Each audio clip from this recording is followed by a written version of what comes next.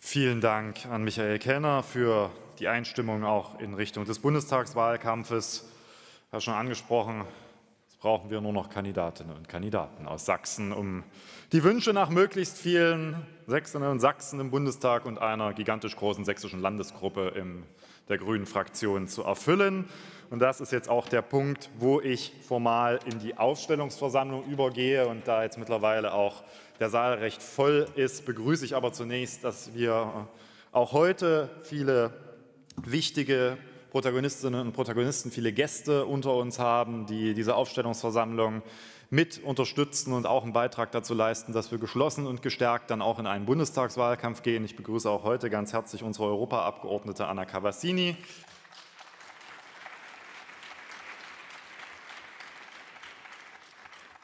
Mit nicht minder großer Freude begrüße ich die anwesenden Mitglieder der Staatsregierung, heute äh, unsere Justiz-, Demokratie-, Europa- und Gleichstellungsministerin Katja Mayer sowie die Staatssekretärin Gesine Mertens und den Staatssekretär Matthias Weiland. Vielen Dank, dass ihr auch da seid.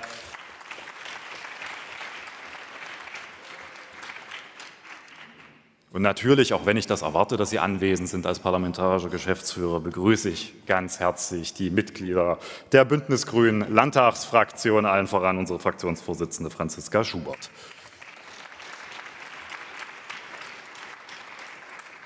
Und ich freue mich auch, dass es, naja, wie zu erwarten war, sobald es um Personenwahlen geht, sich auch im Vergleich zu gestern die Reihen in dem Block von Rundfunk und Presse und Fernsehen etwas gefüllt haben. Herzlich willkommen daher auch den Journalistinnen und Journalisten bei dieser Ausstellungsversammlung und einen hoffentlich störungsfreien Ablauf. Vielen Dank. In diesem Sinne würde ich jetzt in die Ausstellungsversammlung gerne eintreten. Und diejenigen, die Aufstellungsversammlung schon mal mitgemacht haben, die wissen, dass bevor wir in irgendeine Wahl irgendeiner Kandidatin eintreten, wir jetzt erstmal eine Runde Trockenschwimmübungen im Bereich von wahlrechtlichen Formalia machen müssen. Das kann ich euch leider nicht ersparen. Es gibt böse Zungen, die behaupten, mir würden das Spaß machen. Das weise ich natürlich entschieden zurück und trete entsprechend darin ein. Zunächst der Hinweis. Wir treten jetzt in die Aufstellungsversammlung für die Wahl der sächsischen Landesliste von Bündnis 90 Die Grünen für den 20. Deutschen Bundestag ein. Für diese sind nur jene Delegierten stimmberechtigt, die durch die Kreisverbände in entsprechender Wahl für eine Vertreterversammlung bestimmt wurden und die zum heutigen Tag das Wahlrecht zum Deutschen Bundestag besitzen. Dies wurde durch die Mandatsprüfungskommission am Eingang mit der Aushändigung der Delegiertenunterlagen festgestellt. Nur Personen, die diese vorgenannten Voraussetzungen erfüllen, dürfen in der Folge heute in dieser Versammlung und zwar sowohl wählend als auch abstimmend teilnehmen. Ich kann euch verkünden, dass die Beschlussfähigkeit erreicht wurde. Es sind genügend stimmberechtigte und wahlberechtigte Delegierte für die Vertreterinnenversammlung anwesend. Das heißt, wir können fortfahren. Zunächst müssen wir die Stimmberechtigung der Teilnehmerinnen und Teilnehmer überprüfen. Ich bitte alle Teilnehmerinnen und Teilnehmer, ihre Stimmkarte mal kurz hochzuhalten. Und zwar wichtig die dunkelgrüne Stimmkarte. Ja? Die hellgrüne gilt jetzt nicht. So, die behaltet ihr jetzt mal kurz oben. Jetzt können sich mal alle so im Saal umdrehen und gucken, wer so Karten nach oben hält. Denn ich muss euch jetzt befragen, ob eine anwesende Person die Stimmberechtigung einer der anwesenden Personen, die gerade eine Karte hochhält, bezweifelt. Woran man das festmachen soll, weiß ich übrigens bis heute nicht so richtig, aber vielleicht liegen euch Informationen vor, die der Mandatsprüfungskommission und dem Präsidium nicht vorliegen. Gut, ich nehme die Stimmkarten wieder runter. Ich frage, gibt es Einwände gegen die Stimmberechtigung einer der Personen, die eine Karte hochgehalten hat? Das vermag ich nicht zu erkennen, das ist erfreulich, damit sparen wir uns viel Aufwand hier vorne. So, dann müssen wir als nächstes ein Präsidium nochmal bestimmen. Und zwar würden wir euch aus pragmatischen Gründen vorschlagen, dass diejenigen, die gestern schon das Vertrauen der Landesversammlung bekommen haben, heute auch nochmal zum Präsidium für diese Aufstellungsversammlung vorgeschlagen werden. Das sind namentlich Gesa Busche, Petra Cagel-Sedi, Claudia Kreuzburg, Dr. Juliane Hundert, Britt Jonen, Anna Lanfermann, Valentin Lippmann, Dr. Gesine Mertens, Sophia Mielnik, Jennifer Petzel, Markus Scholz, Nicole Schreier, Dunja Schulze, Dr. Stefan Stach und Matthias Weiland. Gibt es dazu Änderungswünsche? Das vermag ich nicht zu erkennen, dann bitte ich euch um das Kartenzeichen, wenn ihr damit einverstanden seid. Vielen Dank. Die Gegenprobe. und die Enthaltungen. Damit ist das einstimmig. Jetzt bestehen einige wahlrechtliche Besonderheiten, die wir zu erfüllen haben. Zunächst bedarf es neben eines Präsidiums auch einer förmlichen Versammlungsleitung, also einer Versammlungsleiterin oder eines Versammlungsleiters. Der Landesvorstand schlägt vor, deswegen sitze ich jetzt hier gerade bei den Formalia, dass ich die wahlrechtliche Versammlungsleitung für diese LDK bzw. für diese Vertreterinnenversammlung übernehme. Ich frage, ob es da andere Vorschläge gibt. Scheint nicht der Fall zu sein. Dann bitte ich euch, sofern ihr damit einverstanden seid, dass ich hier weitermache, um euer Kartenzeichen. Dankeschön. Die Gegenprobe und die Enthaltungen. Das ist einstimmig. Dann dankt das Präsidium und auch die Versammlungsleitung für das Vertrauen. Wir hoffen, dass wir das im Folgenden erfüllen können. Entsprechend des Bundeswahlgesetzes wird eine Schriftführerin und ein Schriftführer benötigt, die der anschließend äh, die wahlrechtliche Niederschrift neben dem Versammlungsleiter bzw. Versammlungsleiterin unterzeichnet. Hier würden wir euch aus pragmatischen Gründen vorschlagen, dass die Person, die das Protokoll führt, nämlich in der Gestalt von Jens Reichmann, auch die Schriftführerin-Position übernimmt. Ich frage auch da, ob es andere Vorschläge gibt. Das ist nicht der Fall. Dann stimme ich auch das ab. Wer dafür ist, bitte um das Kartenzeichen. Vielen Dank. Die Gegenprobe. Danke und die Stimmenthaltungen. Auch das ist einstimmig. Jetzt kommen wir zu zwei etwas sensibleren Bereichen, nämlich zunächst bestellen wir Personen zur Versicherung an Eidesstadt. Neben dem Versammlungsleiter haben zwei Personen zur Versicherung an Eidesstadt gegenüber dem Landeswahlleiter eidesstattlich zu versichern, dass die Grundzüge des Landeswahlgesetzes eingehalten wurden, äh, des Bundeswahlgesetzes in diesem Fall insbesondere, dass die Bewerberinnen ausreichend Gelegenheit hatten, sich und ihr Programm vorzustellen und dass die Wahlen geheim erfolgen und die Abgabe falscher eidesstaatlicher Versicherung ist ein Straftatbestand. Entsprechend ist das die einzige Position, die, wenn was schief geht, auch was auszuhalten hat. Hm, von daher freue ich mich, dass sich Norman Volker und Lisa Stein bereit erklärt haben, sich dafür zur Verfügung zu stellen. Ich frage, ob es andere Wünsche dazu gibt. Ist nicht der Fall, dann stimme ich auch das ab. Wer damit einverstanden ist, dass Norman Volker und Lisa Stein Personen zur Versicherung an Eidesstadt sind, die bitte ich um das Kartenzeichen. Herzlichen Dank. Die Gegenprobe. Danke und die Stimmenthaltungen. Auch das einstimmig. Ja, und nun müssen wir noch eine Vertrauensperson und eine stellvertretende Vertrauensperson bestellen. Vertrauenspersonen sind diejenigen, die das nicht wissen, die so die Absprachen dann, wenn die Landesliste einmal eingereicht ist, mit dem Landeswahlleiter führen. Da geht es in der Regel um Beseitigung von kleineren Formmängeln, also eigentlich die Ansprechpartnerin darstellen. Sie haben allerdings ein Recht, auf das ich an dieser Stelle immer gerne hinweise. Durch gemeinschaftliche Erklärung der Vertrauensperson und der stellvertretenden Vertrauensperson kann ein kompletter Listenvorschlag unwiderruflich zurückgezogen werden. Und zwar ohne, dass wir darauf einen Einfluss haben. Deswegen heißen die auch Vertrauenspersonen. Wir sollten ihnen also vertrauen. Ich habe mal früher gesagt, wenn die sich dann irgendwann mal nach durchzechter Nacht kurz vor Einreichungsschluss in eine Kneipe setzen und äh, der Überzeugung sind, am nächsten Tag in, äh, zur Landeswahlleitung zu gehen und eine gemeinsame schriftliche Erklärung abzugeben, dass die Landesliste ihnen doch nicht gefällt, dann ist die weg und uns wird es schwerfallen, eine neue aufzustellen. Und ja, sowas hat es in der Vergangenheit auch schon gegeben. Jetzt könnt ihr sagen, im Lockdown wird das schwierig, sich in einer Kneipe zu treffen und äh, anschließend diese Entscheidung äh, zu vollziehen. Dennoch weise ich darauf hin, dass äh, dieses Recht besteht und dass ihr daher Personen vorgeschlagen sind, denen ihr hoffentlich auch vertraut, dass sie das nicht tun. Denn als Vertrauenspersonen sind vorgeschlagen Dr. Stefan Stach, äh, unser Landesgeschäftsführer und als stellvertretende Vertrauensperson Anne Johansen, die Mitarbeiterin der Landesgeschäftsstelle. Ich frage, ob es dazu alternative Vorstellungen gibt. Das scheint nicht der Fall zu sein. Wenn ihr damit einverstanden seid, dass das die beiden Vertrauenspersonen bzw. die Vertrauenspersonen die stellvertretende Vertrauenspersonen sind, dann bitte ich um das Kartenzeichen. Vielen Dank. Die Gegenprobe und die Enthaltungen. Dann habt ihr ein sehr großes Vertrauen als Vertrauensperson, nämlich ihr seid einstimmig dazu bestimmt. Herzlichen Glückwunsch. So, dann brauchen wir noch eine Wahlkommission. Wie schon gestern, diesmal etwas umfassender, weil wir dann zumindest bei der Schlussabstimmung auch schriftlich wählen werden und nicht mit den Abstimmungssystemen.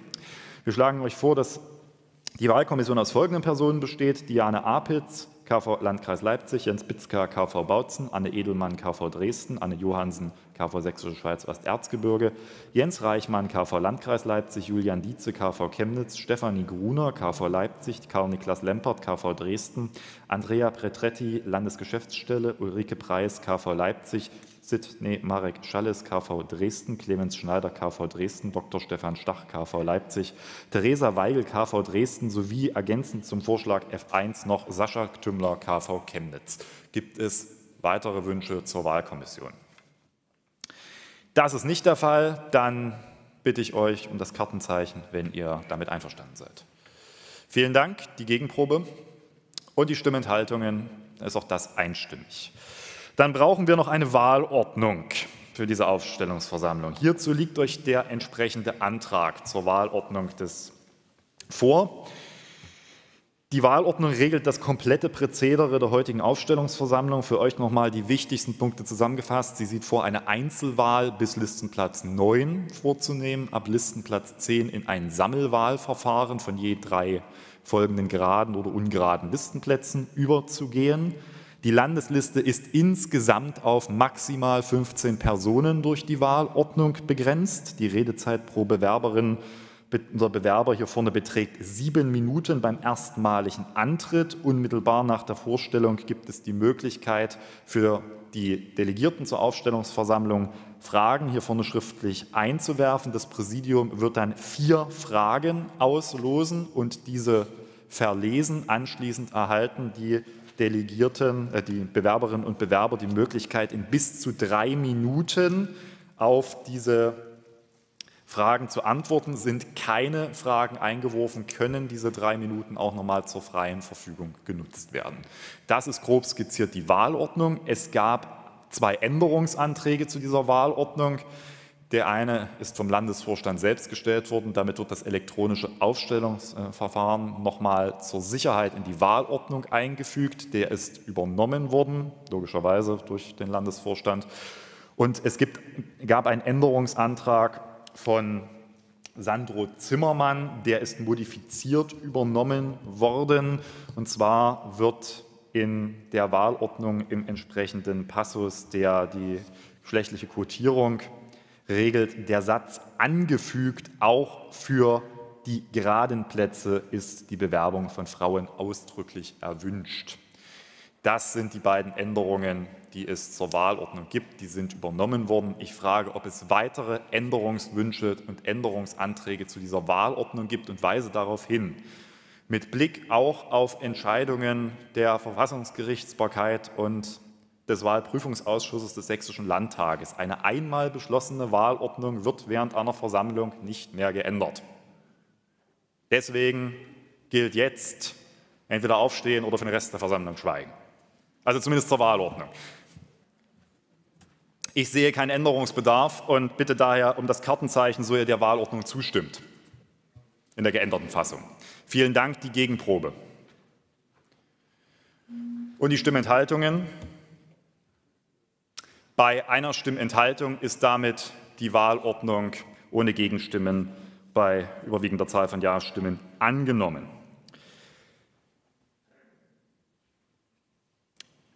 Damit können wir nun fortfahren. Die Wahlordnung sieht, wie ich bereits erläutert habe, die Variante der Verwendung des elektronischen Abstimmungssystems vor. Übrigens erstmals bei einer Listenaufstellung für den Deutschen Bundestag hier. Äh, die letzte haben wir 2017 noch im Hygienemuseum in Dresden mit Stimmzetteln äh, gemanagt. Das war herausfordernd, vor allem als der Drucker für die Schlussabstimmung nicht funktionierte. Und äh, es gibt noch diese schönen Bilder, wie ich mit so einer A0-Pappe hier vorne euch aufmale, was ihr auf ein A4-Blatt aufzuzeichnen habt. Wir drücken die Daumen, dass heute der Drucker funktioniert.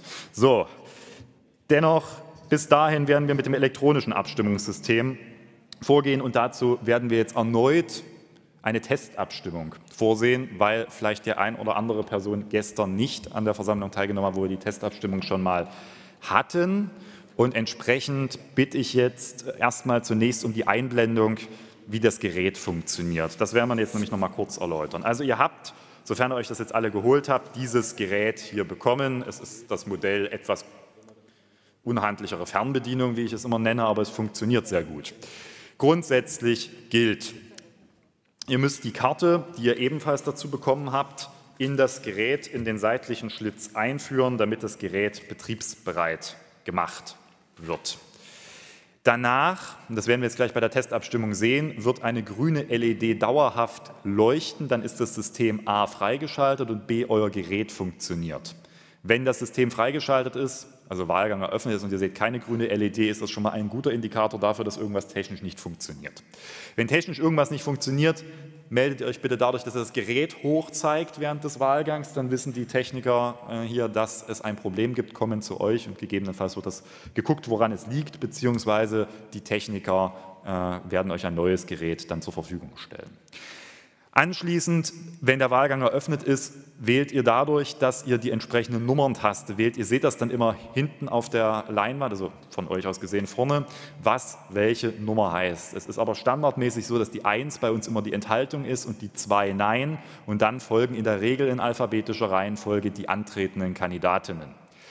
Ihr gebt ein, indem ihr die Zahl der Kandidatin drückt, die ihr haben wollt und dies anschließend mit der Enter-Taste, also auf der linken Seite bestätigt. Und dann kommt es jetzt darauf an, wenn nur eine Kandidatin, also wenn eine Bewerberin oder ein Bewerber gewählt werden kann, also bis zu den ersten neun Listenplätzen, dann wird automatisch das oben rot, weil dann ist das System quasi sagt, ihr habt keine Stimmen mehr abzugeben. Ihr könnt also auch nicht mehr Stimmen abgeben, als in dem Wahlgang zur Verfügung steht. Wenn später bis zu drei Personen im Sammelwahlverfahren gewählt werden können, dann könnt ihr dreimal diesen Vorgang hintereinander, also Taste drücken, bestätigen, nächsten Kandidaten und nächste Kandidaten drücken, bestätigen, nächste Kandidatin und Kandidaten drücken, nochmal bestätigen, dann leuchtet es erst rot. Wenn ihr weniger Stimmen abgeben wollt, als Plätze zur Verfügung steht, dann lasst ihr das nach ein oder nach zwei Eingaben und dann empfehle ich euch aber, das Gerät verdeckt vor euch hinzulegen, sonst sieht euer Nachbarin oder euer Nachbar, dass ihr nicht alle Stimmen abgegeben habt. Das muss jetzt nicht schlimm sein, aber das ist natürlich aus Sicht des Wahlgeheimnisses etwas, was es gilt zu vermeiden, dass äh, vielleicht jemand weiß, dass jemand nicht alle Stimmen abgegeben hat. Hm, das nur als freundlich gemeinter Hinweis. Was nicht funktioniert, ist, wenn ihr euch einmal für Nein oder einmal für Enthaltung entschieden habt und das Ganze eingegeben habt durch Enter, dann könnt ihr keine weiteren Kandidatinnen und Kandidaten mehr wählen. Also das System ermöglicht euch eigentlich faktisch nicht ungültige Eingaben wie bei Stimmzetteln, wo man aus Versehen mal mehr Kreuze abgegeben hat, als zulässig waren.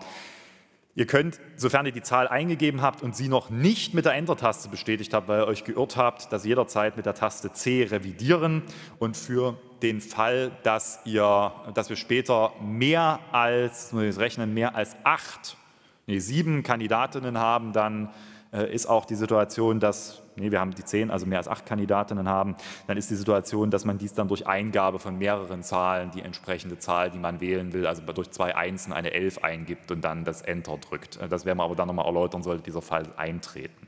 Das ist, wie gesagt, so das Grundsätzliche. Noch den Hinweis auf mögliche Fehlermeldungen, die ihr unten seht. Die, wenn die rote LED blinkt, dann habt ihr die Chipkarte falsch rum reingesteckt.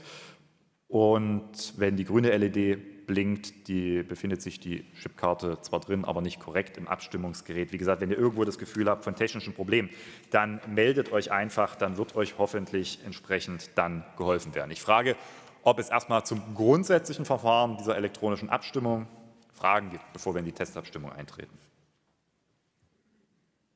Das sehe ich nicht. Dann würden wir jetzt auch in die Testabstimmung eintreten. Und zwar Ihr erinnert euch, beim letzten Mal, bei der letzten Aufstellungsversammlung haben wir euch gefragt, welche Farbe Dinos hatten. Jetzt fragen wir euch, mit welcher Farbe ihr euch am meisten identifiziert. Es sind alles Farben aus dem momentanen CI der Grünen. Also, mit welcher Farbe identifizierst du dich am meisten, ist die Testabstimmung. Mit der 1 könnt ihr euch enthalten. Mit der 2 könnt ihr sagen, äh, was soll die Frage? Nix. Mit der 3 grün, mit der 4 gelb und mit der 5 magenta. Das ist immer das Schöne, die Farbe gelb ist grün unterlegt und die Farbe grün, äh, magenta ist auch grün unterlegt, aber es geht darum, was dort steht. Also mit welcher Farbe identifiziert ihr euch am meisten? Das ist jetzt die Testabstimmungsfrage. Und wenn es dazu keine Fragen gibt, würde ich jetzt den Wahlgang eröffnen.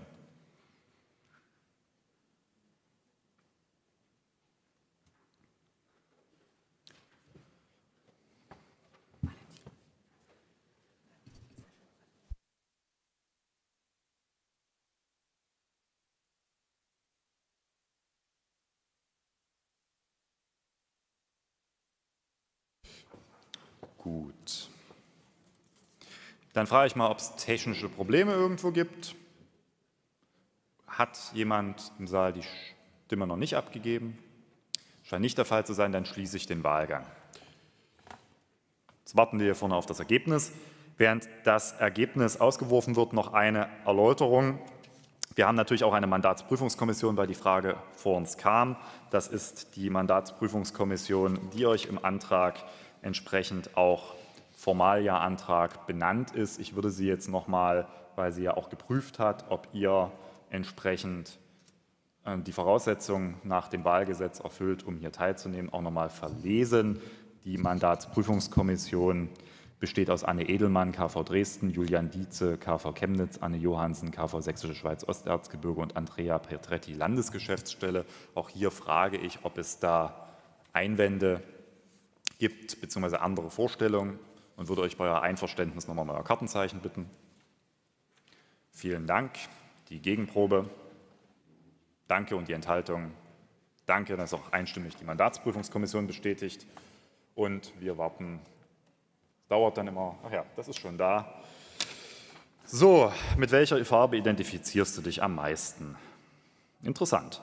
Es haben sich fünf Personen enthalten. Es wurden 108 Stimmen abgegeben. Gibt jetzt in dem Sinne ja kein Quorum. Äh, fünf Stimmen haben sich enthalten, fünf Personen. Es gab 15 Nein-Stimmen. 51 sind der Meinung, mit Grün identifizieren sie sich am meisten. 13 meinen, Gelb ist eine schöne Farbe und 24 finden Magenta ganz hübsch. So, so das auch eingeblendet. Ihr seht das hier hinter mir und so wird es jetzt bei jedem Wahlgang ungefähr funktionieren. Ich frage jetzt nochmal, da das heute so ziemlich das ist, was wir am häufigsten tun werden, abstimmen, neben Reden zuhören und Fragen stellen, ob es dazu jetzt noch irgendwelche Fragen gibt. Das scheint nicht der Fall zu sein. Dann haben wir jetzt erfolgreich alle Fragen miteinander erörtert, die hier erörterungsnotwendig waren und alle Formalia geklärt und können jetzt in die Landesliste eintreten. Und dazu übergebe ich für den Listenplatz 1 an Nicole. Vielen Dank. Damit rufe ich Listenplatz 1 zur Besetzung aus. Der Versammlungsleitung liegen für diesen Listenplatz 1 aktuell folgende Bewerbung vor, die von Dr. Paula Pichotta. Gibt es weitere Bewerbungen oder Vorschläge für diesen Listenplatz 1? Das kann ich nicht erkennen. Damit gibt es für den Listenplatz 1 eine Bewerbung von Paula Pichotta. Damit übergebe ich auch Paula das Wort. Paula, du hast jetzt sieben Minuten Zeit, dich vorzustellen. Im Anschluss gibt es direkt die Möglichkeit, vier quotierte Fragen an Paula zu stellen. Werf diese Fragen bitte schriftlich gut lesbar in die vorgesehenen Redeboxen ein. Danach wird Paula innerhalb von drei Minuten darauf eingehen. Paula, du hast damit das Wort. Guten Morgen in die Runde. Was für eine Woche. Es ist jetzt schon sechs Tage her, dass wir gesagt haben als Grüne, wir gehen mit Annalena in der Spitze in diesen Wahlkampf und die Euphorie ist trotzdem immer noch da. Und ich habe mir noch mal angeschaut, letzten Montag, viele von euch haben ja Bilder mit Annalena gepostet. Und diese Bilder, die waren fast alle aus unserem Landtagswahlkampf hier von vor knapp zwei Jahren in Sachsen. Und diese Bilder gab es überhaupt nur so, weil in diesem Landtagswahlkampf Robert und Annalena wirklich durch ganz Sachsen getourt sind, von Plauen bis Zittau. Und die haben das gemacht für uns, weil sie gemerkt haben, hier geht es um was ganz Existenzielles. Und deswegen haben wir ja auch so einen krassen Wahlkampf gemacht. Und diesen Sommer geht es wieder um was ganz Existenzielles, die Zukunft der Ökosysteme, die Rettung des Klimas, ob wir diese Demokratie stabil kriegen im 21. Jahrhundert und diese Pandemie endlich beendet. Und deswegen glaube ich, ist es ganz spannend zu schauen, dass wir von all diesen großen Themen, die dieses Jahr verhandelt werden, in Sachsen meistens ganz besonders stark betroffen waren.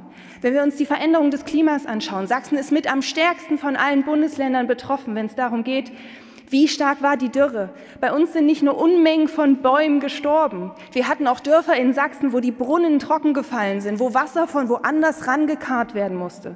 Und auch Corona, auch da sind wir eine der am stärksten betroffenen Bundesländer. Und das sehe ich ja nicht nur bei mir in der Klinik. Das ist sehr trivial jetzt zu sagen, das sieht ja jeder einzelne von uns jeden Tag. Jedes Mal, wenn du die Wohnung nicht verlassen kannst, jedes Mal, wenn du nicht weißt, ob Montag die Schule offen ist oder zu, brennt sich ja ein, wie wichtig Politik ist und dass sie bis ins Privateste hinein einen Unterschied machen kann. Und ich glaube, das ist nicht trivial, das hier nochmal so aufzuzählen, weil Menschen sind ja so gestrickt, dass sie vor allen Dingen dann erst handeln, wenn sie fühlen. Und die großen Fragen unserer Zeit, die sind in Sachsen sehr spürbar. Und bei uns Grünen kommt dazu, wir waren ja vorher schon Menschen, die Sachen ändern wollten, weil wir wussten, dass sich was ändern muss. Jetzt kommt noch dazu, dass wir das alle auch noch am eigenen Leib erleben und zusammen fühlen und wissen, führt dazu, dass wir maximal stärker motiviert sind als jemals zuvor, dieses Land jetzt mal wirklich zu verändern. Und deswegen sind wir bis in die Haarspitzen motiviert und deswegen stehen wir so stark zusammen. Und dieses stark Zusammenstehen, ich glaube, das liegt nicht nur daran, wie jetzt immer alle schreiben, dass wir so toll intern kommunizieren, das liegt ja vor allen Dingen auch daran, dass du, egal ob du eine Grüne im tiefsten Erzgebirge bist oder in Leipzig, dass du weißt, wir müssen dieses Mal liefern, weil uns bei der Klimakrise auch gar nicht mehr die Zeit bleibt. Und das schweißt uns zusammen und das schweißt uns übrigens auch zusammen mit vielen Bewegungen in dieser Gesellschaft weit über unsere Parteigrenzen hinaus. Denn wir alle wissen, ja, Corona ist krass. Aber diese Klimakrise wird krasser, wenn wir nicht endlich handeln.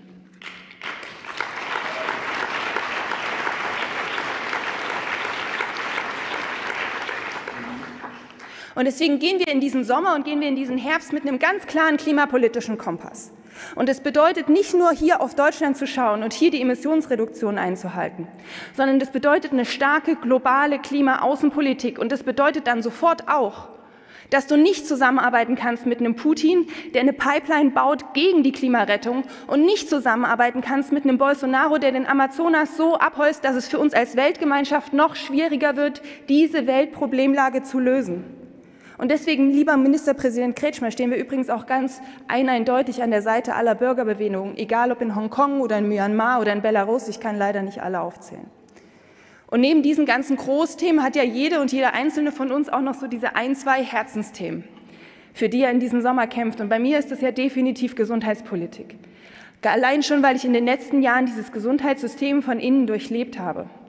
Und wenn du da wieder einen Dienst hattest, wo einfach viel zu viel zu tun ist und deine Kollegin am Ende dieses Dienstes einfach ganz spontan in Tränen ausbricht, weil sie einfach völlig fertig ist, dann kannst du gar nicht anders, als dieses Gesundheitssystem besser machen zu wollen. Und er gehört für uns dazu im Osten, gerade auch im ländlichen Raum, da wo die Dörfer besonders überaltert sind, da wo die Fahrtwege besonders lang sind, dass wir auch da die medizinische Versorgung aufrechterhalten, auch in 10 oder 20 Jahren.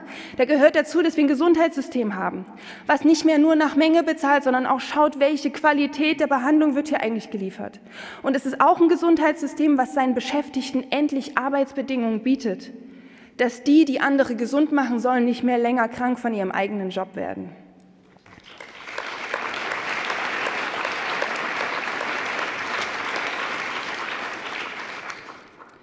Jetzt habe ich so ein bisschen aufgezählt, was die Aufgaben und großen Fragen in diesem Jahr sind. Und man könnte so ein bisschen einknicken, wenn man sagt, das ist ein riesen, riesen, riesen Projekt und es wird ein Kraftakt sondergleichen. Ich sehe aber ehrlich gesagt nicht, dass es irgendeine andere Partei gäbe, die das so leisten könnte. Egal, ob wir links von uns schauen oder rechts von uns schauen, sie sind ja wirklich alle mit sich selber beschäftigt. Alle. Die fallen ein Stück weit auch aus. Und als ob das noch nicht genug wäre, ist es ja auch so, dass in den letzten Jahren uns viele Gewissheiten verlassen haben. Auch wir Grüne dachten ja, so eine Europäische Union, die bleibt vielleicht so groß oder sie wird noch größer, aber kleiner wird sie nicht. War falsch. Auch wir Grüne dachten, ja gut, die Unionsparteien sind eigen aber sie sind schon ein gewisser Stabilitätsanker für dieses politische System in diesem Land. Das würde nach den letzten Wochen auch niemand mehr so unterschreiben. Und wenn wir Grünen vielleicht auch was geglaubt haben über dieses Land, dass in diesem Land Logistik und Verwaltung funktionieren, und auch das ist so nicht mehr eindeutig wahr. Und deswegen vor diesem Hintergrund, mit anderen Parteien, die ausfallen, mit vielen Gewissheiten, die wegfallen, eine nach der anderen, ist in diesem Sommer so besonders viel möglich für uns. Und unsere Aufgabe ist es jetzt, diesen Sommer dafür zu nutzen, dass aus dieser einmaligen Möglichkeit auch handfeste Tatsachen werden. Handfeste Tatsache wäre zum Beispiel ein klimaneutrales Deutschland in der stärkeren Europäischen Union. Das können wir einlösen, wenn wir gut in diesem Sommer kämpfen und zusammenstehen mit Robert, mit Annalena, mit euch, mit den Sächsinnen und Sachsen. Und dann gibt es vielleicht auch bald mal wieder die Situation, wo jede einzelne von uns einfach mal wieder in den Tag hineinleben kann, ohne sich groß Sorgen zu machen, um das große Ganze, weil man weiß, Politik hat die Probleme unserer Zeit auf dem Schirm und kümmert sich. Und ich kann hier mein Leben leben. Das wäre es doch. Danke.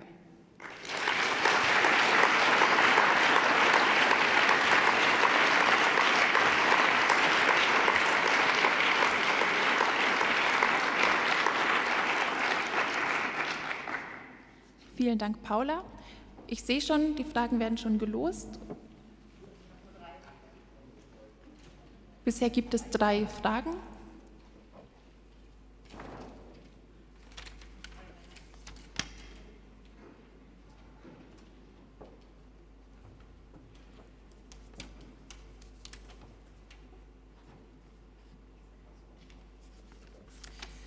Gut, ich lese jetzt alle drei vorliegenden Fragen vor, dann hast du drei Minuten Zeit zu antworten.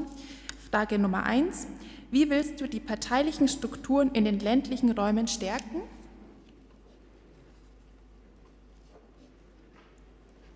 Frage 2. Wie willst du die Parteistrukturen in den ländlichen Räumen Leute. als Mitglied des Bundestages? Und die Frage 3.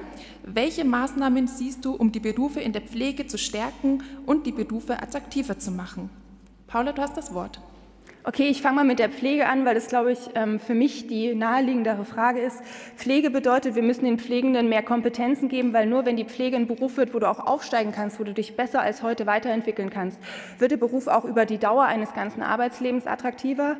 Wir müssen dafür sorgen, dass die Pflege besser für sich selber kämpfen kann in den verschiedenen politischen Ebenen.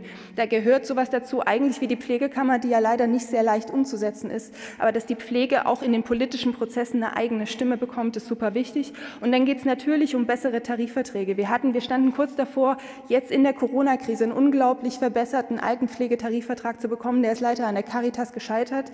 Ähm, und das sind, das sind die drei wichtigsten Punkte aus meiner Sicht, zusammen mit interprofessionellen Teams, die besser zusammenarbeiten, ähm, um die Pflege zu stärken und diesen Beruf attraktiver zu machen. Und ja, wenn dann auch noch die Arbeitszeiten pro Woche sich verkürzen, wie wir das im Bundestagswahlprogramm wollen, dann hilft es sicherlich auch. Aber die meisten sagen dir, es liegt wirklich an diesen Weiterentwicklungsmöglichkeiten und an der Qualität des Alltags äh, auf Station oder im Altenheim.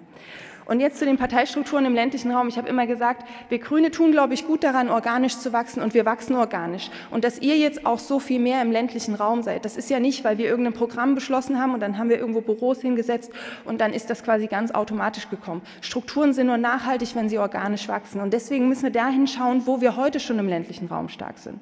Und in jedem Dorf, wo es eine große Schweinemastanlage gibt oder wo der Flughafen daneben ist und viel Lärm macht, da sind wir ja heute schon stark. Und wir müssen unsere Themen im ländlichen Raum einfach noch viel besser und spürbarer kommunizieren. Und dann werden wir da wachsen. Und natürlich werden wir dafür sorgen, dass es auch eine persönliche ähm, Bürostruktur in den ländlichen Räumen gibt. Und mit mehr Abgeordneten wird es dafür auch mehr Möglichkeiten geben. Das ist ganz klar. Und der Rest ähm, ist, glaube ich, in den guten, verantwortungsvollen Händen unseres Landesvorstands, weil es gibt ja immer noch eine sehr starke klare Trennung zwischen dem, was so eine Partei finanziert und dem, was man mit Fraktionsmitteln machen darf. Und äh, ich glaube, da tun wir gut daran, das beizubehalten. Wenn ich jetzt noch ganz kurz Zeit habe, würde ich einfach noch mal kurz Monika danken wollen. Ähm, ich habe immer viel über Monika gehört und dann habe ich sie irgendwann beim Stammtisch Süd in Leipzig kennengelernt. Und ich glaube, das ist eine der uneitelsten Menschen in der Politik, die ich da jemals erlebt habe.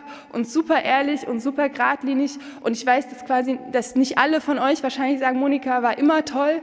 Aber ich kann euch nur sagen, Monika ist eine unglaublich aufrichtige, ehrliche Person, die mir in den letzten Wochen auch viel geholfen hat. Und vielen, vielen Dank dir. Vielen Dank auch an Stefan. Vielen Dank auch an Wolfgang. Vielen Dank.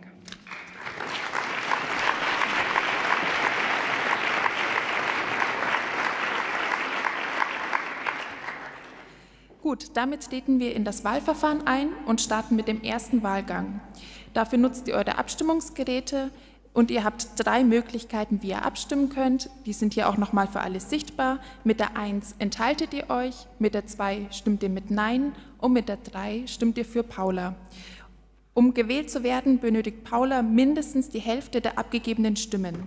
Sollte das nicht der Fall sein, würden wir dann gegebenenfalls in einen zweiten Wahlgang starten. Ich kann gerade keine Fragen dazu erkennen, damit eröffne ich jetzt den Wahlgang.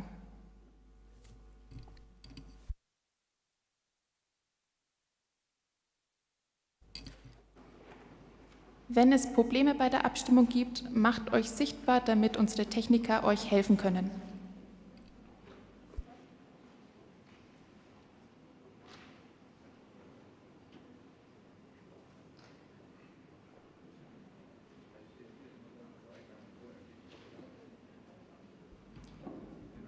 Ich kann nicht erkennen, dass es Probleme gibt. Hat jemand noch nicht abgestimmt und benötigt noch etwas Zeit?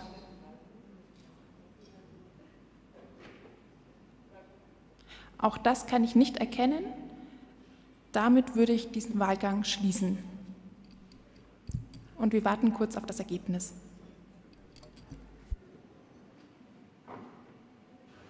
Drodzy przyjaciele i przyjaciółki, bardzo dziękuję za możliwość przekazania Wam kilku słów na początek Waszego kongresu. Żałuję, że nie jestem tam z Wami ale żyjemy w nieprzewidywalnych czasach pandemii. Z nami dla przyszłości. To jest główne hasło Waszego kongresu. Hasło, które oddaje Wasze ambicje na bardzo wysokie cele w wyborach do Bundestagu. Ambicje wzięcia odpowiedzialności za rządy na poziomie federalnym. Jestem przekonana, że z Waszym entuzjazmem i motywacją do działania te cele i ambicje zrealizujecie. Osiągniecie sukces. I nie będzie to sukces tylko i wyłącznie saksońskich czy niemieckich zielonych, ale sukces naszej całej zielonej europejskiej rodziny. Wasz sukces w wyborach oraz wejście do rządu federalnego są szansą na nową zieloną falę w całej Europie. Zieloną falę tak potrzebną dzisiaj w Czechach, w Norwegii, we Francji czy w Polsce. Trzymam zatem mocno kciuki za Wasze zwycięstwo w nadchodzących wyborach oraz życzę Wam udanej dyskusji. Jesteśmy z Wami. Dla Europy, dla przyszłości. Powodzenia!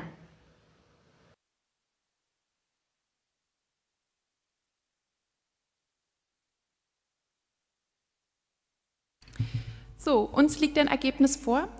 Es wurden 110 Stimmen abgegeben. Das Quorum liegt bei 56 damit.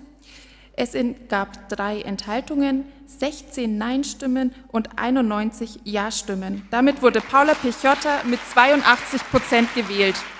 Liebe Paula, nimmst du die Wahl an?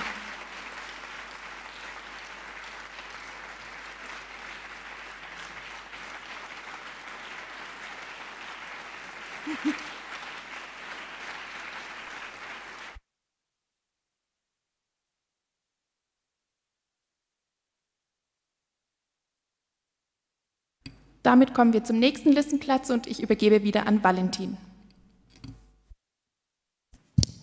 Vielen Dank, liebe Freunde und Freunde. Noch ein Hinweis, zwei kleinere Hinweise.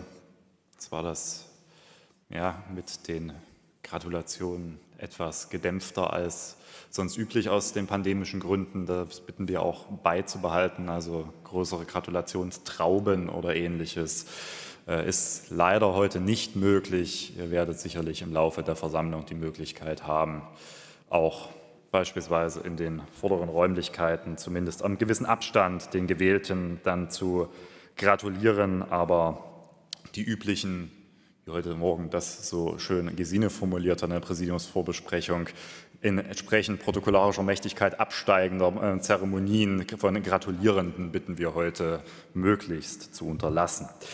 Des Weiteren möchte ich noch mal auf die Redezeitanlage hinweisen, bevor wir jetzt in den zweiten Listenplatz kommen, weil ihr seht immer, wie viel Redezeit ihr noch habt. In diejenigen, die hier reden. In diesem Redepult ist eine Uhr, die runterzählt, wie viel Redezeit ihr habt. Wir können das von hier steuern. Diese Uhr hat die entsprechenden sieben Minuten oder dann drei Minuten bei der Beantwortung der Frage, die wir euch darauf auch drauflegen. Und sie beginnt Ab eine Minute vor Ende wird die Uhr selber gelb, also die Ziffern auf der Uhr, dann wisst ihr, dass ihr noch eine Minute habt. Euch wird aber dauerhaft angezeigt, wie viel Redezeit ihr noch zur Verfügung habt. Deswegen nochmal der Hinweis, wir werden das sehr, sehr stringent hier durchhalten und auch relativ stringent dann dafür sorgen, dass ein Redebeitrag nach sieben Minuten zum Ende kommt. Das haben wir ja gestern Abend schon alles erläutert. Wir würden es an der Stelle, ohne dass es dafür jetzt Anlass gab, sondern nur, um es nochmal klargestellt haben, hier deutlich auch und stringent handhaben, nicht nur aus Gründen des Infektionsschutzes, sondern natürlich auch aus Gründen der Gleichbehandlung der Kandidatinnen und Kandidaten.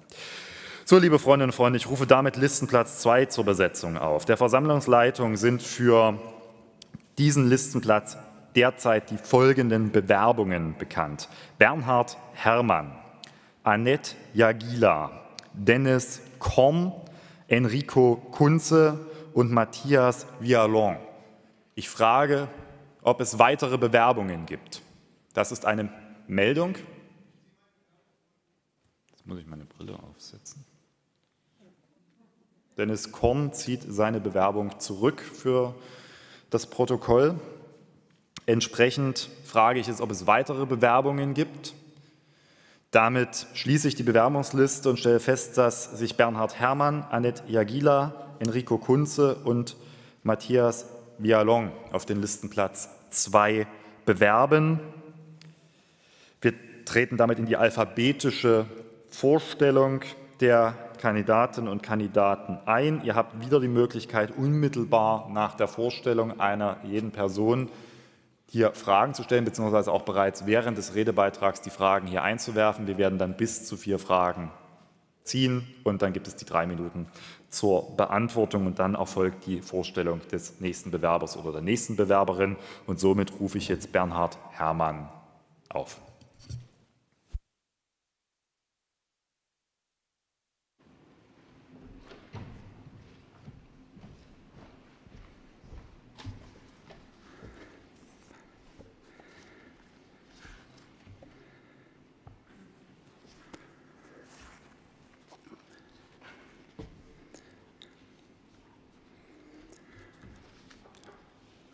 Liebe Freundinnen und liebe Freunde, wir werden auch aus Sachsen viel stärker in den neuen Bundestag einziehen. Und ich bin überzeugt, das werden wir in großer Vielfalt tun.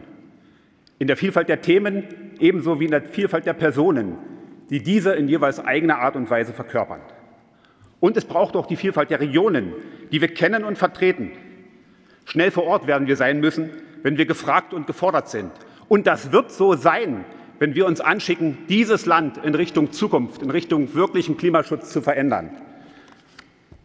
Ich möchte gern Teil dieser Vielfalt sein und bewerbe mich mit Voten von vier Kreisverbänden und der LAG Klima und Energie.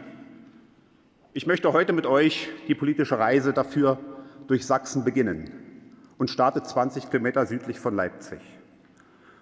Vor etwas mehr als vier Jahren hatte die Umweltbewegung zusammen mit uns Grünen zu einer symbolstarken Pflanzaktion in den Kirchgarten von Pödelwitz geladen.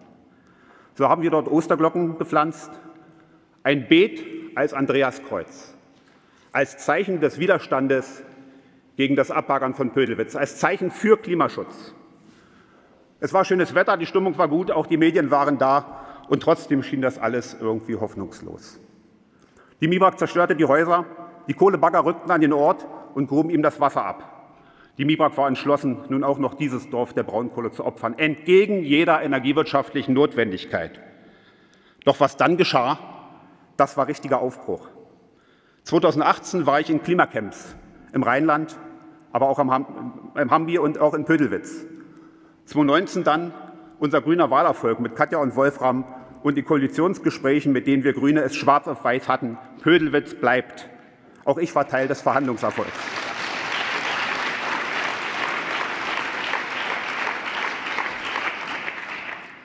Das, was ich jetzt kurz vor Ostern, als ich wieder in Pödelwitz war, spürte, war im Frühling 2021 wirklich wie Aufbruch zu neuem Leben. Mein Dank gilt an der Stelle zuallererst dem Bleibewilligen im Ort, um Jens Hausner, der immer so viel Zuversicht und Mut ausstrahlt. Dank aber auch an die große, lautstarke junge Klimabewegung. Ohne euch wäre das nie möglich gewesen.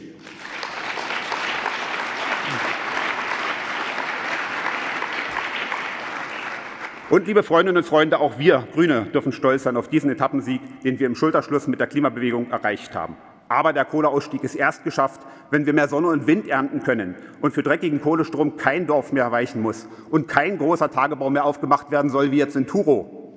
Ganz konkret für den Ausbau der Erneuerbaren möchte ich mich einbringen.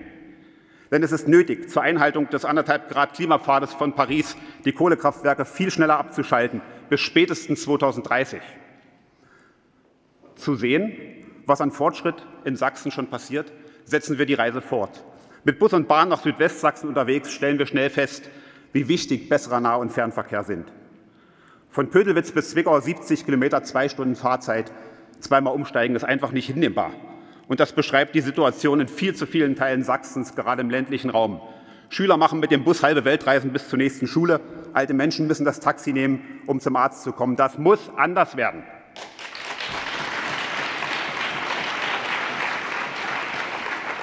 Und es darf nicht so bleiben, dass in Südwest- und Ostsachsen jahrzehntelang kein Fernzug zu sehen ist. Auch wir sind hier gefordert als Grüne. Liebe Freundinnen und liebe Freunde, angefangen in Südwestsachsen, in dem handwerklich, mittelständisch, industriell geprägten Raum finden wir kräftigen technologischen Aufbruch. Innerhalb weniger Jahre wurde die Autoproduktion in Zwickau komplett auf Elektromobilität umgestellt. Im Jahr 2020 wurden 60 Prozent aller in Deutschland produzierten Elektromobile in Zwickau, Leipzig oder Dresden gebaut. Genauso beachte ich auch die Akkuproduktion in Kamenz mit jährlich einer halben Million Einheiten. Und das ist Zukunft für Menschen im Land, für Familien, für Jung und Alt. Nein, liebe Freundinnen, elektrische Autos sind nicht die Lösung für unsere Verkehrsprobleme, aber wohl ein Baustein dazu. Denn sie können mit Effizienz, Chancen fürs Carsharing und bewussterem Nutzungsverhalten zum Gelingen der Verkehrs- und Energiewende beitragen. Auf jeden Fall ist es aber ein Zeichen, dass Veränderung gelingt. Ein wichtiges Zeichen für alle, die noch zögerlich sind. Und ein wichtiges Zeichen gegen Antidemokraten, die mit Veränderungsangst Menschen für ihre kruden Ziele missbrauchen. Und auch da weiß ich von Plauen über Schneeberg bis Chemnitz und Leisnig sehr wohl, wovon ich rede. Aber zurück zur Innovation. Denn hoffnungsvoll ist auch die in Dresden, Hohenstein, Ernsthal und Chemnitz Fahrt aufnehmende zweite Solarrevolution. Wenn in Dresden und Chemnitz noch zwei der wenigen deutschen Solarmodulhersteller überlebten, dann haben sie jetzt auch weiter Zukunft. Ich möchte mich dafür einsetzen, dass die hier hergestellten Anlagen auch wieder viel mehr bei uns zum Einsatz kommen. Wir werden gegen die Klimakrise aktiv angehen. Dazu gehört der engagierte Zubau bei Sonnen- und Windenergie. Auf jedes neue Dach gehört ganz selbstverständlich eine Solaranlage aber auch auf den Bestand. Dazu passt, dass der Solarmaschinenbauer aus Hohenstein gerade die Solarfabrik in Freiberg wiederbelebt. An solche Zeichen der Veränderung können wir anknüpfen. Und genau deshalb wird es uns Bündnisgrünen gelingen, den Aufbruch positiv zu besetzen. Ein weiteres meiner Ziele aber ist auch der Stopp der massiven Flächenversiegelung, des Flächenfraßes, der Natur und Landwirtschaft so viel wertvolles Grün entzieht. Dass es besser geht, das zeigen doch erfolgreich belebte Brachen, wie beispielsweise das tolle Klinkerbauwerk des Wasserbaus in Flöa. Aber wir haben hier in allen Kommunen noch so große Potenziale der Innenentwicklung, die es zu nutzen gilt, und erreichen damit zwei Ziele. Zum einen gelingende Stadt- und Ortsentwicklung und auf der anderen Seite den Schutz der Natur. Wir müssen dazu finanzielle Fehlanreize und Zwänge beseitigen. Und genau das möchte ich auch im Bund ausbewegen für unsere Region. Zu Zudem sollten wir als Grüne Vorbild sein. Wir denken Stadt und Land als Region gemeinsam, denn nicht im Gegensatz von Stadt und Land, sondern im Miteinander werden wir uns zukunftsfähig aufstellen. Mit Sachkunde und gelingender Kommunikation erreicht man Köpfe und Herzen. Und ich finde Bereitschaft zur Veränderung immer dann, wenn die Notwendigkeit verstanden oder der Wandel als Gewinn erfahrbar wird. Liebe Freundinnen und liebe Freunde, nach 16 Jahren politischer Stagnation unter der CDU braucht es jetzt Aufbruch und Veränderung, kein weiter so. Dabei nehmen wir die Menschen in ihrer Lebenswirklichkeit mit, Wandel mit menschlichem Maß, sozial gerecht, vielfältig, mit echtem Klimaschutz, dann werden wir die Grundfesten der Demokratie wieder stärken. Unsere kleine Reise hat jetzt knapp sieben Minuten gedauert. Der viel größere Teil liegt noch vor uns. Angekommen sind wir nicht. Ich freue mich riesig darauf, gemeinsam mit euch und mit Annalena als Kanzlerkandidatin die Aufgaben anzupacken. Liebe Freundinnen und liebe Freunde, ja, die Farbe der nächsten Jahre ist grün, verschieden schattiert und vielfältig in den Tönen, aber deutlich grün. Bitte kommen wir zum Schluss.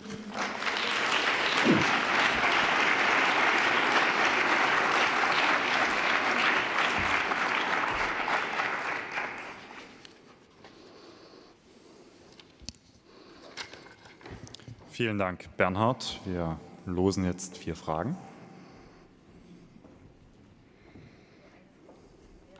Das ist soll.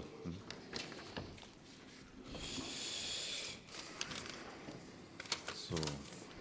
Da wir Tatsache jetzt mehr Fragen haben, als zur Verfügung stehen, lose ich hier vorne mal schnell.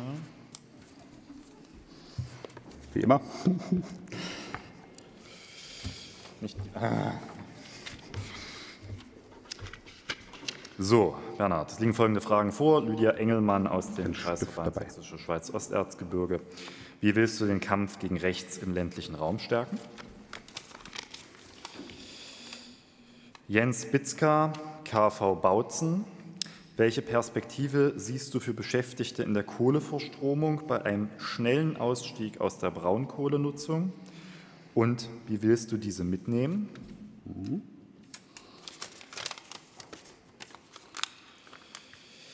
Karl-Niklas Lempert, Kreisverband Dresden. Wie willst du die grüne Jugend in deine Arbeit als Bundestagsabgeordneter einbeziehen? Und die vierte Frage ist von. Vier sogar. Hm? Vier sogar. Okay. Vierte Frage, genau. Von Nino Haustein, Kreisverband Sächsische Schweiz-Osterzgebirge. Wie willst du LGBTQI im ländlichen Raum stärken.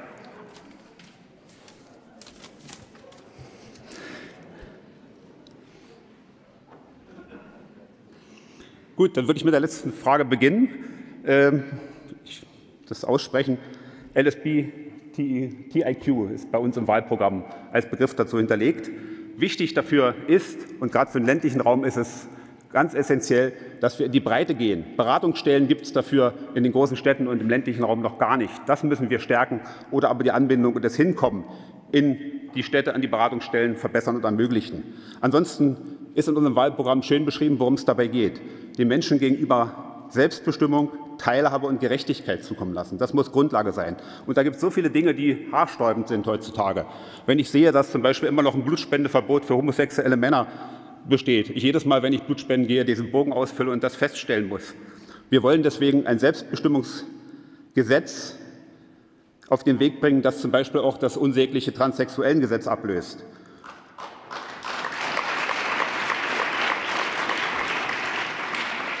Es muss aufhören, dass Behandlungen und nicht medizinisch notwendige Operationen an intergeschlechtlichen Kindern stattfinden. Das ist eigentlich ein Unding im jetzigen Jahrhundert.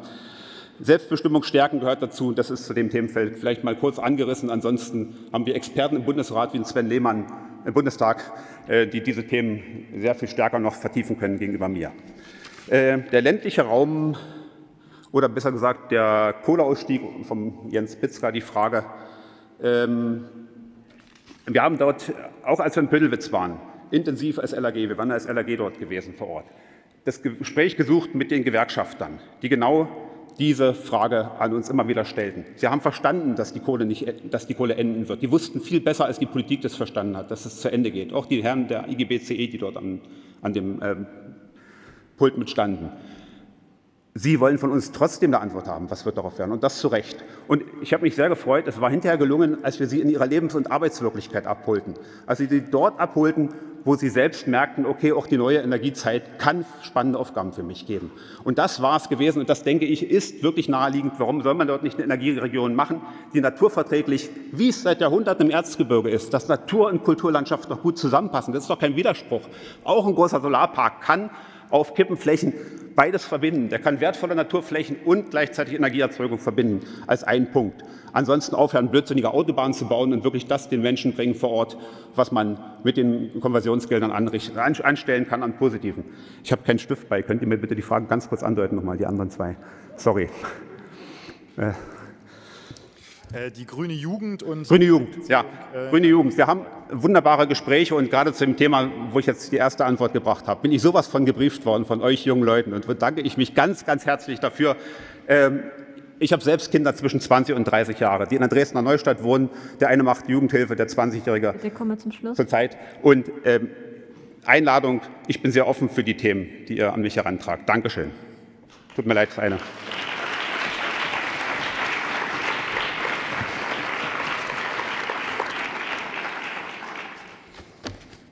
Vielen Dank, Bernhard.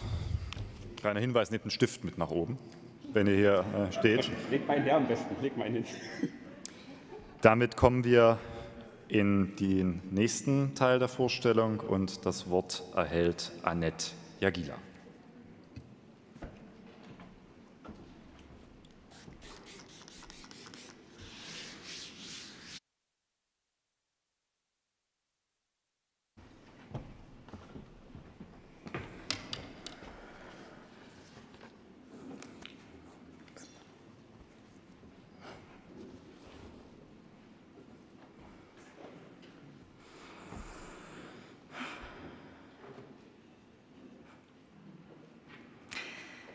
Liebe Freundinnen und Freunde, wir alle hier und viele Menschen da draußen wissen,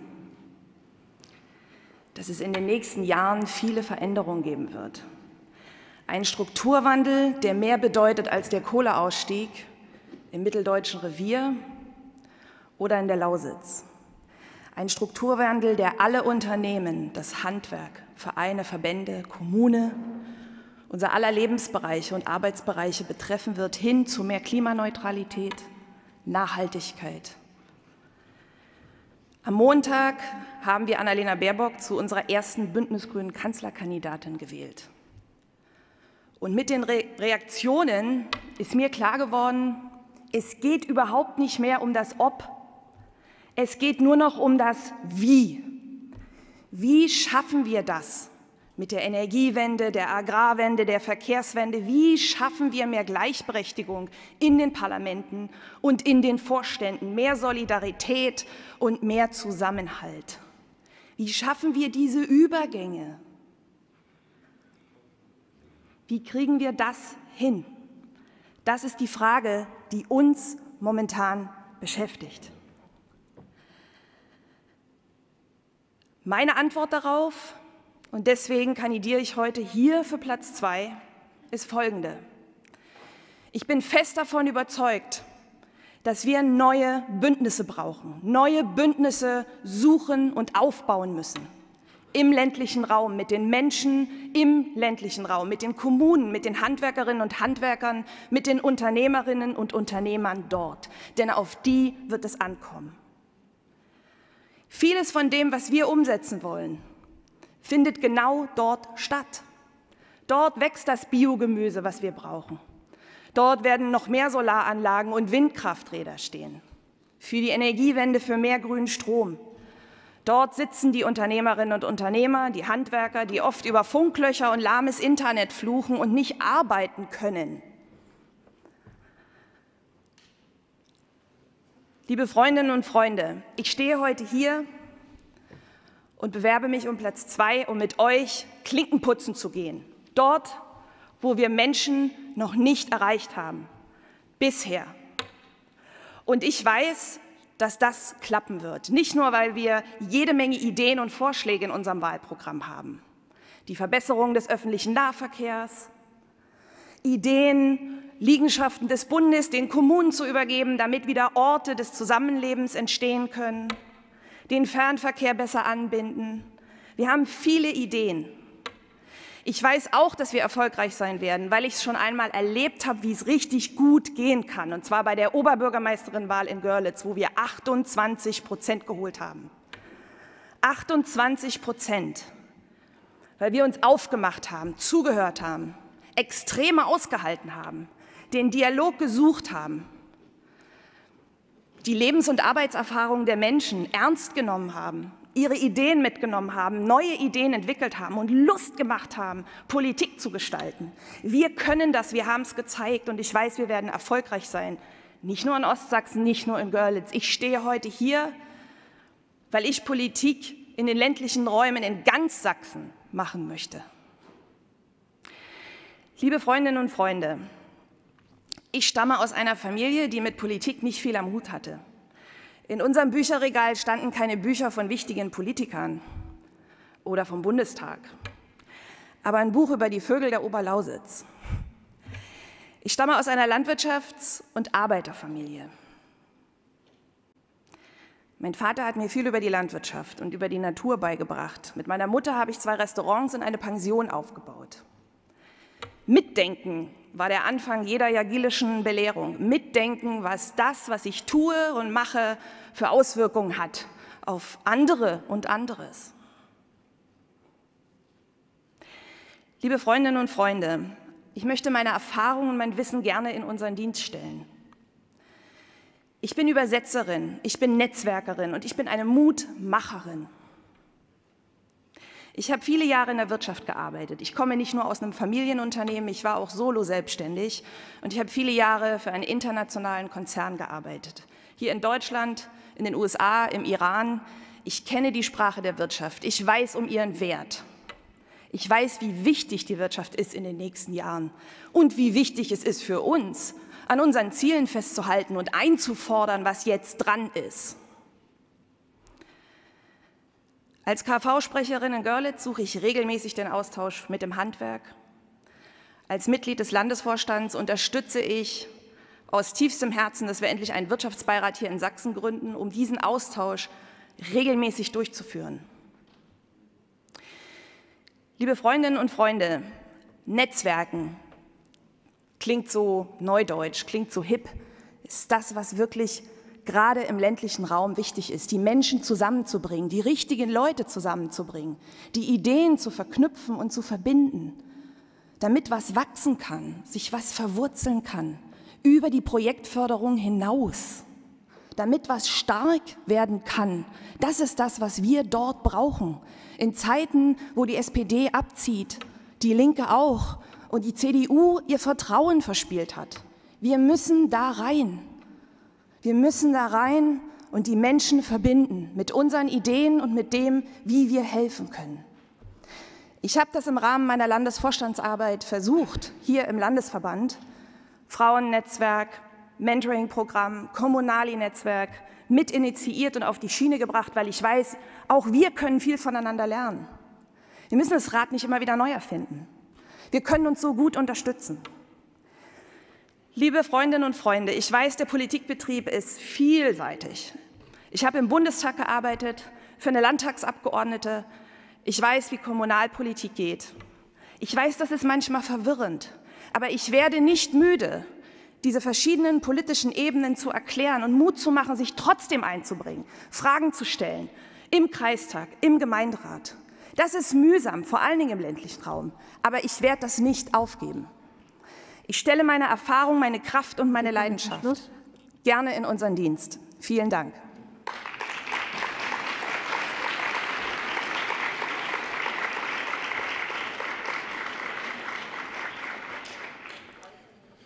Vielen Dank, Annette. Es gibt jetzt hier noch einen kleinen Andrang an der Fragebox. Wir würden da ja noch mal 20 Sekunden warten, um allen die Chance zu geben, ihre Frage zumindest einzuwerfen.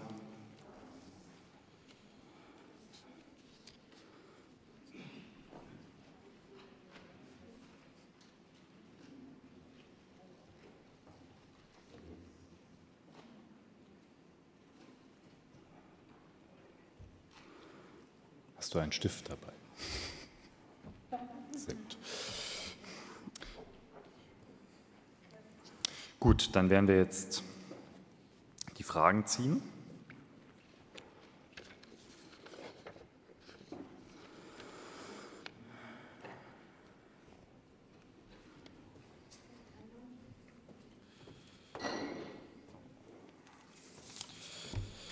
Es sind vier Fragen genau eingeworfen worden. Frage 1 von Henriette Mehn, KV Dresden. Was wird dein spezifischer Beitrag als Bundestagsabgeordnete zur Vernetzung vor Ort in den ländlichen Räumen sein? Frage 2 von Dunja Schulze, Kreisverband Erzgebirge. Was hat dich dazu bewegt, den ungewöhnlichen Weg zu gehen, dich auf Platz 2 zu bewerben und nicht auf Platz 1 oder 3? Frage 3, Katja Meyer, KV Meißen. Mit welchen Ideen und Maßnahmen willst du es schaffen, dass Frauen wieder zurück in die ländlichen Regionen kommen bzw. diese Regionen nicht verlassen? Und Frage 4 von Nino Hausstein, Sächsische Schweiz Osterzgebirge. Wie willst du den Kampf gegen Rechts auf dem Land stärken? Bernett, du hast drei Minuten zur Beantwortung dieser Fragen. Ja, vielen Dank für diese schönen Fragen und diese sehr wichtigen Fragen. Wie will ich den Kampf gegen Rechts dem, äh, im ländlichen Raum stärken? Das tue ich bereits. Das tue ich, indem ich zum Beispiel das Ostritzer Friedensfestival unterstütze. Dasein, Gesicht zeigen, Flagge zeigen, unterstützen, wenn es Fragen gibt, vernetzen, suchen, wie man mit Ressourcen oder mit Ideen auch so ein Festival unterstützen kann, es sichtbar machen, es sichtbar machen in dieser Republik. Nein, in Ostsachsen gibt es nicht nur Rechte. Es gibt Leute, die sich jeden Tag auf die Straße stellen und dafür kämpfen, dass auch dort Demokratie, Rechtsstaatlichkeit und Vielfalt ist. Und wisst ihr, wie verdammt schwer das ist? Verdammt schwer.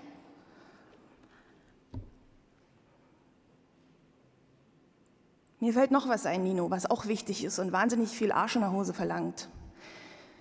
Die dummen Witze kontern, die kommen. Die Altherrenwitze, na ja, der Neger, der kam von dort und dort.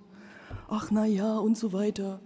Das ist alles noch gang und gäbe im ländlichen Raum zum Teil. Es tut mir leid, das sagen zu müssen. Nicht alles ist romantisch schön. Nicht alles erfährt man bei einem Weihnachtsbesuch zwischen Weihnachten und Neujahr. Aber dann aufzustehen und zu sagen, das ist nicht witzig, es geht hier um Menschen, das ist das, was Rückgrat ist, was wichtig ist.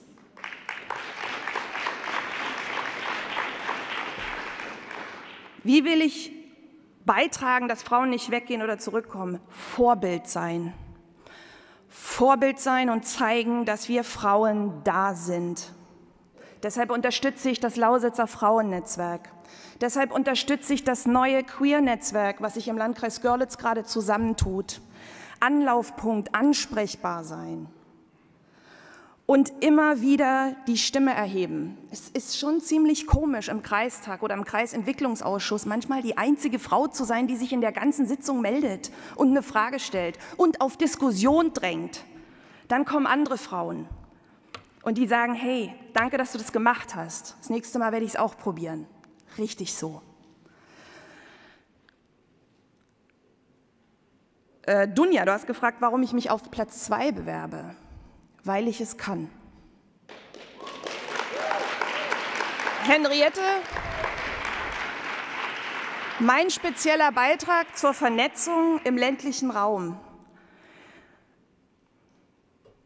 Ich habe schon einiges angesprochen mit, der, mit dem Queer-Netzwerk in Görlitz. Ähm, Menschen zusammenzubringen, die schon mal ein CSD gemacht haben. Markus, Pirna, du hast mir da weitergeholfen auf die Kraft und das Wissen unserer LAGs vertrauen, es abholen. Dann die Leute sozusagen vernetzen mit dem CSD in Pirna oder Leipzig oder Dresden. Wie habt ihr angefangen? Was können wir machen? Warum? Ich muss das Rad nicht noch mal neu erfinden. Firmen miteinander zusammenzubringen, auch aus anderen Landkreisen, um voneinander zu lernen. Der ländliche Raum braucht eine enorme Vernetzungsinitiative. Die IHK hat mir übrigens vor zwei Tagen bestätigt, nicht nur der ländliche Raum, auch die Stadt Wissenschaftler, Wirtschaftler, Zivilgesellschaft zusammenbringen, um Ideen zu generieren. Annette, deine Redezeit ist du. Punkt.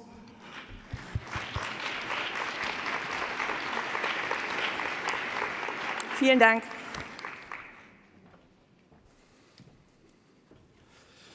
Vielen Dank, Annette. Damit fahren wir in alphabetischer Vorstellung in der Reihenfolge fort und es erhält, nachdem das Pult desinfiziert wurde, Enrico Kunze die Möglichkeit, sich vorzustellen. Ja.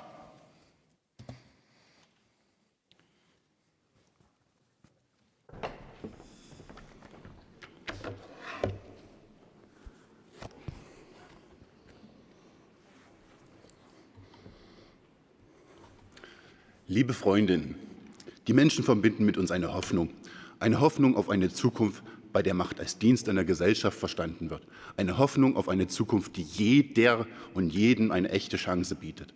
Eine Hoffnung auf eine Zukunft, bei der mit dem Gegensatz von Wirtschaft und Umwelt endlich Schluss gemacht wird.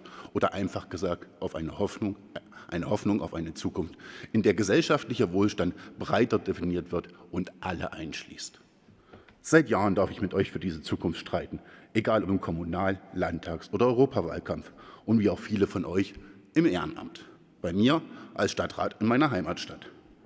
Doch in diesem Jahr wollen wir, nein, müssen wir ernst machen. Wir müssen das beste bündnisgrüne Ergebnis erzielen, welches wir jemals erreicht haben.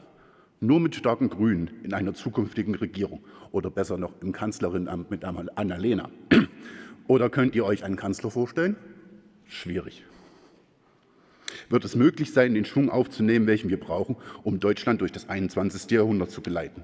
Ein Deutschland, welches sich als Deutschland in Europa versteht. Denn nur ein Deutschland in Europa wird die Herausforderungen, die vor uns stehen, meistern können. Heute gibt es in Europa nur noch zwei Arten von Ländern. Die einen, die klein sind und die anderen, die einfach noch nicht verstanden haben, dass sie klein sind. Wer bin ich? Ich bin 1984 geboren und wuchs in Eilenburg auf. Es war eine faszinierende Zeit, eine Zeit des Umbruchs. Es waren die Wiedervereinigungsjahre. Alles um einen herum veränderte sich, sodass man als kleiner Junge teils nur staunend zuschaute. Ja, auch meine Familie erlebte den Verlust des Arbeitsplatzes, aber sahen auch die Chancen, die sich baten, dass das Leben nicht bestimmt wurde, sondern dass sie es als Selbstermächtigung begreifen konnten. Auch heute können wir nicht allen garantieren, dass, immer, dass der Arbeitsplatz in der anstehenden Transformation hin zur sozial-ökologischen Marktwirtschaft immer der gleiche bleiben wird. Die Corona-Pandemie hat unsere Schwächen nur zu schonungslos zutage gelegt. Doch wir können Rückhalt bieten, eine Sicherheit im Wandel. Wir können dafür arbeiten, dass neue, dass bessere Arbeitsplätze entstehen und allen die Mittel zur Verfügung gestellt werden, um die Qualifikation zu erreichen, die sie benötigen. Doch diese Sicherheit muss mehr einschließen als Arbeitsplätze. Wenn heute, wie in meinen Jugendjahren, wieder Nazis durch die Straße ziehen, damals wie heute auf der Suche nach Schwächeren und unsere Demokratie verächtlich machen, brauchen wir einen effektiven Staat, welcher das Gewaltmonopol genauso verteidigt wie die Pressefreiheit und die Menschen schützt. Ein effektiver Staat, der die Freiheiten für alle Bewahrten ausbaut, unsere Grundrechte achtet, den Menschen den Freiraum gibt, den sie brauchen und da eingreift und unterstützt, wo es nötig ist. Für mich war schon immer klar, die Lebensrealität vieler Menschen ist bunt und vielfältig und die Gesellschaften in ihrer Breite schon viel weiter. Und genau das sollen sie und dürfen sie auch sein. Familie kann heute mehr sein als Vater, Mutter, Kind. Es kann genauso Mann, Mann, Frau, Frau, non-binär, mit oder ohne Kind, Patchwork, mit oder ohne Trauschein und viele Konstellationen mehr sein. Jeder sollte die Freiheit haben, sein Lebens- und Familienmodell selbst zu wählen. Dabei sind staatliche Diskriminierungen zu beenden und sicherzustellen, dass alle Formen rechtlich und sozial abgesichert sind.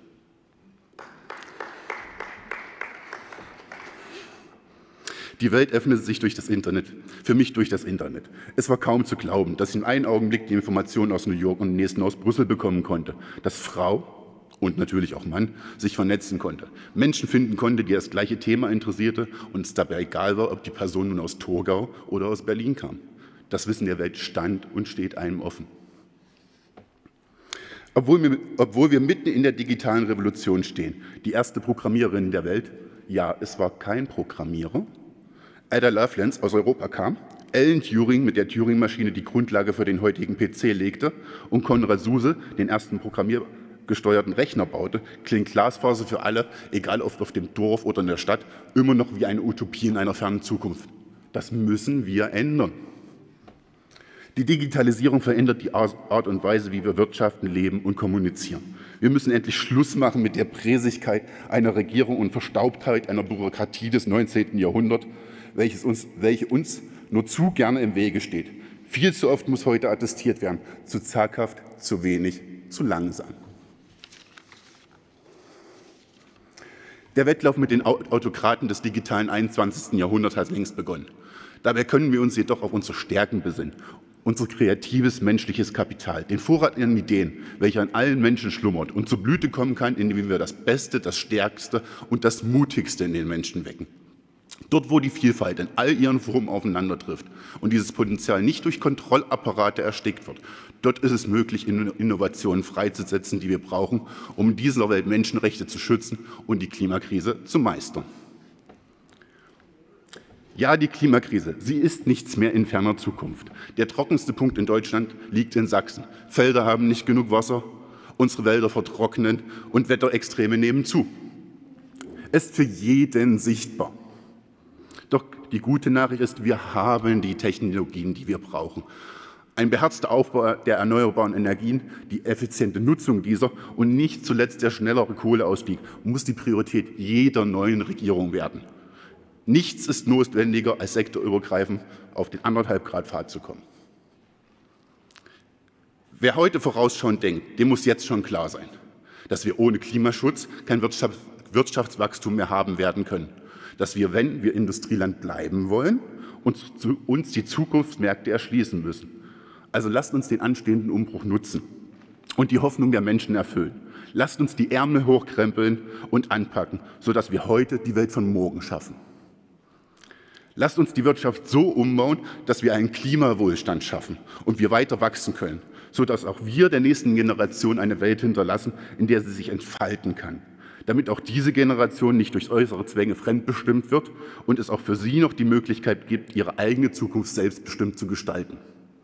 Dazu bin ich gern bereit und möchte mit euch Bündnisgrünen im Wahlkampf zeigen, wie wir der nächsten Regierung eine ökologische, solidarische und freiheitliche Zukunft den Weg bereiten. In diesem Sinne, die besten Zeiten kommen erst noch, denn wir gestalten sie.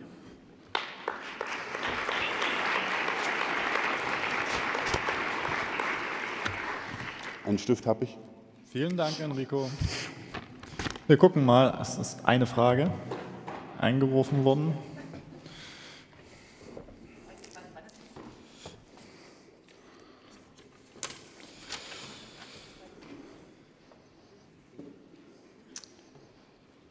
Frage stammt von Barbara Schiller aus dem Kreis Nordsachsen. Wird dein Bundestagswahlkampf so locker wie der letzte Landtagswahlkampf?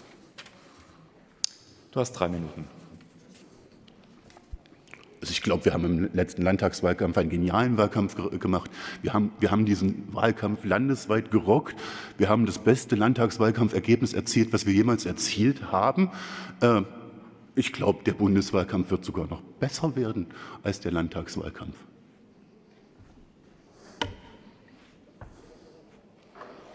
Vielen Dank. Und damit sind wir am Ende deiner Vorstellung und ich rufe zur Vorstellung hier vorne Matthias Vialon auf.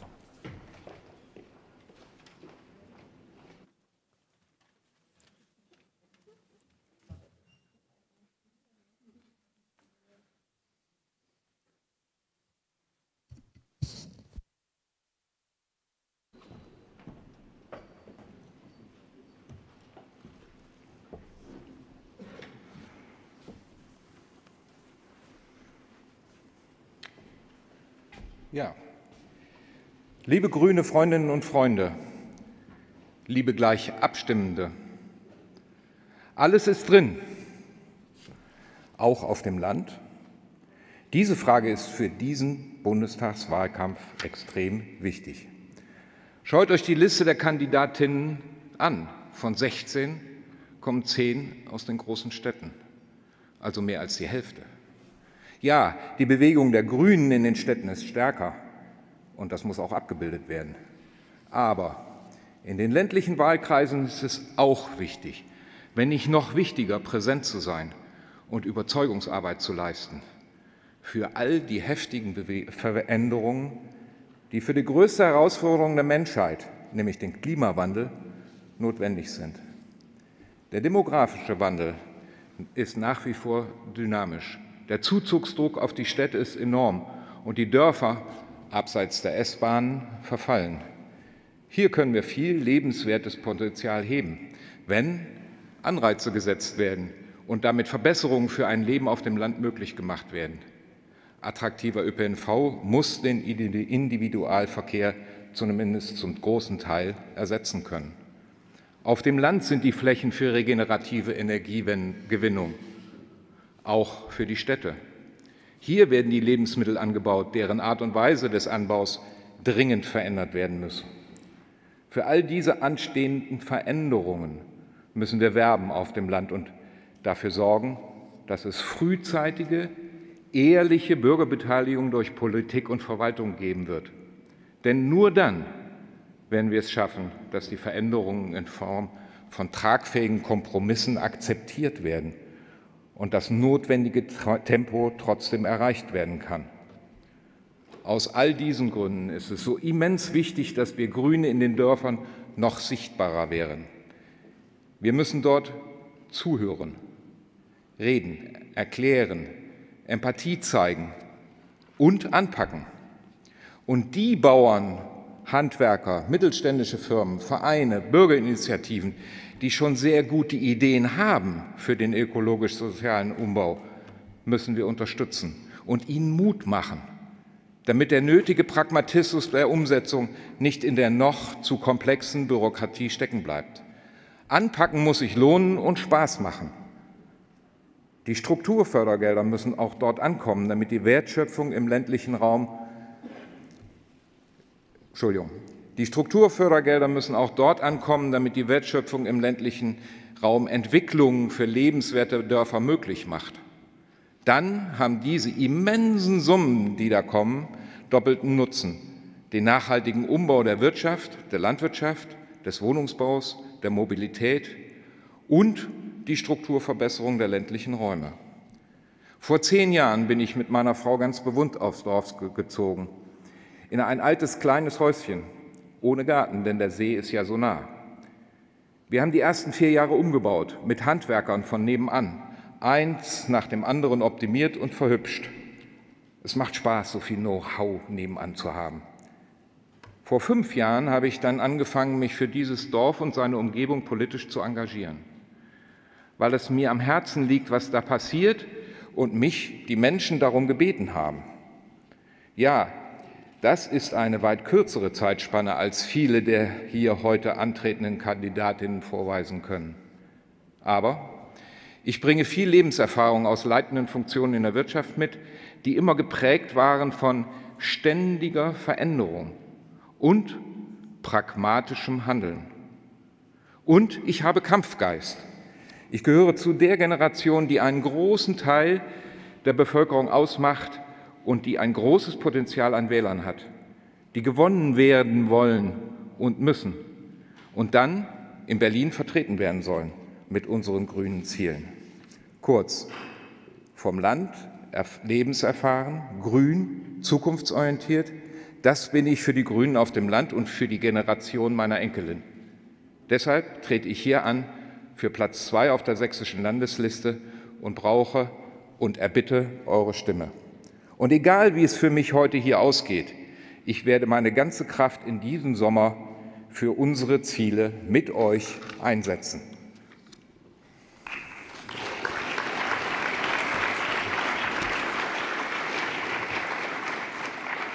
Vielen Dank, Matthias, für die Vorstellungsrede. Wir haben eine Frage hier vorne eingeworfen bekommen von Mario Hertig aus dem KV Görlitz. Warum braucht es mehr Frauen in der Politik? Was ist deine Meinung? Du hast drei Minuten. Wir brauchen mehr Frauen in der Politik, weil grundsätzlich, wenn Frauen dabei sind, und zwar paritätisch, möglichst 50-50, wenn vielleicht nicht sogar mehr, meine Erfahrung ist, dass dann Kommunikationsrunden sehr viel konstruktiver und produktiver werden. Das ist meine Erfahrung aus den letzten 30 Jahren. Dass das viel zu wenig ist, ist mehr als, mehr als schade. Es ist einfach daneben. Äh, in der Wirtschaft wird das noch viel zu wenig berücksichtigt, aber meine Erfahrung ist, dass Führungskräfte weiblicher Couleur auch deutlich empathischer und effektiver funktionieren. Vielen Dank für die Beantwortung der Frage. Und damit sind wir auch am Ende der Vorstellung angekommen. Wir würden damit in den ersten Wahlgang eintreten. Zur Wahl stehen, wie ihr gleich sehen werdet, Bernhard Herrmann, Annette Jagila, Enrico Kunze und Matthias Vialon. Ihr habt die Möglichkeit, euch in Bezug auf alle Kandidatinnen und Kandidaten zu enthalten gegen mit der 1, gegen alle Kandidaten und Kandidaten mit der 2 zu stimmen, mit der 3 stimmt ihr für Bernhard Herrmann, mit der 4 für Annette Jagila, mit der 5 für Enrico Kunze und mit der 6 für Matthias Bialong. Im ersten Wahlgang habt ihr eine Stimme und es ist notwendig, die mehr als die Hälfte der abgegebenen gültigen Stimmen zu erreichen, um gewählt zu sein. Wenn es dazu jetzt keine Fragen gibt, dann eröffne ich den Wahlgang.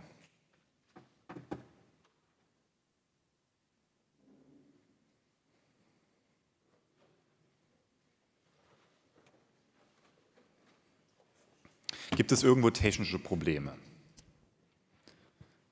Das kann ich nicht erkennen. Gibt es Personen? Doch, da, da winkt äh, jemand wegen technischen Problemen. Dann warten wir, bis die geklärt sind. Der Techniker ist auf dem Weg.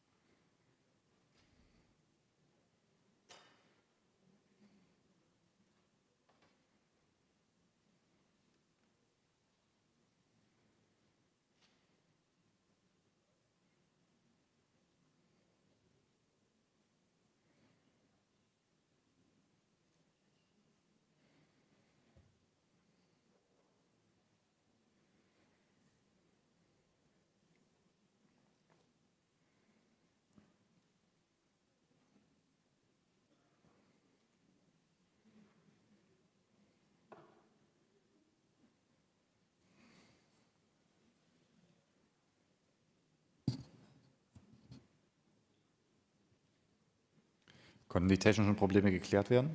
Okay. Dann frage ich es nochmal, gibt es Personen, die noch nicht abgestimmt haben? Ist nicht der Fall. Dann schließe ich den Wahlgang Und jetzt werdet ihr gleich sehen, das, was ihr vorhin schon gesehen habt, wir haben in einigen Wahlgängen zur Überbrückung kleine Grußworte, die als Video eingespielt werden. Und jetzt kommt ein Grußwort der tschechischen Grünen.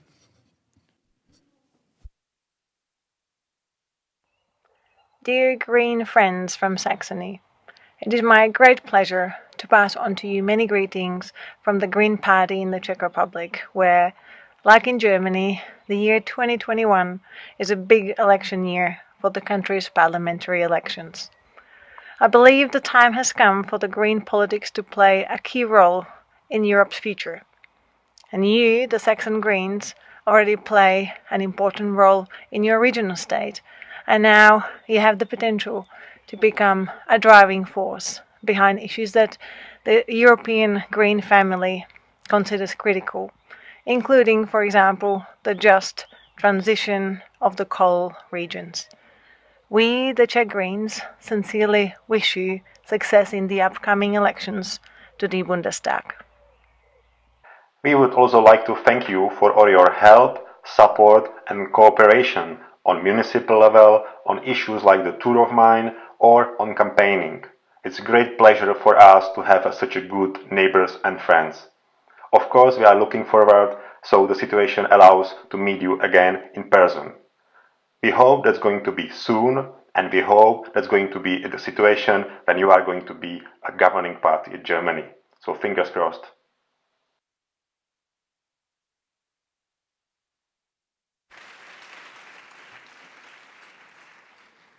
Liebe Freundinnen und Freunde, wir haben ein Ergebnis vorliegen. Es wurden 113 Stimmen abgegeben. Das Quorum lag bei 57 Stimmen. Es gab keine Enthaltungen. Vier Personen haben mit Nein gestimmt. Auf Enrico Kunze entfiel keine Stimme. Auf Matthias Vialong entfielen fünf Stimmen. Auf Annette Jagila entfielen 27 Stimmen, auf Bernhard Herrmann entfielen 77 Stimmen.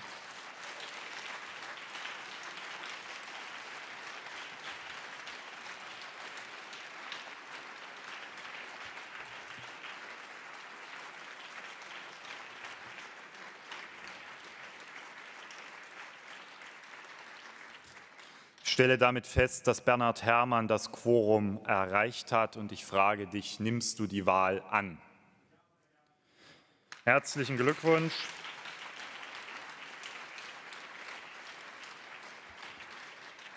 Damit ist Bernhard Herrmann auf Listenplatz 2 entsprechend gesetzt und wir werden jetzt Geschäftsordnungsantrag? Ja.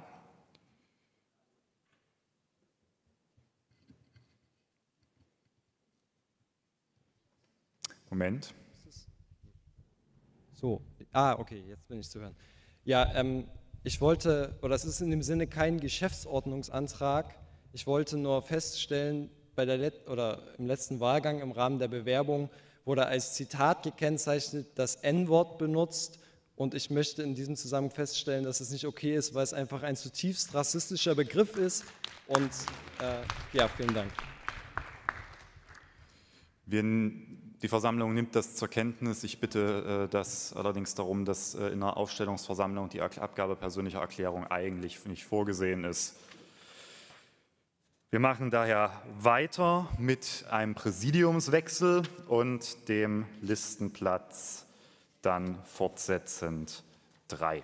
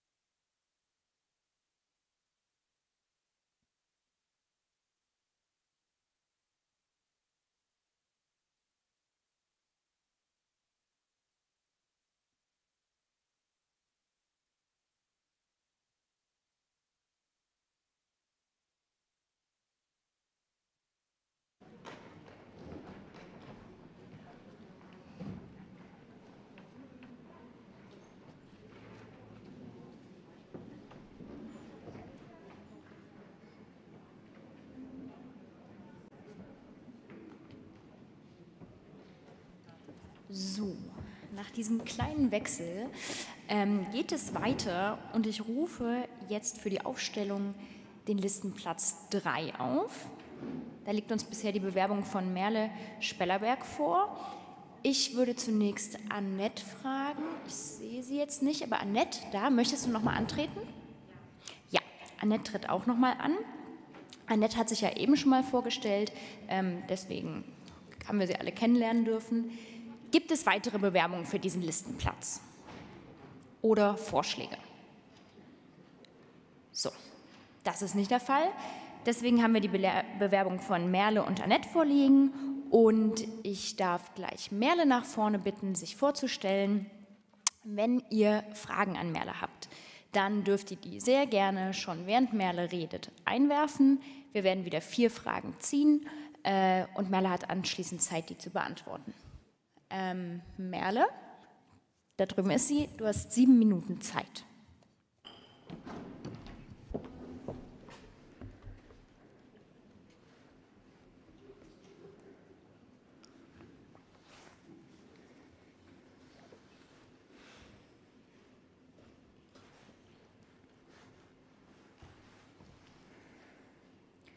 Liebe Freundinnen, heute, vor genau acht Jahren, stürzte in Bangladesch die achtstöckige Textilfabrik Rana Plaza ein. Sie begrub tausende Menschen unter sich. Die Folgen? Mehr als 1000 Tote, 2000 Verletzte, Existenznöte für abertausende Familien. Politische Konsequenzen? Bis heute Fehlanzeige.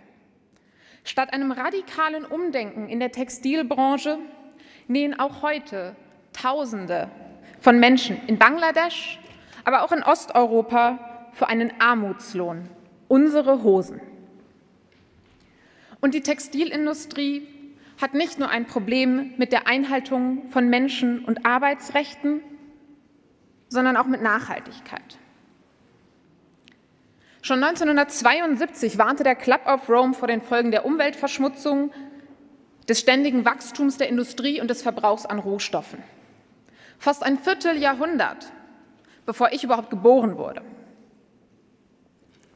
Ich habe mich schon früh gesellschaftlich und irgendwie politisch engagiert, in der evangelischen Jugendarbeit mitgearbeitet oder um die Finanzierung unserer Musikschule und unserer Sportplätze in meiner Heimatstadt gekämpft. Aber die Auseinandersetzung mit den Geschehnissen rund um Rana Plaza hat mich noch einmal ganz anders politisiert und den Fokus meines Engagements auf die globale Ebene verschoben, sodass ich heute auf der Straße und am Laptop für Klimagerechtigkeit, für Feminismus und Menschenrechte kämpfe. Und gerade der Kampf ums Klima vereint so viele Menschen denn wir sehen der Krise heute ins Gesicht. Die Klimakrise ist kein Zukunftsmonster mehr, sondern schon heute bittere Realität. Riesige Waldbrände, Wetterextreme und das Artensterben. Es reicht nicht, wenn wir alle Mehrwegbecher für unseren Kaffee benutzen oder auf recyceltem Papier drucken. Die Art, wie wir in unserer Gesellschaft miteinander leben, Politik betreiben und wirtschaften, muss sich grundlegend ändern. Und wie wir miteinander leben, wird maßgeblich durch unser Wirtschaften beeinflusst. Momentan führt das zu absolut unverhältnismäßigen Vermögensanhäufungen auf der einen und Armut auf der anderen Seite. Es führt zur Ausbeutung des globalen Südens, zur Unterdrückung von Frauen, zu maroden Gesundheitssystemen und eben zu der Zerstörung unserer Umwelt. Wir müssen weg von einem Kapitalismus, der sich mehr um Profite als um Menschen schert, hin zu einem Wirtschaftssystem, das sich an sozialer und globaler Gerechtigkeit, an planetaren Grenzen und dem 1,5 Grad Ziel orientiert.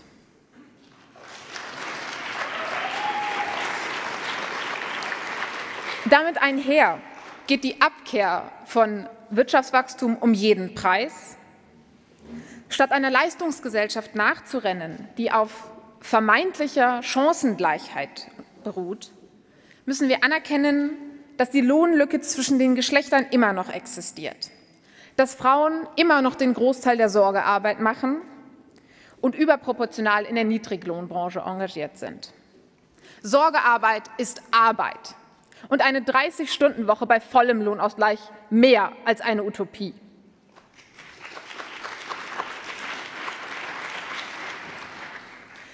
Und ob Unternehmen sich an Menschenrechte und an Arbeitsnormen halten oder diese mit den Füßen treten, ob Umweltschutz geachtet wird oder man an den Farben der Flüsse die Farben der Saison erkennt, das sollte nicht nur in der Verantwortung von Konsumentinnen liegen. Nicht zuletzt Rana Plaza hat uns gezeigt, dass wir ein Lieferkettengesetz brauchen. Und zwar eins, das auch auf indirekte Zulieferer Anwendung findet, eine zivilrechtliche Haftung beinhaltet und nicht nur für große Konzerne gilt. Der Kampf für Menschenrechte, für Frauenrechte ist nicht nur in der Wirtschaftspolitik relevant, sondern noch mehr in der Außenpolitik. Und eine starke Außenpolitik ist feministisch. Um neokoloniale und patriarchale Strukturen zu durchbrechen, um globale Gerechtigkeit und eine internationale Gemeinschaft auf Augenhöhe zu erreichen, müssen wir Sicherheit menschlich denken und aus der Perspektive der Verletzlichsten unserer Gesellschaften, nicht nur militärisch. Dabei geht es um Ressourcen, um Repräsentation und um Rechte. Ich setze mich für Friedensverhandlungen ein, bei denen nicht nur Frauen gleichberechtigt am Tisch sitzen, sondern auch Frauen of Color, queere Menschen, Indigene. Für eine enge Zusammenarbeit mit feministischen AkteurInnen der Zivilgesellschaft, für ihre nachhaltige politische und finanzielle Unterstützung. Ich kämpfe dafür, dass Menschenrechte tatsächlich für alle gelten.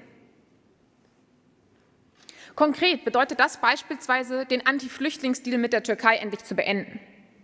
Für uns muss klar sein, Deals wie Irini machen wir nicht mit.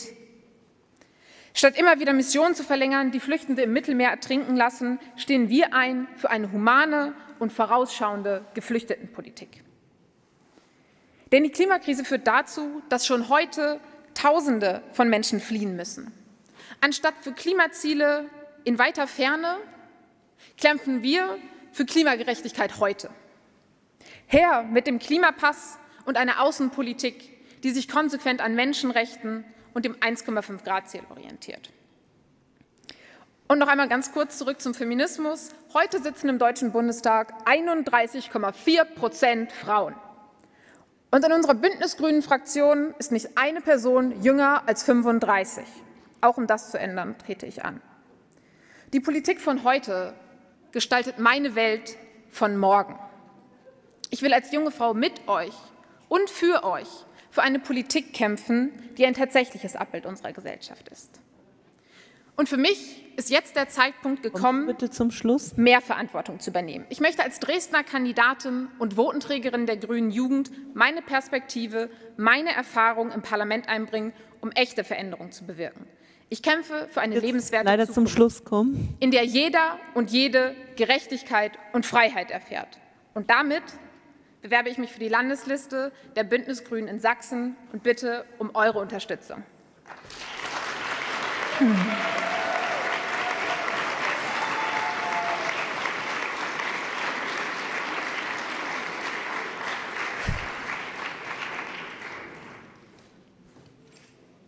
So, es scheint dann doch eine ganze Menge Fragen eingegangen zu sein. Wir losen jetzt vier Fragen aus. Kleinen Moment. Oder sind es nur vier? Es sind vier. Gut, hervorragend.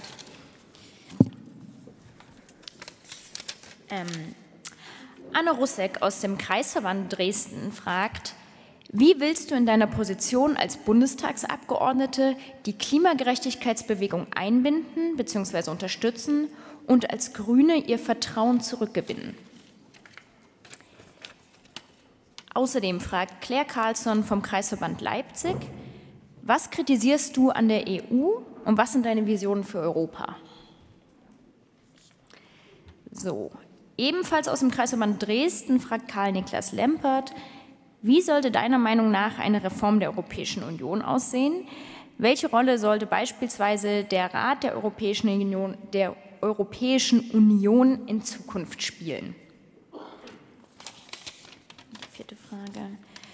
Coretta Storz vom KV Chemnitz fragt, wie willst du dich für ein Europa des Friedens, für Europa als Friedensmacht einsetzen? Du hast drei Minuten Zeit, um diese Fragen zu beantworten. Okay, dann fange ich mit der ersten an. Ich glaube, das Wichtigste ist, dass wir die Klimagerechtigkeitsbewegung auch in Person im Parlament sitzen haben. Und deswegen bin ich super froh, dass auch in anderen Landesverbänden Menschen aus der Klimagerechtigkeitsbewegung für uns kandidieren. Und das heißt, das ist der erste Schritt und der andere Schritt ist, immer im Dialog zu sein und auch die Forderungen einfach umzusetzen. Und also natürlich nicht alle, aber eben im Dialog. Und zur EU, der Europäischen Union. Ich glaube, es gibt einiges, das wir kritisieren können an der Europäischen Union. Sei es die Situation an den Außengrenzen oder andere verschiedene Dinge. Aber wichtig ist und bleibt, dass die Europäische Union für Frieden steht und dafür gesorgt hat, dass wir seit 70 Jahren zumindest in Zentraleuropa keinen Krieg mehr hatten.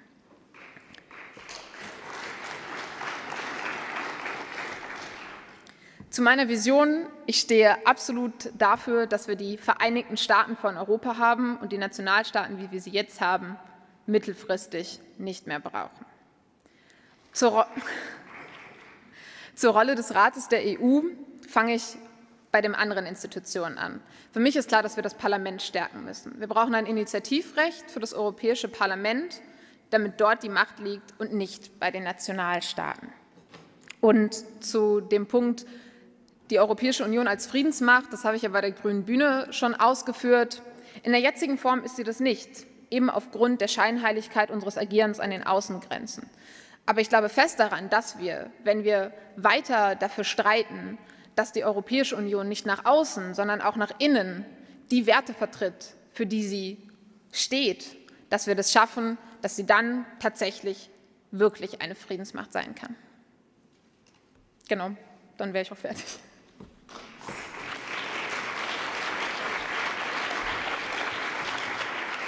Danke, Merle. Gut, dann treten wir jetzt ins Wahlverfahren ein. Das bedeutet, wir kommen zum ersten Wahlgang.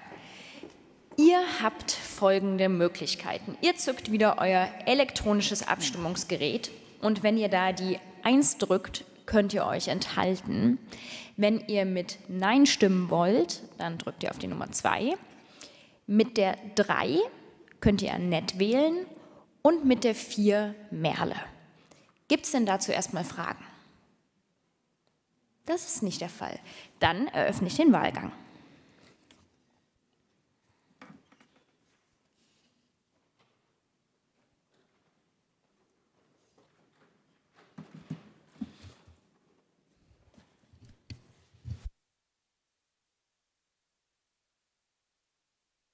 Gibt es irgendwo technische Probleme?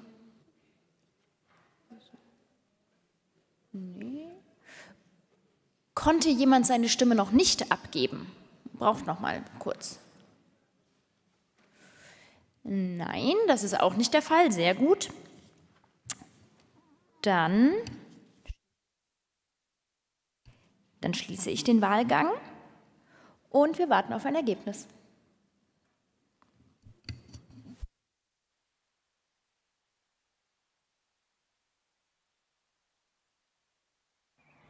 Hi, mein Name ist Kika. Ich bin Klimaaktivistin und komme aus der Nähe von Görlitz. Hallo, ich bin Alex. Ich organisiere seit zwei Jahren Aktionen von Fridays for Future in der Oberlausitz. Wir wenden uns heute im Namen von FFF Sachsen an euch. Liebe Grünen, mit eurem Grundsatzprogramm habt ihr die Utopie einer klimagerechten Welt beschrieben. Eure Vision ist die Zukunft, für die wir alle gemeinsam kämpfen. Für die Umsetzung dieser Vision werdet ihr den Rückhalt einer gesellschaftlichen Mehrheit bekommen, die ihren Kindern und Enkelkindern eine lebenswertere Welt hinterlassen möchten. Im Gegenzug fordern wir konsequentes Handeln. 1,5 Grad werden wir nicht mit Kompromissen zugunsten sterbender Industrien erreichen. Zu viel hat sich die bestehende Regierung geleistet, als dass wir einer schwarz-grünen Koalition vertrauen könnten. Wir wünschen uns keinen grünen Anstrich der Politik. Wir bestehen auf die Einhaltung des Pariser Klimaabkommens. Das ist unser Hilferuf, weil wir die Hoffnung haben, dass die Utopie einer klimagerechten Welt noch Wirklichkeit werden kann. Also überhört ihn nicht.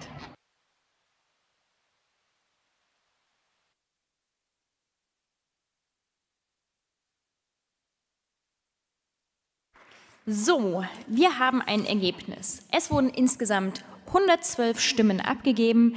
Damit liegt das Quorum bei 57. Es haben sich fünf Delegierte enthalten. Elf haben mit Nein gestimmt.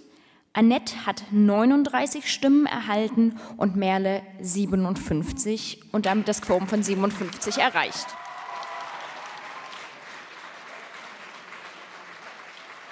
Ich darf dich fragen, Merle, nimmst du die Wahl an? Ja, Merle nimmt die Wahl an. Herzlichen Glückwunsch dazu, Merle. Und ich glaube, wir dürfen die äh, erst drei Platzierten, die wir ja jetzt gewählt haben, nach vorne bitten. Also, wen haben wir? Merle, Bernhard, Paula, seid ihr im Saal? Kommt doch noch mal kurz vor.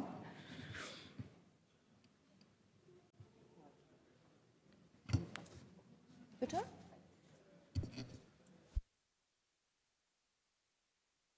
Das wussten sie anscheinend nicht.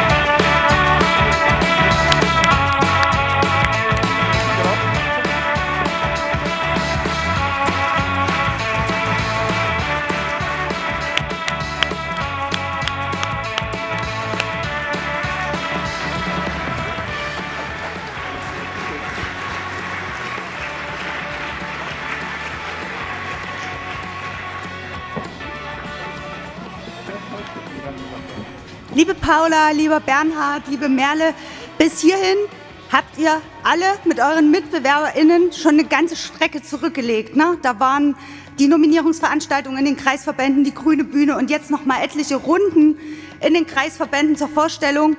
Und jetzt haben wir den Meilenstein erreicht. Wir haben unser Spitzentrio für die Bundestagswahl für unsere sächsischen äh, kann, äh, Bundestagsabgeordneten hier auf unserer Bühne. Wir haben sie gewählt und ich möchte euch im Namen des Landesvorstands herzlich gratulieren und alles Gute wünschen für die weiteren Schritte. Das ist ein Meilenstein, aber ihr wisst auch, das ist erst der Anfang. Es geht jetzt los. Ab jetzt heißt es mit Paula, mit Bernhard, mit Merle für die Zukunft. Wir werden einen starken Wahlkampf gemeinsam hinlegen. Wir wollen euch ähm, ein kleines Pflänzchen mitgeben. Zuerst einmal kriegt ihr Blumen. Wir wollen euch außerdem ein kleines Pflänzchen mitgeben, was ihr zu Hause hegen und pflegen könnt und was mit euch, mit uns in diesem Wahlkampf weiter wächst und gedeiht. Und dann haben wir ein klares Ziel vor Augen mit euch in dem Bundestag, im starken Wahlkampf. Ich danke euch. Ich danke auch Enrico, Matthias, Annette für euer starkes Angebot, das ihr uns als Landesverband macht und äh, für den fairen Wettbewerb.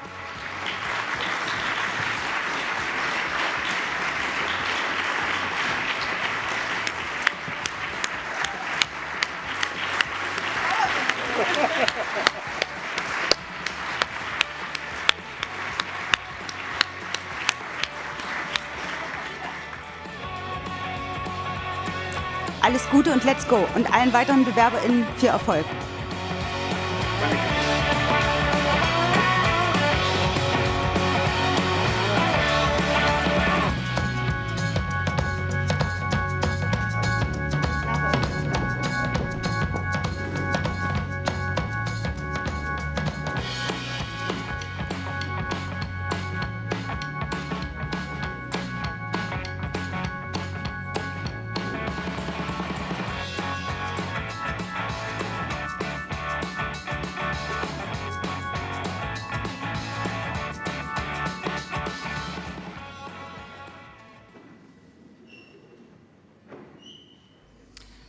Freundinnen und Freunde, ich rufe nun den Listenplatz 4 auf und ähm, wollte erst mal fragen, uns, die, uns, liegen die Bewerbungen von äh, Kasim Tasali vor und von Norman Volker.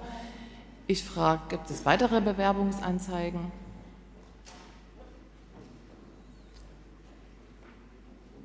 Das kann ich nicht sehen. Dann schließen wir die Bewerbungsliste und wir kommen in das Vorstellungsverfahren. Auch das wird äh, in alphabetischer Reihenfolge vorgenommen. Dazu erhält als erster Kasim das Wort. Ihr könnt euch in der Zwischenzeit schon für Fragen äh, bereithalten. Kasim, du hast äh, sieben Minuten Zeit für deine Bewerbung und danach nochmal drei Minuten zur Beantwortung der Fragen. Bitte schön.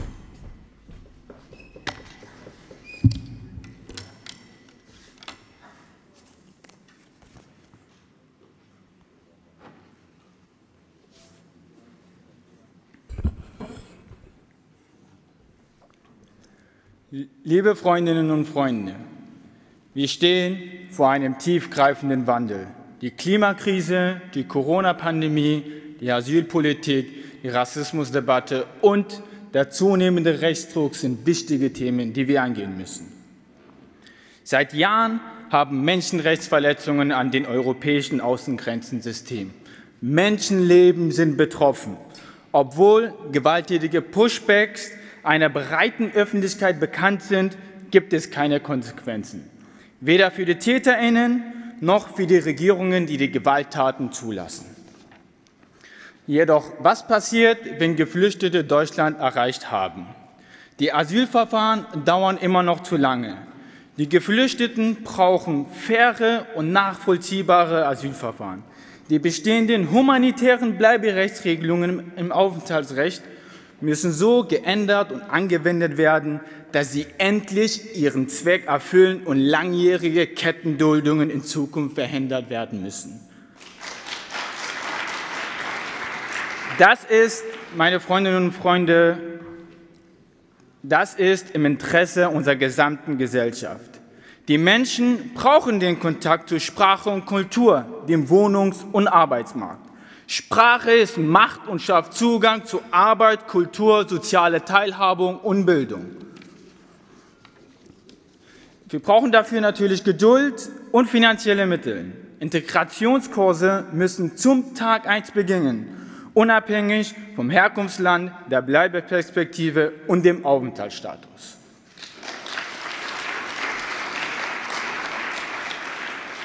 Politische Erfahrung das bedeutet für mich zu wissen, wie es ist, sich anfühlt, keinen gesicherten Aufenthaltsstatus zu haben und alle rechtlichen Mittel zu nutzen, damit meine Familie doch bleiben kann. Politische Erfahrung bedeutet für mich zu wissen, wie es sich anfühlt, im Asylheim zu wohnen und trotz der Barrieren unserer städtischen Gemeinschaft zu werden. Politische Erfahrung bedeutet für mich zu wissen, wie es ist, als POC in Plauen auf, aufzuwachsen und im Alltag antirassistische Arbeit zu leisten.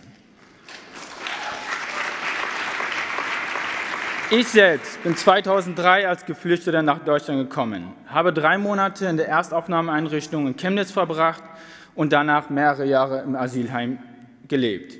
Ich habe es persönlich erlebt. Seit meiner Schulzeit bin ich ehrenamtlich für Geflüchtete aktiv sei es als Dolmetscher beim Sächsischen Flüchtlingsrat, in Behörden, bei Arztbesuchen oder auch als Nachhilfelehrer. Liebe Freundinnen und Freunde, im 20. Deutschen Bundestag möchte ich mich für sichere und faire Asylverfahren, für legale Fluchtrouten und für eine gesamteuropäische Lösung einsetzen. Zudem werde ich mich für ein besseres Bleiberecht und das Recht auf Familiennachzug kämpfen. Familien gehören zusammen, meine Freundinnen und Freunde.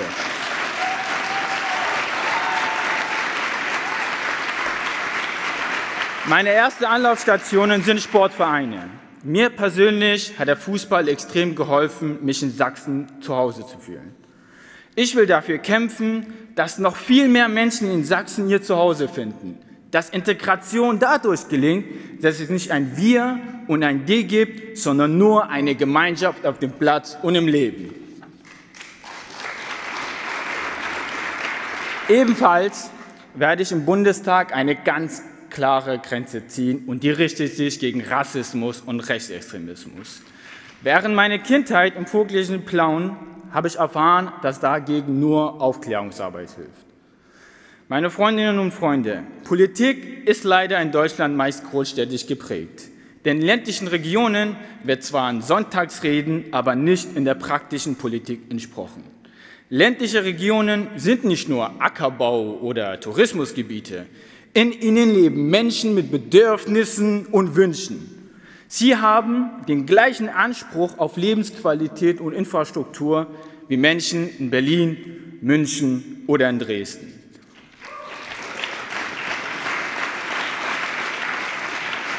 Deshalb setze ich ähm, für eine Verzeihung. Ähm, unsere Kanzlerkandidatin sagte am vergangenen Montag, Zukunft ist nichts, was einfach so passiert. Ich will mich dem anschließen. Ich stehe für Erneuerung, eine mutige Politik und für eine sozial gerechte grüne Zukunft. Ich will eines der vielen Gesichter sein, das diese Zukunft gemeinsam mit euch in Sachsen und Europa bestreiten und gestalten wird. Liebe Freundinnen und Freunde, ich möchte als erste Person mit Fluchterfahrung aus Sachsen für euch in den Bundestag einziehen. Mit mir, mit mir bekommt ihr erstens einen leidenschaftlichen Kämpfer für eine starke Zivilgesellschaft. Zweitens ein junges, motivierendes Gesicht, das sich für ein buntes und diverses Sachsen einsetzt. Und drittens einen grünen Bauingenieur, der sich für eine nachhaltige und klimafreundliche Bauen und Wohnen einsetzt. Liebe Freundinnen und Freunde, mein Name ist Kassem Taher Saleh, ich bin 27 Jahre alt. Ich weiß, was es heißt, für etwas entschlossen einzutreten. Bei dieser Bundestagswahl möchte ich ein Beispiel dafür sein, dass Zuversicht und Menschlichkeit stärker sind als Hass und Hetze. Dafür bitte ich um euer Vertrauen und eure Stimme. Vielen Dank.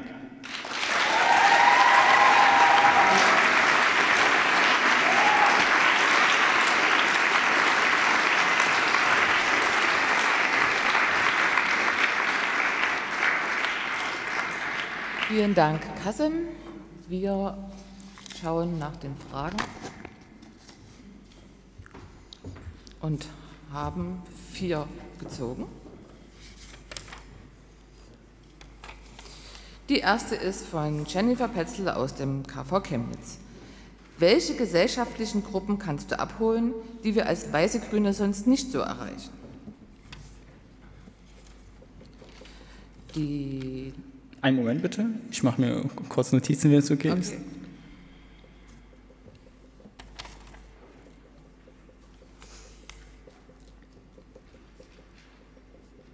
Ja.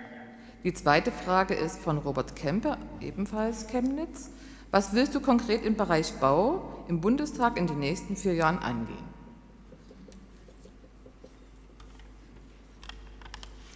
Dann haben wir die Frage von Gabi Weiß, KV Vogtland. Was kannst du tun, um die Zivilgesellschaft im Vogtland zu stärken oder in der Landeshauptstadt?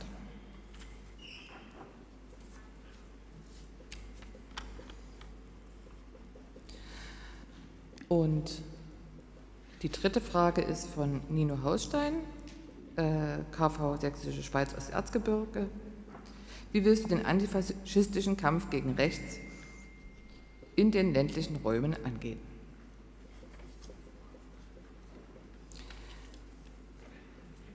Du hast jetzt drei Minuten Zeit, auf die Fragen zu antworten. Vielen Dank erstmal für die Fragen. Ähm, als Diplom-Bauingenieur setze ich mich für ein nachhaltiges und klimafreundliches Bauen und Wohnen ein.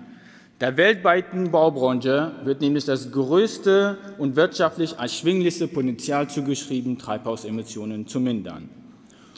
Rund 14 Prozent der gesamten CO2-Emissionen in Deutschland stammen aus dem Gebäudesektor.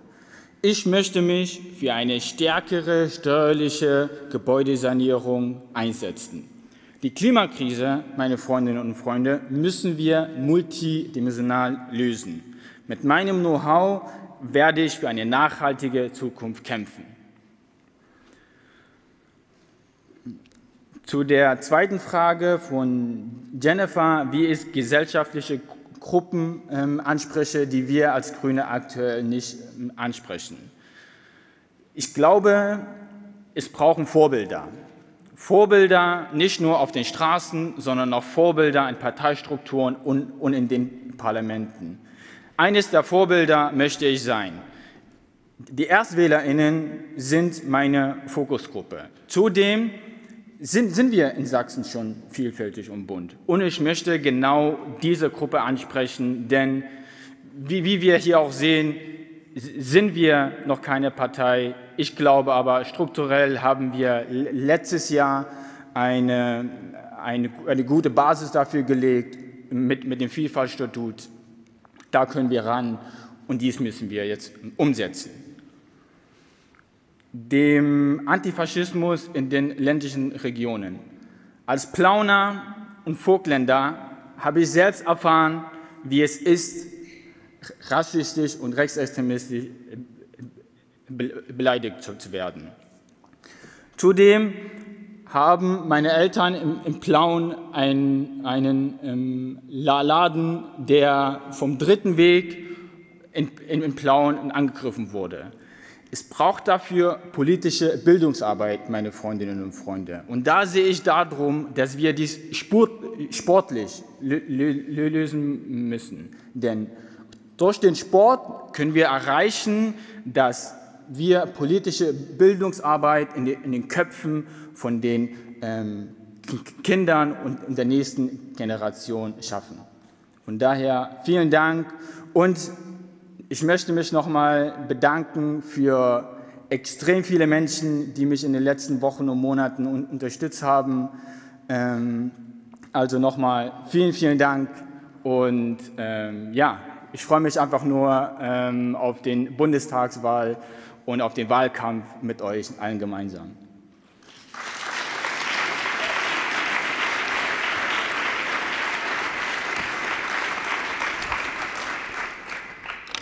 Vielen Dank, Kassem. Wir kommen nun zur Vorstellung des nächsten Bewerbers auf dem Listenplatz 4.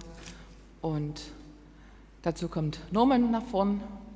Norman, auch du hast sieben Minuten, sieben Minuten Zeit, dich vorzustellen.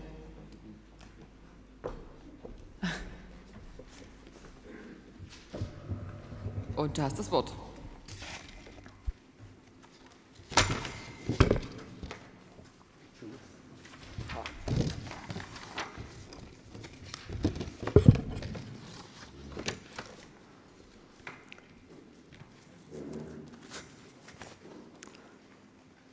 Liebe Freundinnen und Freunde, als ich gestern und heute früh in die Halle kam, wurde mir bewusst, wie sehr wir uns als sächsische Bündnisgrüne in den vergangenen Jahren verändert haben. Ich freue mich, viele neue Gesichter in den Reihen zu sehen und vermisse die vielen alten Weggefährtinnen. Es ist aber kein Wunder, denn wir sind in den letzten Jahren so gewachsen und seit letzter Woche 3000 Grüne in Sachsen und können deswegen eben auch heute so viele neue Delegierte begrüßen. Daher gestattet mir ein paar Worte über mich für die, die mich vielleicht noch nicht so gut kennen. Ich bin schon seit 2002 bei den Grünen. Ich war sieben Jahre Kreisgeschäftsführer, bin dann 2009 Stadtrat geworden, war bis 2019 Fraktionsvorsitzender und bin aktuell euer Landessprecher in Sachsen. Seit ich denken kann, bin ich Bündnisgrün und komme aus einem Familienumfeld, das in der Bürgerbewegung der friedlichen Revolution in Leipzig aktiv war. Das hat mich geprägt und ich lernte früh, was es bedeutet, Unrecht und Gerechtigkeit gegeneinander abzuwägen und dass eben das nicht selbstverständlich ist. Und das treibt mich an, eine Gesellschaft zu gestalten, in der die, welche die Interessen aller, egal ob Mensch, Tier oder Pflanze, gegeneinander gerecht abwägt, zu einer bestmöglichen Lösung kommt und unseren Kindern und Kindeskindern eine lebenswerte Zukunft hinterlässt. Aber das ist nicht so einfach, liebe Freundinnen und Freunde. Die Corona-Pandemie hat uns fest im Griff und sie überdeckt alle anderen Probleme, die es für die Zukunft der Zeit zu lösen gilt. Jedoch, die Zeit steht nicht still. Klimakrise, Artensterben, Angriffe auf unsere äh, Demokratie, strukturelle Probleme unserer Wirtschaft, schwindender Zusammenhalt und wachsende Ungleichheit haben nicht pausiert, sondern sie schreiten voran. Und mal ehrlich, die letzten 16 Jahre waren auf Bundesebene verlorene Jahre für den Klimaschutz und die sozial-ökologische Transformation unserer Gesellschaft. Und genau deshalb hat Annalena vollkommen recht, als sie am Montag sagte, die Politik muss über sich hinauswachsen. Und gerade deswegen legen jetzt so viele Menschen ihre Hoffnung in unsere Hände und wollen uns wählen. Und sie vertrauen darauf, dass wir als Bündnisgrüne die Lösung für die Herausforderungen unserer Zeit haben, dass wir eine andere, eine konsequente Klimapolitik machen und dass wir als Grüne die Fahne der Demokratie und der Mitmenschlichkeit hochhalten. Diese Hoffnung auf eine bessere Welt dürfen wir nicht enttäuschen.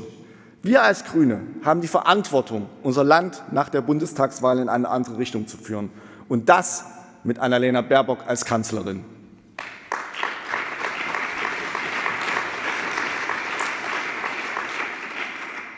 Mit diesem Ziel, liebe Freundinnen und Freunde, stehen wir aber zum Glück nicht allein. Der Enthusiasmus und die Radikalität der Straße pusht uns. Umweltverbände, Menschenrechtsorganisationen, Gewerkschaften, Sozialverbände kämpfen an unserer Seite. Und selbst einige Vertreterinnen der Industrie und des Handels haben begriffen, dass wir so nicht weitermachen können. Es ist unsere gemeinsame grüne Aufgabe, mit Ihnen Bündnisse zu schmieden. Denn gemeinsam mit euch, den vielen engagierten Mitgliedern und den Verbänden und dem Druck der Straße für eine andere Klimapolitik, die konsequente Verfolgung des 1,5 Grad Ziels, können wir es schaffen, der Politik in diesem Land den entscheidenden Richtungswechsel zu geben. Und dazu möchte ich im Bundestag für euch meinen Beitrag leisten. Liebe Freundinnen und Freunde, ich habe über Jahre bewiesen, dass ich für unsere Inhalte und als Bündnisgrüne Partei streite und mit meiner Erfahrung Politik auch umsetzen kann. Auf kommunaler Ebene habe ich in zwölf Jahren Stadtrat Erfahrungen der Umwelt-, Ordnung-, Sozial- und Finanz- und Sportpolitik gesammelt. Die Fraktion als Fraktionsvorsitzender sieben Jahre erfolgreich geführt und als Landesvorsitzender diverse Landesarbeitsgemeinschaften betreut und gegründet und einen erfolgreichen Landtagswahlkampf geführt und die erste grüne Regierungsbeteiligung in Sachsen mitverhandelt. Wenn wir im Bund erfolgreich regieren wollen, kann uns meine Erfahrung im parlamentarischen Prozess von Nutzen sein. Denn wir haben keine Zeit, in der Opposition zu üben, sondern wir müssen sofort effektiv funktionieren. Die Koalitionsverhandlungen beginnen gleich nach der Wahl. Und nicht alle Bündnisgrünen im Bundestag bearbeiten Klima- oder Migrationspolitik. Nicht immer wird das eigene Herzensanliegen auch das zu bearbeitende Politikfeld. Wenn, aber wenn ich es mir aussuchen könnte, würde ich mich gern der Sportpolitik im Bundestag widmen. Wohlwissend als Mitglied der BAG Sport, dass auch hier viele grüne Ansprüche anmelden. Die Sportpolitik, und ich höre das Gelächter, ist gemeinhin ein unterschätztes und meist belächeltes Feld. Aber gerade hier sind so viele unserer grünen Kernanliegen so präsent und es gibt so viel zu tun. Energieeffizienz bei Sportbauten, Nachhaltigkeit und Antikorruption bei Großsportveranstaltungen, aber auch die vielen gesellschaftspolitischen Themen in der meist rückständigen Sportpolitik kommen zu kurz. Gleichstellung, Diversität, Antidiskriminierung, Antirassismus und nicht zuletzt Gewaltprävention von, vor allem bei Kindern und Jugendlichen müssen wir viel stärker voranbringen. Doch vielleicht hat diese Rückständigkeit auch damit zu tun, dass Sportpolitik fast immer im Innenministerium gemacht wird und es Zeit für die erste grüne Innenministerin wäre. Denn das wissen wir in Sachsen sehr genau, würde nicht nur der Sportpolitik gut tun, sondern dem ganzen Land.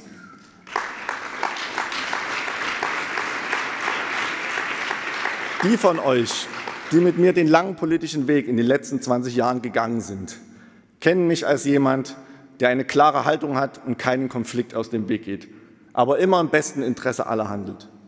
Verantwortung beweist sich, indem man bereit ist, über die eigenen unmittelbaren Interessen hinaus zu handeln.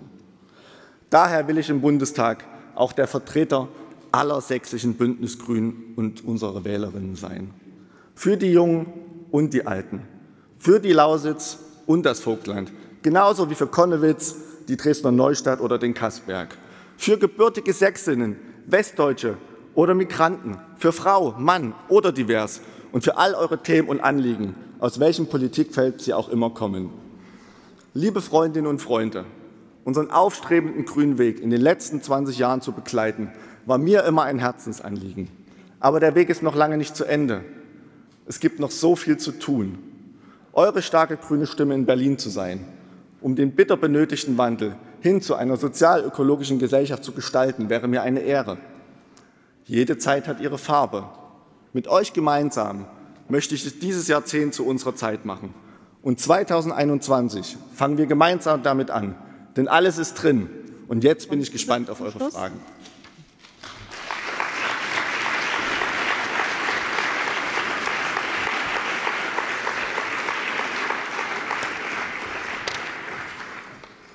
Auf den Punkt. Vielen Dank, Norman. Wir haben auch hier vier Fragen ausgelost. Und ich fange an mit Susanne Kolber, KV Bautzen. Norman, wie kann es gelingen, in Sachsen die ländlichen KV und Städte vertrauensvoll in gemeinsamer Arbeit zusammenzubringen? Die erste Frage. Die zweite Frage von Mario Hertig, KV Bautzen.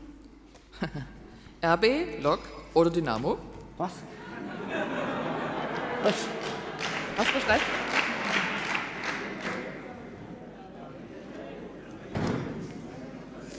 Sehr schöne Frage. Äh, die dritte Frage von äh, Stefanie Gruner, KV Leipzig, die von dir im Stadtrat von Leipzig vorrangig und wirklich leidenschaftlich bearbeiteten Themen fallen alle in den Bereich der Innenpolitik. Welche Maßnahmen würdest du ja, in diesem Bereich im Bundestag angehen?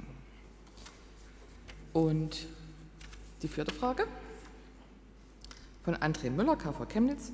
Welche Ideen hast du, den Klimaschutz sozial gerecht zu gestalten und besonders sozial benachteiligte Menschen da, äh, teilhaben zu lassen?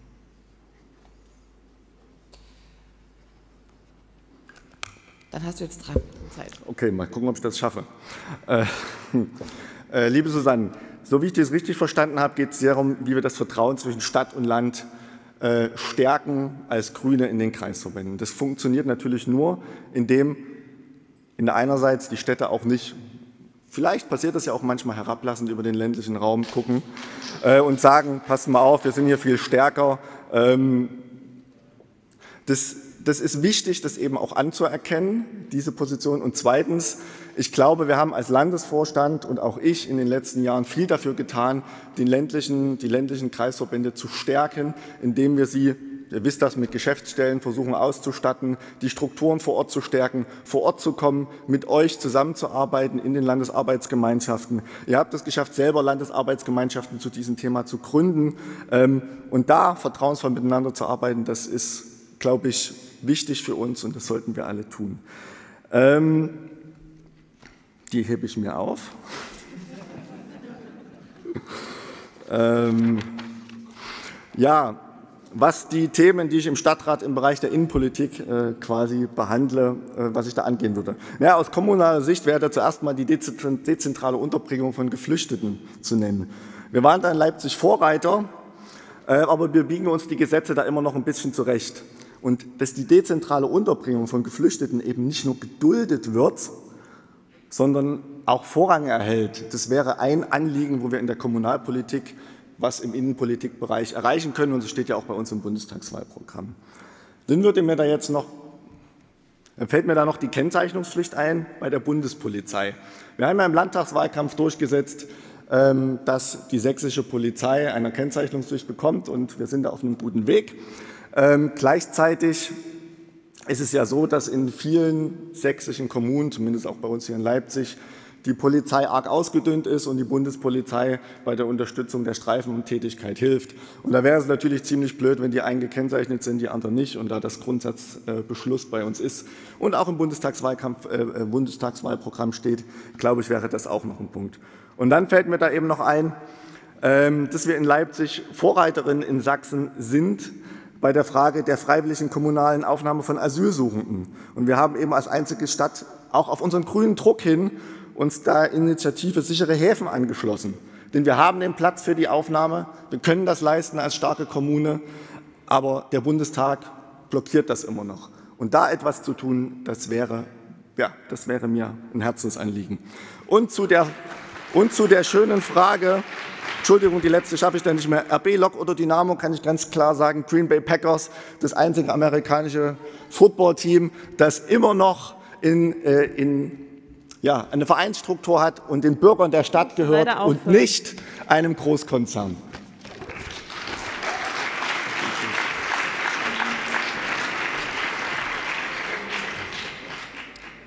Vielen Dank, Norman. So, dann können wir nun in das, in das Wahlverfahren eintreten. Dazu äh, seht ihr auch wieder die Möglichkeiten, wie ihr abstimmen könnt. Mit der 1 könnt ihr euch enthalten, mit der 2 könnt ihr mit Nein stimmen, mit der 3 könnt ihr Kassem wählen und mit der 4 Norman. Auch hier nochmal der Hinweis, gewählt ist im ersten Wahlgang, wer mehr als die Hälfte der abgegebenen Stimmen erhält. Dann eröffne ich den Wahlgang.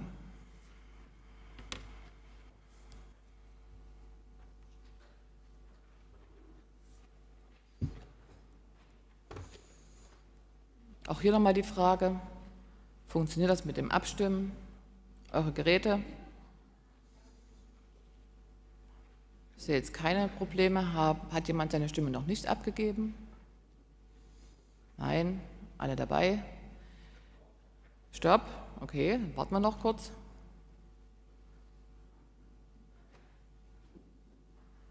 Die Probleme behoben? Sehr gut. Dann denke ich, können wir den Wahlgang schließen und wir warten auf das Ergebnis.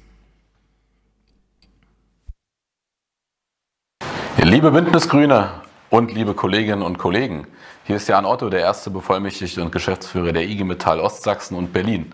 Und ich freue mich sehr, euch heute herzliche Grüße von uns Metallern überbringen zu dürfen. Das Motto der Landesdelegiertenkonferenz und des Parteitages mit uns für die Zukunft ist natürlich auch unser Motto. Die Bündnisarbeit hat sich stark verändert in den letzten Jahren und so ist es jetzt auch an mir, mich als Mitglied der Bündnisgrünen in Sachsen bezeichnen zu dürfen und äh, bin über diese Entscheidung verdammt froh, weil wir in den vergangenen Wochen und Monaten viele spannende Diskussionen und Debatten hatten. Das Motto mit uns für die Zukunft ist auch unser Motto. Die Transformation der Industrie muss jetzt vorangetrieben werden, sie muss gelingen, die Energiewende muss herbeigeführt werden und der Klimawandel muss gestoppt werden. Deswegen wünsche ich euch heute eine gute Listenaufstellung, gute Beratung und ich wünsche mir, dass wir in den nächsten Jahren die Zusammenarbeit zwischen IG Metall und den Grünen ausbauen. Dafür stehe ich persönlich bereit. Und jetzt erstmal alles Gute. Lasst es uns gemeinsam angehen. Lasst uns diese Wahl gewinnen.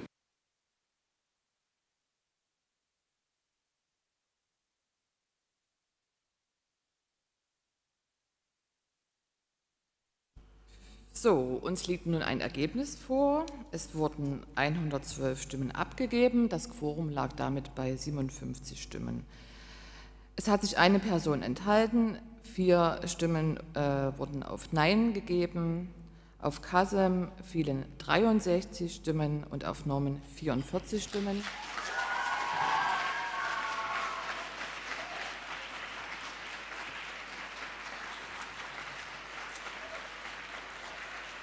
Damit stelle ich fest, dass Kassem auf dem Listenplatz 4 gewählt worden ist. Und ich frage Kassem, nimmst du die Wahl an?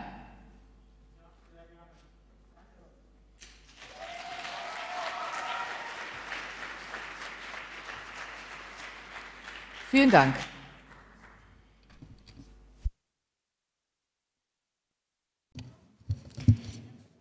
Hervorragend. Damit haben wir unser Spitzen Quattro.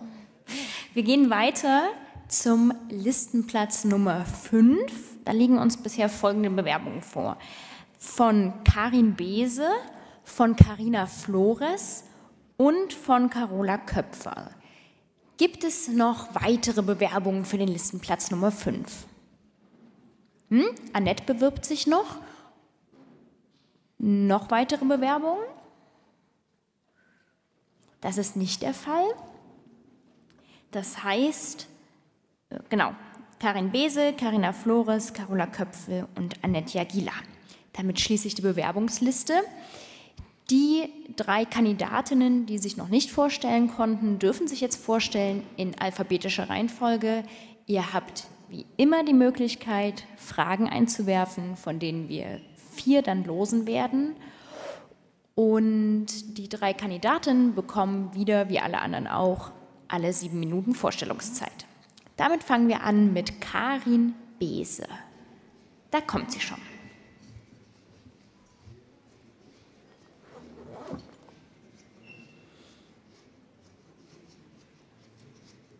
Genau. Karin Die nächsten sieben Minuten sind deine.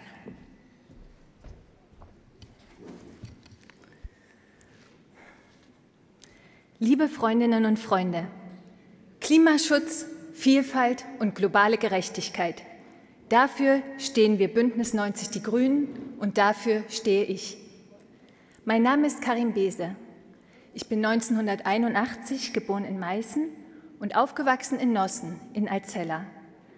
Begleitet von den aufregenden Wendejahren, der Aufbruchsstimmung und den folgenden Ernüchterungen für unsere Elterngeneration verbrachte ich eine Kindheit umgeben von Natur. Und ich konnte mir nicht vorstellen, jemals irgendwo anders als auf dem Land zu wohnen. Aber es kam dann doch ganz anders. Inzwischen arbeite ich seit 15 Jahren in den Bereichen Klimaschutz und internationale Zusammenarbeit. Erst vor kurzem sind mein Mann, unsere drei Töchter und ich von meinem letzten Projekt in Benin in Westafrika zurückgekommen. Meine älteste Tochter ist jetzt elf. Vor zwei Jahren war sie die erste in ihrer Klasse, die bei den Fridays for Future Demos mitgelaufen ist. Zwei Wochen später waren es schon drei. Zwei weitere Wochen später die ganze Klasse. Wenn diese Klasse in sieben Jahren ihren Schulabschluss machen wird, werden wir bei einem weiter so wie bisher so viel CO2 in die Luft geblasen haben, dass wir eine Erderwärmung von 1,5 Grad nicht mehr aufhalten können. Politik muss handeln, und zwar jetzt. Ich bin Kommunikationswissenschaftlerin und Projektmanagerin, habe an der TU Dresden studiert. Schon vor über zehn Jahren sensibilisierte ich politische EntscheidungsträgerInnen in Deutschland für Klimawandel. Damals verwendeten viele das Bild des Eisbärs auf der Eisscholle, um den Klimawandel zu, zu symbolisieren. Aber ganz ehrlich, das war ein Fehler. Dieses Bild vermittelte den Eindruck, dass Klimawandel irgendwo weit weg passiert. Aber Klimawandel passiert hier und passiert jetzt. Wir wollen Menschen dort abholen, wo sie sind. Die Bäuerinnen und Bauern bei der Verbesserung regionaler Absatzmöglichkeiten. Unternehmen bei Energieeffizienz, die Kosten spart und neuen Aufträgen bei der Anwendung regenerativer Energien. Menschen auf dem Land bei Angeboten des öffentlichen Nahverkehrs, in der Stadt mit sauberer Luft, Eltern und Großeltern bei der Zukunft ihrer Kinder und Enkelkinder. Wir haben mit dem Pariser Klimaabkommen einen internationalen politischen Rahmen für Klimaschutz geschaffen. Aber die Umsetzung findet vor Ort statt. Gute Ansätze für konkrete und sozial gerechte Maßnahmen gibt es. Viele davon in Sachsen, ich wollte sie alle aufzählen. Ich habe eine Liste begonnen und ich wusste genau, ich werde das nicht schaffen. Aber ihr kennt sie. Und im Bundestag will ich dafür eintreten, dass gute Beispiele endlich zum Standard werden. Manche Menschen glauben, dass wir die Zeit zurückdrehen können, indem wir unsere Grenzen schließen. Aber Grenzen halten Krisen nicht auf. Deshalb sind grüne Lösungen global. Ich habe meine berufliche Laufbahn beim UN-Welternährungsprogramm begonnen. Dass immer noch 800 Millionen Menschen auf der Welt an Hunger leiden, ist eine Katastrophe, die durch den Klimawandel noch verschärft wird. Im Rahmen der sogenannten Entwicklungszusammenarbeit in Kamerun vor fast 15 Jahren erkannte ich schnell, hier läuft etwas schief. Wie können wir durch unsere Wirtschaft in Europa unseren Konsum und unseren Müll, Märkte und Ökosysteme in anderen Ländern zerstören und dann denken, wir brächten Entwicklung. Es ist Zeit, endlich Verantwortung zu übernehmen für die negativen Auswirkungen unseres Handelns und verbindliche Regeln für eine nachhaltige Produktion und fairen Handel zu setzen. Wir müssen vor unserer eigenen Haustür anfangen. Und Ungerechtigkeit finden wir auch hier in Deutschland. Es kann doch nicht sein, dass die Bildungschancen von Kindern immer noch hauptsächlich von der Bildung der Eltern abhängen, dass Frauen immer noch weniger verdienen als Männer, dass Vermögen von Geburt an so ungleich verteilt ist, dass ein Leben nicht reicht, um aufzuholen. Politik kann und muss das ändern. Die AfD wirbt mit dem Spruch Deutschland aber normal. Welches Normal sie damit meint, will ich mir gar nicht ausmalen. Wir dürfen nicht andere bestimmen lassen, was normal ist. Vielfalt ist normal und wir alle sind ein Teil davon.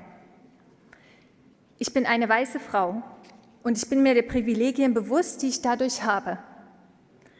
Ich habe es aber auch am eigenen Leib erlebt, welchen Vorurteilen und Angriffen man ausgesetzt ist, wenn man in einer binationalen oder Patchwork-Familie lebt. Wenn man sich permanent fragen muss, zum Beispiel in der Bahn, wo kann ich mich hinsetzen? Wer hilft mir im Zweifelsfall, wenn ich angegriffen werde? Ich habe auch erlebt, wie es ist, alleinerziehend zu sein und sich alleine durchschlagen zu müssen und an den Rand der Gesellschaft gedrängt wird. Aber Vielfalt macht uns stärker. 2013 habe ich angefangen, Kinderbücher zu schreiben, die Vielfalt als Normalität in Deutschland zeigen. Kinderbücher tragen ganz entscheidend dazu bei, wie Kinder die Welt erfahren. Sie helfen, Empathie zu erlernen und sich als Teil unserer Gesellschaft zu fühlen und Vorbilder zu finden. Kinderbücher sind ein Anfang, aber sie reichen nicht. Wir alle müssen zu Allies, zu Verbündeten werden. Viele Menschen haben Angst vor Veränderung. Auch das ist normal. Wenn meine Töchter Angst haben, dann sage ich, Angst ist etwas Gutes. Angst macht uns aufmerksam und Angst bringt uns dazu zu lernen. Auch ich habe Angst. Ich hatte Angst, meine Heimat zu verlassen und ich hatte auch Angst, zurückzukommen. Und ehrlich gesagt schlottern mir gerade auch ziemlich die Knie. Aber Angst darf uns nicht lähmen. Wir müssen nach vorn schauen und wir müssen verändern. Zukunft wird aus Mut gemacht. Für uns, unsere Kinder und die Generation nach uns möchte ich mutig sein. Ich möchte weiter lernen und ich schaue nach vorn und ich möchte verändern. Und zusammen mit euch grüne Politik gestalten. Für Menschen in Sachsen, in Deutschland und weltweit.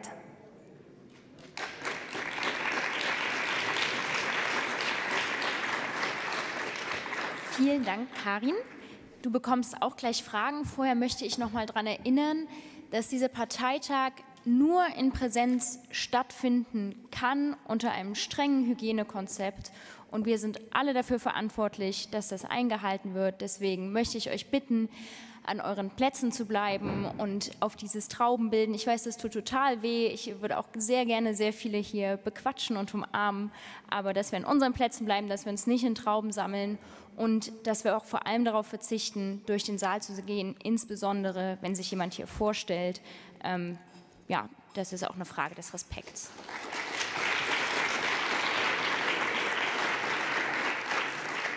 Gut, jetzt kommt aber die Frage an ähm, Karin. Hier liegt uns eine Frage vor von Sid Marek Schaller aus dem Kreisverband Dresden. Du kommst aus dem ländlichen Raum und bist in die Großstadt und die Welt gegangen. Jetzt trittst du wieder im ländlichen Raum an. Warum? Und du hast drei Minuten Zeit, um diese Frage zu beantworten. Ich hatte es ja am Anfang schon gesagt, als ich klein war, war ich im ländlichen Raum, das hat mich sehr geprägt und ich war aber gleichzeitig auch neugierig. Ich wollte natürlich sehen, wie ist es in anderen Teilen der Welt. Ich wollte das selber kennenlernen und es hat mich sehr geprägt. Äh, es hat meine Sicht auf die Welt verändert und es hat sie reicher gemacht.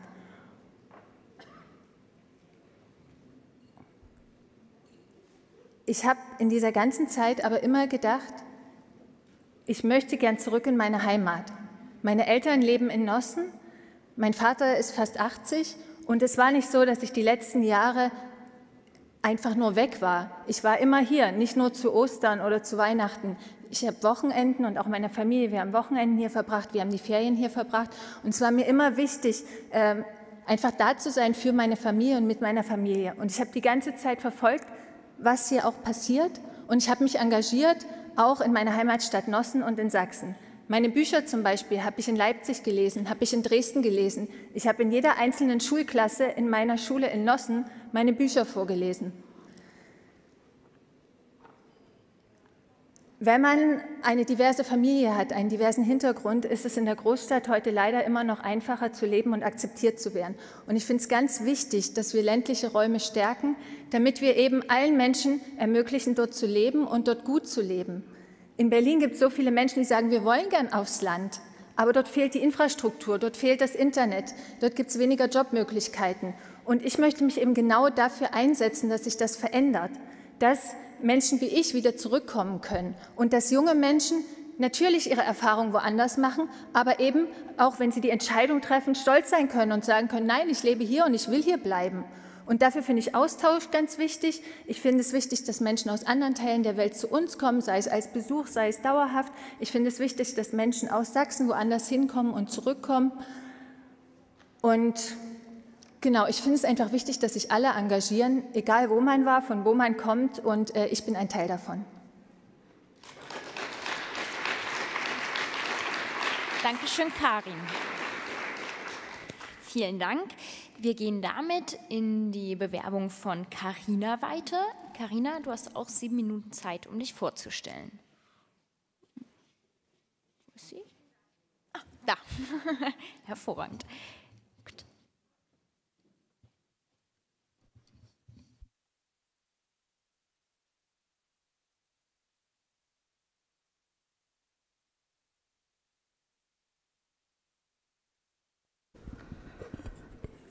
So. Okay, dann legen wir mal los.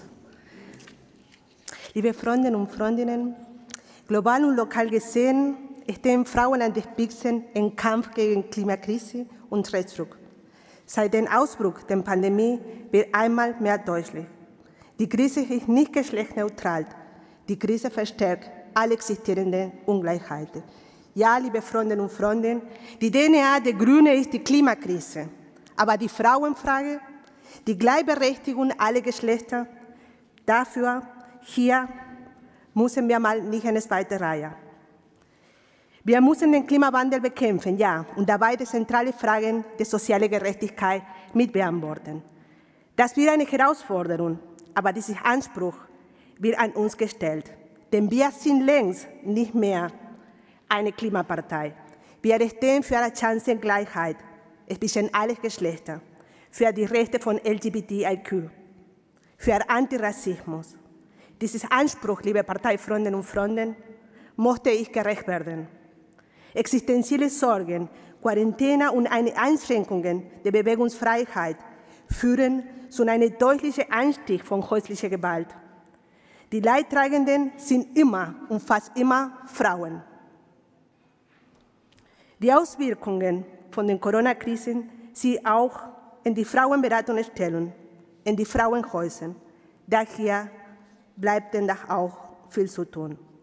Denn während wir als Gesellschaft schaffen, die Kriminalitätsstatistik zu senken, bleiben die Zahlen bei häuslicher Gewalt gleichbleibend hoch. Wir sind gefordert, nach Lösungen zu suchen, denn Gewalt gegen Frauen findet weiter. Und überall und jeden Tag, liebe Parteifreundinnen und Freunde.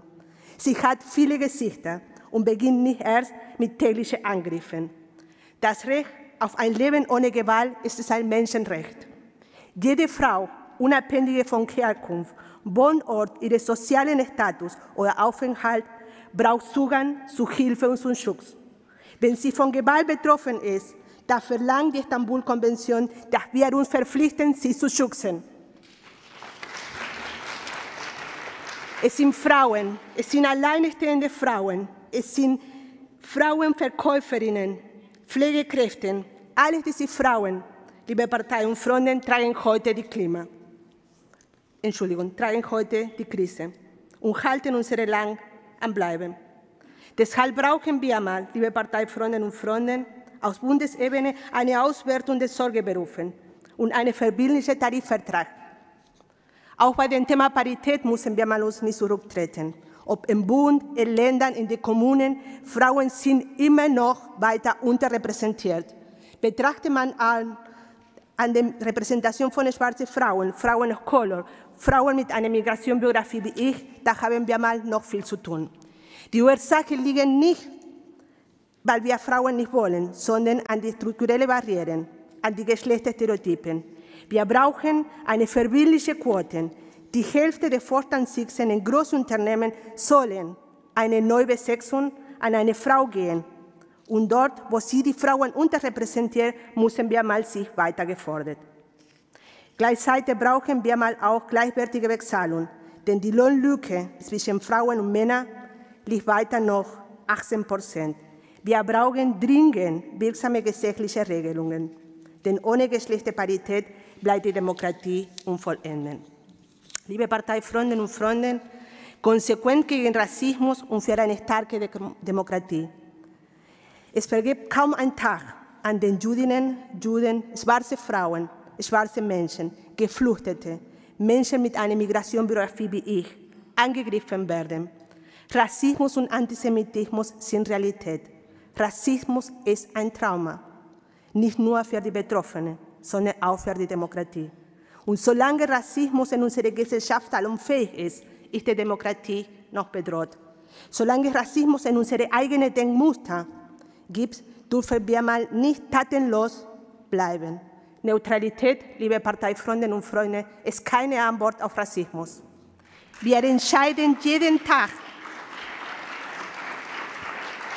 bewusst und unbewusst in unserem Handel wie in unserem Nichthandel, wo wir stehen und ganz besonders auf welcher Seite wir stehen. Unsere Verfassung hält schon in ersten Paragraphen fest, dass die Würde eines jeden Menschen untastbar ist. Dieses Bekenntnis, liebe Parteifreundinnen und Freunde, bildet das Fundament unserer Demokratie und spiegelt unsere humanistischen Grundwerte wider. Liebe Parteifreundinnen und Freunde, wir müssen Rassismus und strukturelle Diskriminierung bekämpfen.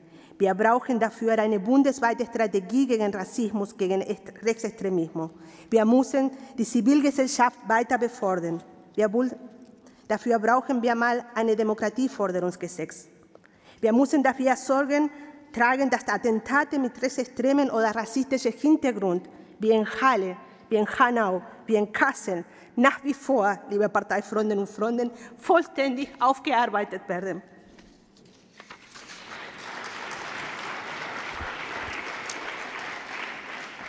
Kein Mensch ist illegal, liebe Parteifreunde. Lesbos und die Situation von Geflüchteten an Europas Außengrenzen, es ist ein Mahnmal für das Scheitern Europas, Europa, europäischer Asylpolitik. Schon seit 25 Jahren werden Fluchtwege selektiv abgeschnitten und die Migration somit stark eingeschränkt. Die humanitäre Versorgung über die Grenzen der Europäischen Union hinaus ist Bestandteil unserer Verantwortung ohne Wenn und ohne Aber. Liebe Parteifreundinnen und Freunde, seit 2019 bin ich Mitglied bei den Grünen. Von Anfang an war ich aktiv. Ich war Stadtratkandidatin in Leipzig für die Kommunalwahl 2019. Aktuell bin ich auch als Co-Sprecherin in die AG Frauen und Gleichstellung. Ich bin aktive Mitglied in die LAG Geschlechter und Delegierte für die, die BAG Frauen. Seit 2020 Mitglied in den Landesparteirat. Liebe Parteifreundinnen und Freunde, ich bin überzeugt davon, dass es für unsere Demokratie, für die Menschen und unsere Umwelt es ist gut, wenn wir mal Grünen gestalten. Diese Überzeugung, liebe Parteifreundinnen und Freunde, motiviert mich Tag für Tag mit euch zu streiten. Kommen.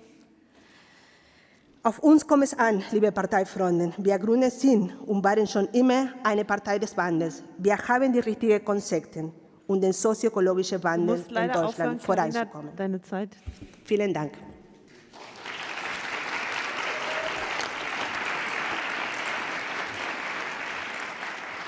Vielen Dank, Karina. Sind denn Fragen eingegangen? Das schauen wir mal fix nach. Nein, es gibt keine Fragen an dich, Karina. Wenn du möchtest, kannst du die drei Minuten jetzt nutzen, um noch was zu sagen. Okay. Ja, also ich habe so meine Rede ein bisschen so schnell gekürzt und ich habe auch gesagt, dass ich auch gerne ein Augenmerk ähm, haben möchte bei den LGBTIQ-Rechten. Heutzutage werden äh, Lesben, Schwule, Inter-, Trans- und Queer-Menschen auf der Straße gewalttätig angegriffen. 60 Prozent Laut einem Studien werden sie in den letzten zwei Jahren haben sie diese Angriffe Entschuldigung, hochgestiegen. Unser zuständiger Minister für Sicherheit hat bis heute noch nie eine homo- und transfeindliche Gewalt öffentlich verurteilt. Auch nicht nach dem Tötungsdelikt in Dresden. Das ist beschämend und ein klarer Auftrag auf die Politik Und wir Grünen wollen diese Diskriminierung beenden. Lesben, Schwule, Bisexuelle, Trans- und Inter- und Queer Menschen sollen selbstbestimmt und diskriminierungsfrei leben können.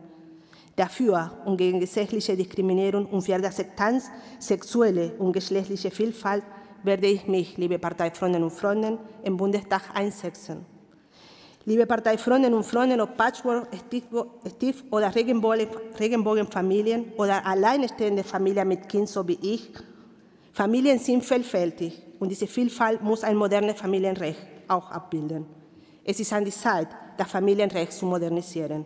Und es war so, dass es zu den tagtäglichen Bedürfnissen von modernen, vielfältigen Familien passt. Denn ohne volle Gleichberechtigung bleibt jedes Reden über Toleranz und Vielfalt einfach heiße Luft. Dankeschön, Carina.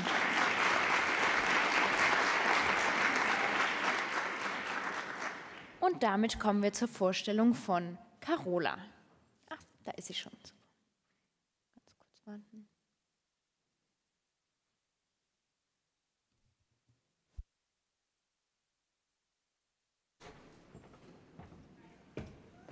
Carola, du hast auch sieben Minuten Zeit.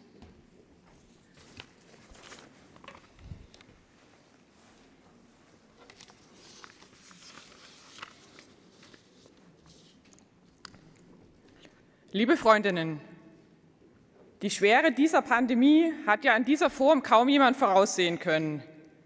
In den letzten Jahren nicht zu übersehen waren indes die Intensivpatientenpflegepolitik, die gelähmte Digitalisierung und die im Sterben liegende Natur. Als Grüne in der nächsten Bundesregierung müssen wir die immense Klimaherausforderung annehmen. Und wir müssen das soziale Klima, die Fragen des Miteinanders und die Digitalisierung aktiv gestalten. Und nicht weniger ambitioniert müssen wir die Herausforderungen in der Pflege angehen. Ich heiße Carola Köpferl, bin 30 Jahre jung und Direktkandidatin des KV Chemnitz. Als Sozialpädagogin und Pflegemanagerin sitze ich beruflich an den Schnittstellen barrierefreies Wohnen, ambulante Versorgung und Digitalisierung in der Pflege. Und genau dieser digitale Wandel verändert alle Lebensbereiche, ab Arbeit, Wirtschaft oder Bildung. Die Förderung des freien Netzzugangs ist dazu elementar. Es gilt, den gleichen Netzzugang für alle zu sichern. Schnelles Internet mit mindestens 100 Mbit muss in den ländlichen Regionen Sachsens und darüber hinaus endlich umgesetzt werden. Und ebenso Geschwindigkeit muss die digitale Barrierefreiheit aufnehmen. Die politische Gestaltung dieses digitalen Umbruchs, zum Beispiel in Schulen und Behörden, lahmt seit Jahren. Und Deutschland verliert den Anschluss. Gleichzeitig stehen mühsam erkämpfte Bürgerinnen und Freiheitsrechte unter Druck. Die Frage, wie wir digitalisieren, ist also eine der Zukunftsfragen schlechthin. Es beginnt mit der Herausforderung, Internetkonzerne in Deutschland endlich vernünftig zu besteuern. Es geht weiter. Es geht weiter mit dem Recht auf Repair, das heißt die Möglichkeit, gerade in Rechnern und Smartphones Komponenten statt ganzer Geräte tauschen zu können. Und es gipfelt mit der Frage, was ist denn unsere KI-Strategie? Wie kann intelligente Technik auch in Bereichen der Pflege und im Umweltschutz gewinnbringend eingesetzt werden? Ich habe als Imkerin zum Beispiel meine Bienenbeuten mit vielen Sensoren verkabelt und liefere Daten für die Wissenschaft. Denn was in den Beuten zum Bienensterben führt, da ist man sich noch unsicher. Was aber zum Insektenschwund und zum Artensterben in diesem bedrohlich großen Maße führt, das ist ja kein Geheimnis mehr. Weil täglich 60 Fußballfelder für Straßen, Häuser und Lkw-Parkplätze draufgehen, das heißt versiegelt werden, weil Bäume und Wälder in der Trockenheit kaputt gehen und weil artenfreundliche Landwirtschaft ohne Saatgutmonopole immer noch in der Minderheit sind. Doch von diesen Bienen und der Bestäubungsleistung von Insekten hängt unser aller Essen ab. Diese Bienen brachten mich persönlich zum Naturschutz. Und heute betreue ich Naturschutz- und Gartenprojekte und mache auch mit bei solidarischen Landwirtschaftssachen. Die nationale Biodiversitätsstrategie und das Bundeskonzept Grüne Infrastruktur kann und will ich mit Wissen und Erfahrung voranbringen. Seit Jahren betreue ich meine pflegebedürftige Oma und weiß, daher, was viele auch pflegende Angehörige leisten. Wir machen drei Viertel der häuslichen Pflege aus. Und die Folgen sind bekannt. Geringes eigenes Einkommen und der Burnout für den Körper und für die Psyche. Durch meinen täglichen Kontakt zum Pflegedienst und meine frühere Tätigkeit in der stationären Altenpflege ist mir klar, wie stark das aktuelle System krankt. Und eins haben wir in dieser Pandemie gelernt. Eine gute Gesundheitsversorgung und eine gute Pflege retten unser Leben. Fünfeinhalb Millionen Menschen, meistens Frauen, arbeiten in der Pflege und im Gesundheitswesen. Deutlich mehr als ein Zehntel unseres Bruttosozialproduktes werden hier erwirtschaftet. Doch Pflege gehört nicht länger allein im Kapitalismus und dem Credo, der Markt regelt das, ausgeliefert. Denn in den ländlichen Räumen Sachsens fehlen nicht nur die Fachärztinnen, die Hausärztinnen, sondern zunehmend auch die ambulanten Dienste. Es lohnt sich nicht. Und da läuft ein Exodus. Lasst uns zusammen den professionellen Pflegeberuf für ArbeitgeberInnen und für die Pflegeprofis selbst, aber auch für die ganzen sozialen Dienste, Physiotherapeutinnen etc. wieder lohnenswert machen. Die Bürgerversicherung ist ein Baustein, ein Baustein in der sozialen Gerechtigkeit. Soziale Gerechtigkeit, ein gutes Stichwort, ein Punkt zu mir. Aktuell erleben wir das ja alle. Ein Leben ohne Verreisen, ohne Essen gehen, ohne Kino und Kultur. Dazu Auflagen, Vorschriften, Druck und Angst um die Zukunft. Aber so bin ich aufgewachsen.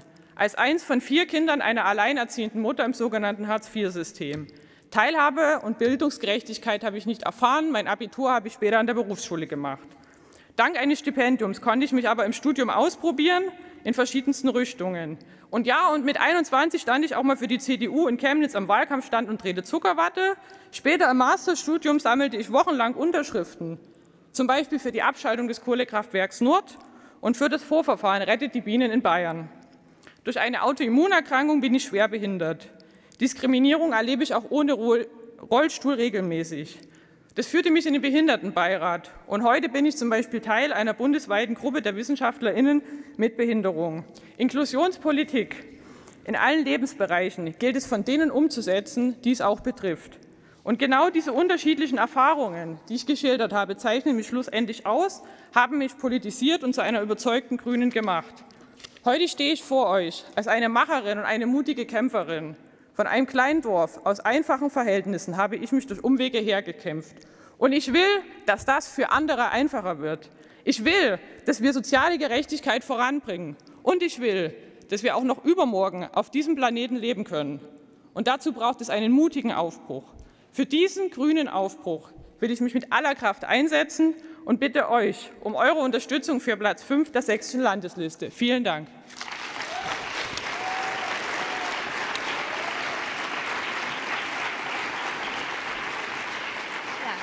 Vielen Dank, Carola.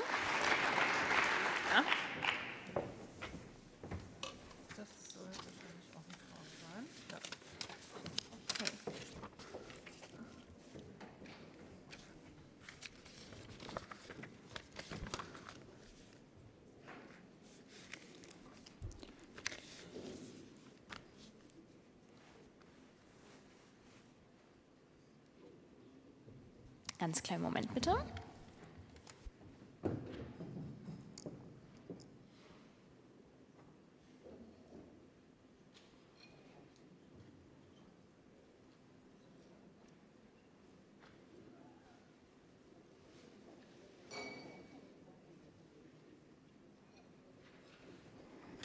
also nicht irritieren lassen, Carola. Wir haben äh, zwei Fragen und noch eine dritte. Da steht aber der Name nicht dabei. Vielleicht kann, ja, hier ist das so ein kleiner süßer Zettel. Die Frage ist, was sind politische Maßnahmen gegen Elektroschrott vorzugehen? Kann denn die Person, die die gestellt hat, sich vielleicht mal kurz ähm, zu erkennen geben? Weil wir ja eigentlich ne, immer ähm, da sagen, wer es ist. Ach, das ist der Kassem. Gut, also der Kassem fragt dich, was sind politische Maßnahmen gegen Elektroschrott vorzugehen? Das ist eine sehr spannende Frage. Also da äh, ein, Carola, also, Entschuldigung, Entschuldigung, Entschuldigung, Entschuldigung. Nein, Entschuldigung. Es sind insgesamt drei Fragen. Die zweite kommt von Britt Jonen aus dem KV Dresden. Wie stehst du zur Cannabis-Legalisierung? Und die dritte Frage kommt von Stefanie Gruner aus dem KV Leipzig. Warst du für die CDU nur am Stand oder dort Mitglied? So, und jetzt hast du drei Minuten Zeit. Ich äh, kläre die CDU-Frage. Ich war mit 21 Mal bei der CDU Mitglied. Ähm, genau, also mache ich jetzt auch kein Geheimnis draus. Ähm, das ist jetzt allerdings auch schon zehn Jahre her. Ähm, Legalisierung Cannabis bin ich extrem dafür, das aus, äh, ja, zu entkriminalisieren, weil Gegenfrage ist ja, wer Cannabis, also wer Cannabis verbietet, müsste auch Alkohol verbieten. Ich glaube, da gibt es keine Mehrheiten. Und ich sehe es halt ein Stück weit auch. Also ich sehe das halt einfach auf, dass mir die äh, ja, Polizistinnen damit auch unnötig beschäftigen. Also gerade äh, ähm, ist das ein Riesenthema. Das heißt aber nicht, dass ich Cannabis als sich sozusagen als jeden Tag ein Stück Schokolade ansehe. Das soll aber auch jeder frei entscheiden können. Wo ich es besonders auch interessant finde, wenn man die Prohibition aufhebt in den medizinischen Bereich, weil man dann ohne riesige Auflagen das auch weiter einsetzen kann. Und da gibt es äh, zum Beispiel gerade Anästhesistinnen, die sich ja da zum Beispiel sehr dafür aussprechen. Dann möchte ich noch die Elektroschrottfrage anschließen. Also wie können wir vorgehen? Das geht ähm, mit dem Rechtsanspruch auf Reparatur. Also heute kann ich Sachen zwar zurückgeben im Sinne einer Garantie, aber ich habe vor kurzem erst eine Gartenschere eingereicht, die wird nicht repariert, die wird weggeschmissen, holen sich eine neue fand ich nicht so gut. Und das heißt aber auch, dass längere Gewährleistungsfristen, also dann Garantie, das was wir vielleicht im Volksmund als Garantie verstehen, also gesetzliche Gewährleistungsfristen für Elektrogeräte gelten. Also nicht nur die zwei Jahre, sondern gerade bei einer Waschmaschine, die hat ja auch mittlerweile recht viel Rechentechnik drin, kann man sich da schon mal so Richtung fünf Jahre bewegen, weil das auch den Anspruch erhöht. Und natürlich sozusagen Qualitätsprodukte auch im Markt herausstellt, also durch eine ähm, gesetzliche sozusagen Untergrenze, was ich nicht darf, kann ich auch Qualität erhöhen. Und da bin ich sehr dafür. Es geht weiter mit dem verpflichtenden Gerät, Gerätepfand. Zum Beispiel das Handypfand ist ja schon auch mal durchgerechnet worden. Ähm, hat also gerade im Bereich zum Beispiel Akku und das Handy hat ja unglaublich, ist ja ein wahrer Schatz an Rohstoffen, der da drin ist. Und diese Rohstoffe werden ja aktuell auch nicht besonders fair ähm, geschürft. Also das heißt, es ist gut, dass wir die im Kreislauf behalten. Und dazu schließt sich auch die, die Idee halt an mit der lückenlosen Sammlung eben von Handys. Also aktuell ist es so, ich gebe meinen Elektroschrott ab und dann, glaube ich, verfolgen es die wenigen von euch, wo es hingeht. Ähm, da müssen wir auf jeden Fall festhalten, innerhalb auch der EU sehe ich tatsächlich auch eine EU-Ebene an, aber da kann ich mich sicherlich auch mit Anna gut verständigen dazu. Ähm, also hochwertiges Recycling von, von Altgeräten innerhalb der EU zu ermöglichen. Ähm, bis jetzt landet es ja doch relativ häufig zum Beispiel vor der Küste Westafrikas und das kann ich tatsächlich nicht vertreten. Jetzt habe ich noch 20 Sekunden, aber die möchte ich nicht ausschöpfen und bedanke mich. Vielen Dank. Dankeschön, Carola. Gut, dann treten wir nun in das Wahlverfahren ein, genauer gesagt in den ersten Wahlgang. Es stehen zur Wahl Karin, Karina und Carola und Annette. Genau. Ähm, Nochmal zur Erinnerung, im ersten Wahlgang ist gewählt, wer mehr als die Hälfte der abgegebenen Stimmen auf sich vereint. Sollte das keine der vier Kandidatinnen gelingen, treten wir in einen zweiten Wahlgang ein. Euch wird jetzt angezeigt, wie ihr stimmen könnt. Wenn ihr auf eurem elektronischen Fernbedienungsgerät die Nummer 1 wählt, ähm, dann stimmt ihr mit Enthaltung. Mit der Nummer 2 stimmt ihr mit Nein. Die 3 ist für Karin Bese, die Nummer 4 für Karina Flores, die Nummer 5 für Annette Jagila und die Nummer 6 für Carola Köpfer. Gibt es dazu Fragen? Hm? Das ist nicht der Fall. Ich eröffne den Wahlgang.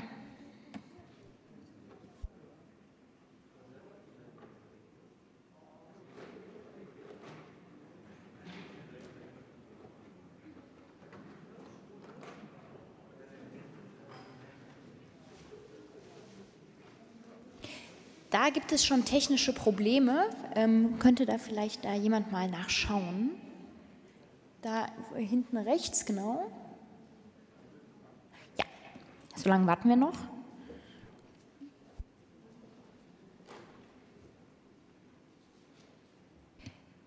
Zeigen sich noch bei irgendwem anders technische Probleme? Das ist schon mal gut.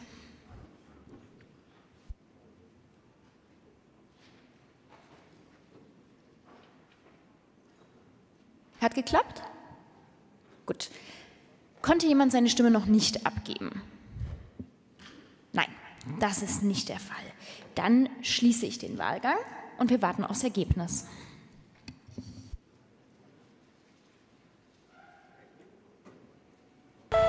Hallo, ich bin Ferdinand Dürr von Adopt a Revolution. Hallo, ich bin Arwa Azouz von der Campaign Syria Not Safe. Als vor zehn Jahren in Syrien Zehntausende friedlich gegen die Assad-Diktatur demonstrierten, wollten wir dem Aufstand zum Durchbruch verhelfen. Bis heute stärken wir die aktive syrische Zivilgesellschaft für Freiheit und Gerechtigkeit, wo immer wir können. Aber auch hierzulande sind wir aktiv. Wegen Assads Krieg leben 800.000 Syrerinnen und Syrerinnen in Deutschland, fast ein Prozent der Bevölkerung. Wir können nicht zurück, solange das Assad-Regime an der Macht ist. Deshalb bringen wir uns hier politisch ein, zum Beispiel mit der Campaign Syria Not Safe. Gegen die Aufhebung des Abschiebestopps im vergangenen Dezember haben wir lautstark demonstriert. Und ihr habt damals Sachsens Innenminister Böller konfrontiert. Danke dafür. Jetzt gilt es, Abschiebungen in Folterstaaten auf Bundesebene zu verhindern. Auch dabei zählen wir auf euch. Streitet mit uns dafür, vor und nach der Bundestagswahl, dass es keine Abschiebepartnerschaft mit dem Assad-Regime geben wird. Danke.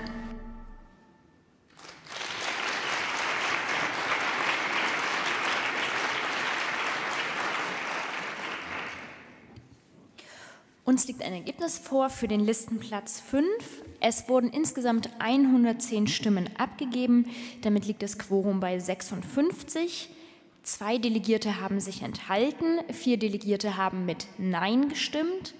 Auf Karin Bese entfielen 20 Stimmen, auf Karina Flores 10, auf Annette Jagila 36 und auf Carola Köpferl 38 Stimmen. Damit hat im ersten Wahlgang keine der Kandidatinnen das Quorum erreicht und wir treten in einen zweiten Wahlgang ein. Im zweiten Wahlgang können die Kandidatinnen nochmal antreten, die im ersten Wahlgang mindestens 15 Prozent der Stimmen hatten.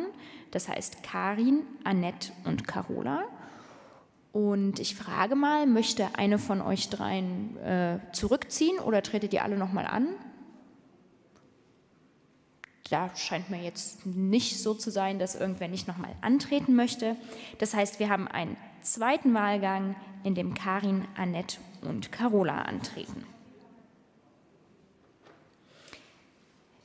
So, ihr könnt jetzt wie folgt stimmen. Mit der 1 enthaltet ihr euch wieder, mit der 2 stimmt ihr für Nein. Mit der 3 könnt ihr für Karin stimmen, mit der 4 für Annette und mit der 5 für Carola.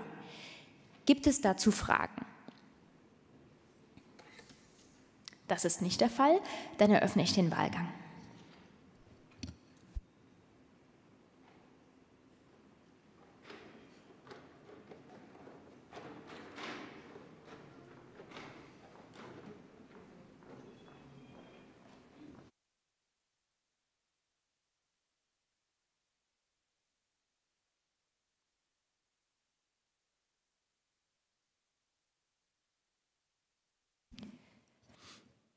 Sind irgendwo technische Probleme aufgetaucht? Nein. Muss noch jemand seine Stimme abgeben? Das ist auch nicht der Fall. Sehr gut. Dann schließe ich den Wahlgang und wir warten aufs Ergebnis.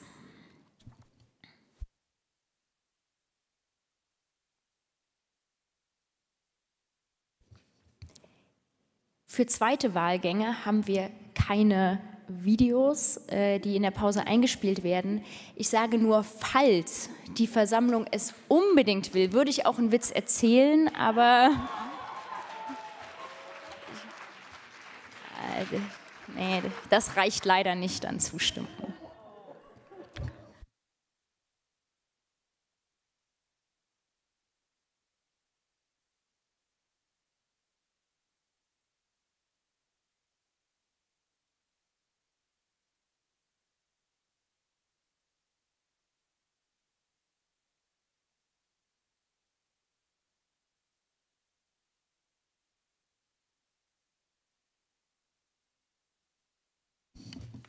So, Wir haben erneut ein Ergebnis.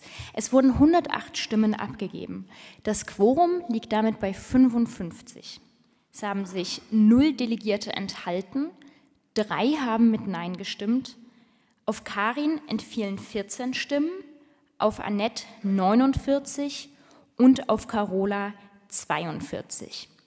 Damit hat auch im zweiten Wahlgang keine der Kandidatinnen ähm, die erforderliche Hälfte der Stimme erreicht und wir gehen in einen dritten Wahlgang.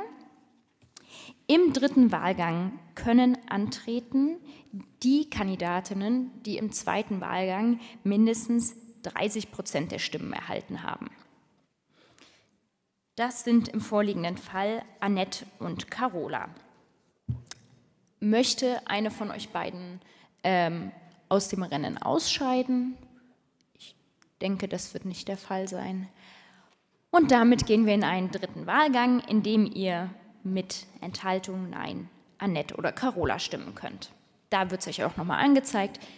Eins Enthaltung, zwei Nein, mit, mit der Nummer drei für Annette und mit der Nummer vier für Carola. Gibt es denn Fragen dazu? Das ist nicht der Fall, dann eröffne ich den Wahlgang.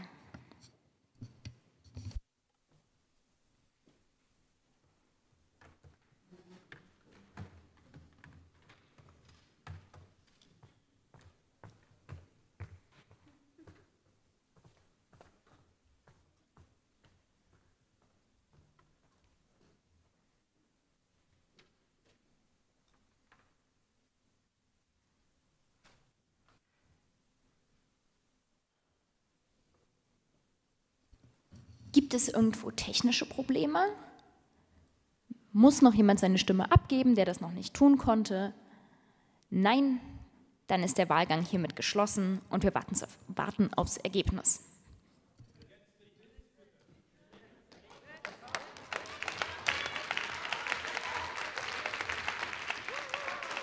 Was habe ich getan? Okay, also mein Lieblingswitz ist leider ein bisschen zu lang für die Auszählpause. Erzähle ich nachher nochmal. Ähm, jemand einen Unfall? Okay, ähm. Was ist, was ist unsichtbar und riecht nach Karotte? Ein Hasenpups. Bessere Witze gibt es später.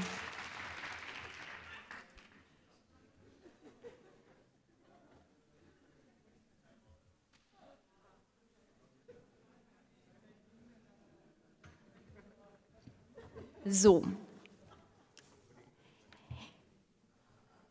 Im dritten Wahlgang ist gewählt, wer die meisten Stimmen erhalten hat, jedoch mehr als Nein-Stimmen.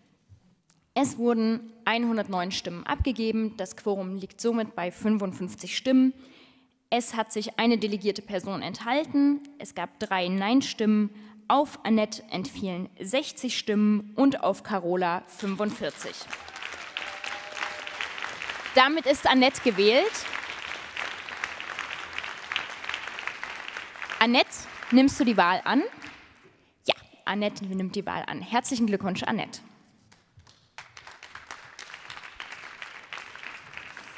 Damit vollführen wir einen kleinen Präsidiumswechsel.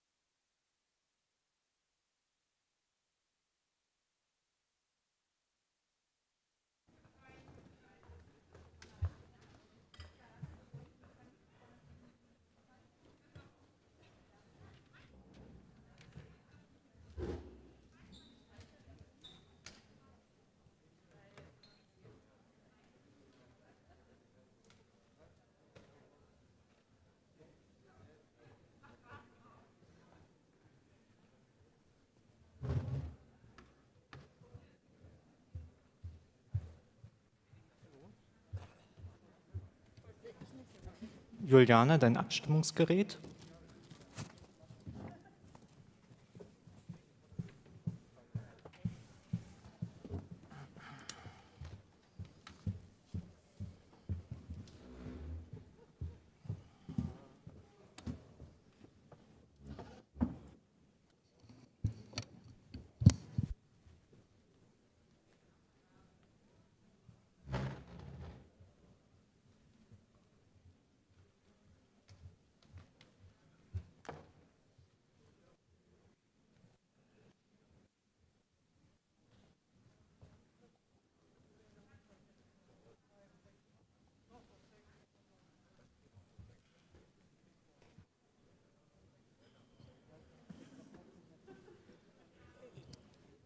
So, ich bitte euch, dass ihr eure Plätze wieder einnehmt, damit wir weitermachen können und dass mögliche Gespräche langsam eingestellt werden. Ich rufe nunmehr Listenplatz Nummer 6 auf. Dazu liegen verschiedene Bewerbungen vor. Uns ist die Bewerbung von Olaf Hohlberg ab Platz äh, 6 bekannt. Ist dem so? Ja? Gut. Ich sehe Nicken von Norman. Ferner frage ich Dennis Korn und ferner frage ich Carola. Carola, ich kann dich nicht sehen, um ehrlich zu sein.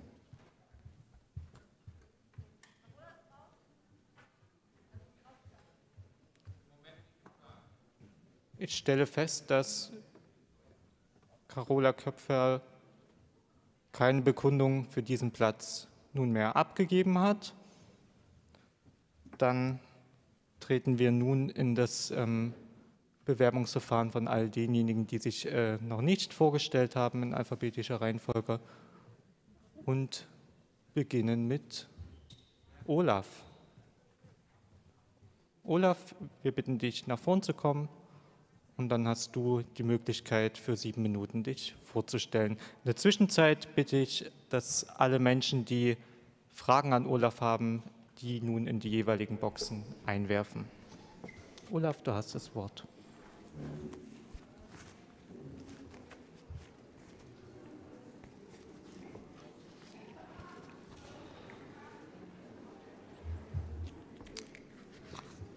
Liebe Freundinnen und Freunde, ich bin Olaf Horbeck, ich bin Tischlermeister und betreibe eine Bau- und Möbeltischlerei zusammen mit fünf Mitarbeiterinnen und dabei ist auch eine Auszubildende. Ich lebe und arbeite in Wildenau, einem beschaulichen Dorf im Vogtland. Hier bin ich aufgewachsen, habe eine Familie gegründet, ein Haus gebaut, den Familienbetrieb übernommen, habe viele Jahre im Dorfverein Fußball gespielt, bin heute Sponsor und aktives Mitglied der Freiwilligen Feuerwehr.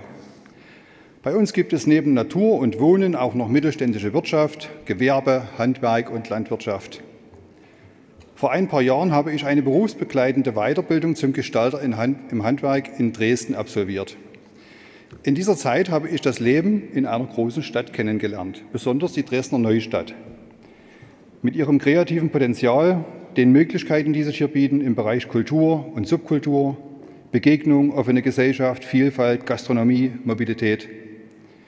Ich habe hier Menschen getroffen, weltoffen, kreativ, Künstlerinnen und Künstler, hochprofessionell und dennoch bescheiden. Und ich habe Freundschaften geschlossen, die mein Leben bis heute bereichern.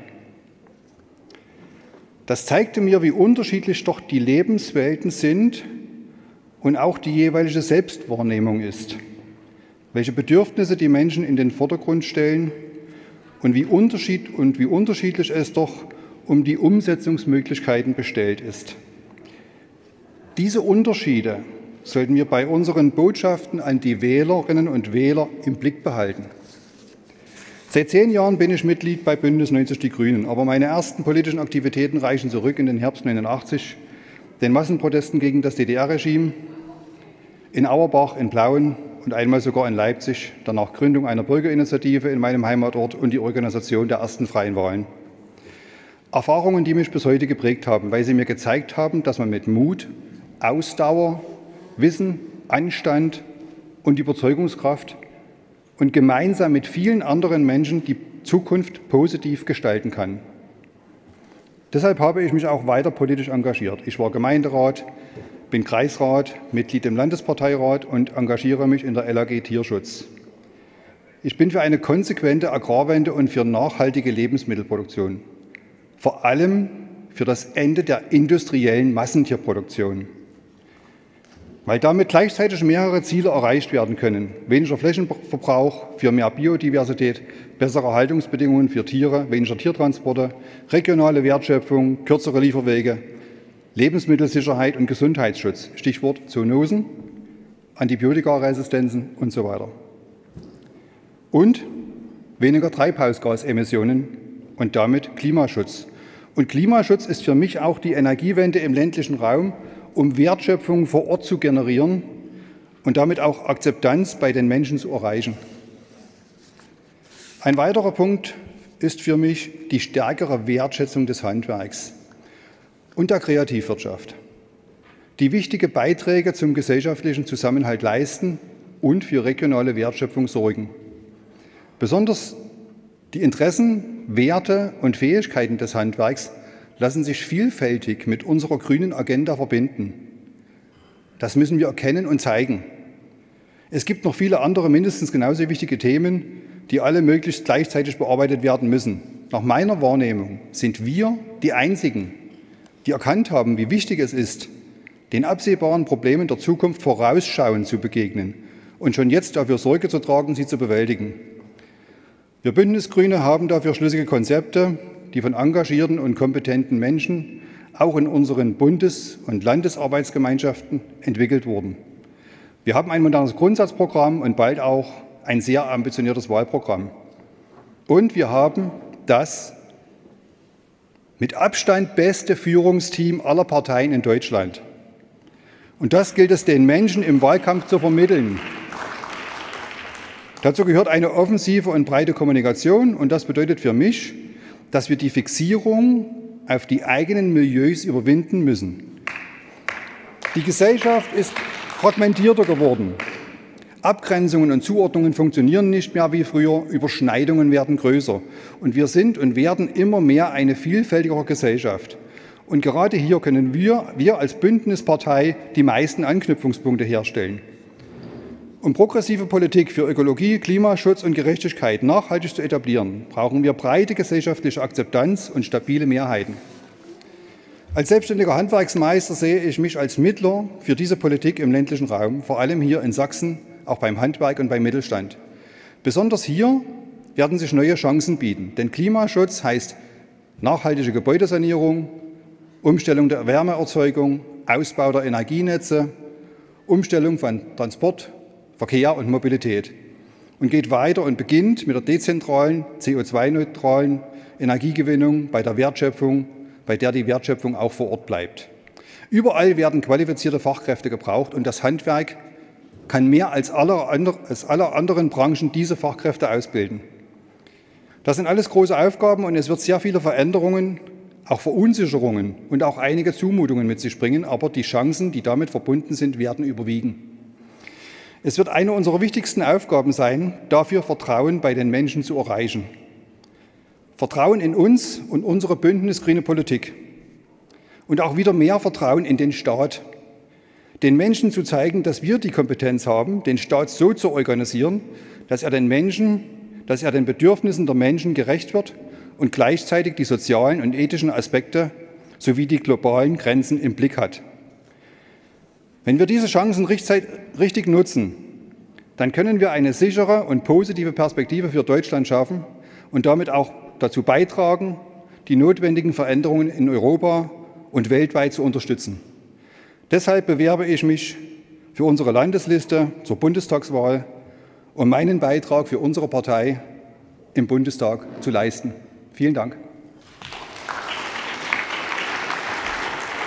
Vielen Dank, Olaf. Ich möchte äh, noch mal daran erinnern, dass es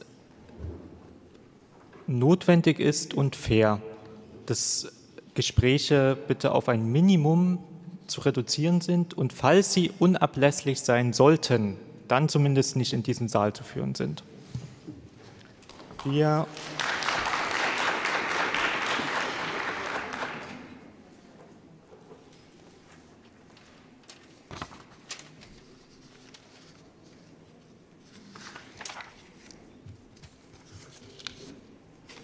Es gibt zwei Fragen an dich, Olaf und zwar von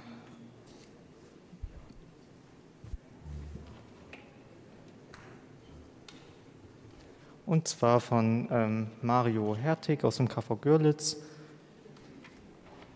Wie hast du die Zustimmung des Einsatzes der Bundeswehr im Kosovo erlebt? Und Frage 2 von Ulrike Liebscher, KV Vogtland. Ähm, in den ländlichen Gebieten haben wir ähm, Grüne oft wenig Zustimmung. Wie willst du das ändern? Das sind die zwei Fragen und für kommende Fragen, äh, ich kann nur an die Lesbarkeit äh, ähm, der ähm, FragenstellerInnen ähm, ja, daran, ähm, darum bitten. Olaf, für diese zwei Fragen hast du jetzt noch mal drei Minuten Zeit. Ich verstehe die erste Frage dahingehend, äh, dass es darum geht, wie ich die Zustimmung der Grünen zum Einsatz erlebt habe. Es geht jetzt nicht um meine Einstellung dazu. Ich habe diese Zustimmung dahingehend erlebt, dass es ein, eine sehr schwierige Entscheidung war. Und keiner von denen, die sich damals dafür entschieden haben, hat sich das leicht gemacht. Und es ist eine Katastrophe, dass sowas überhaupt passiert. Und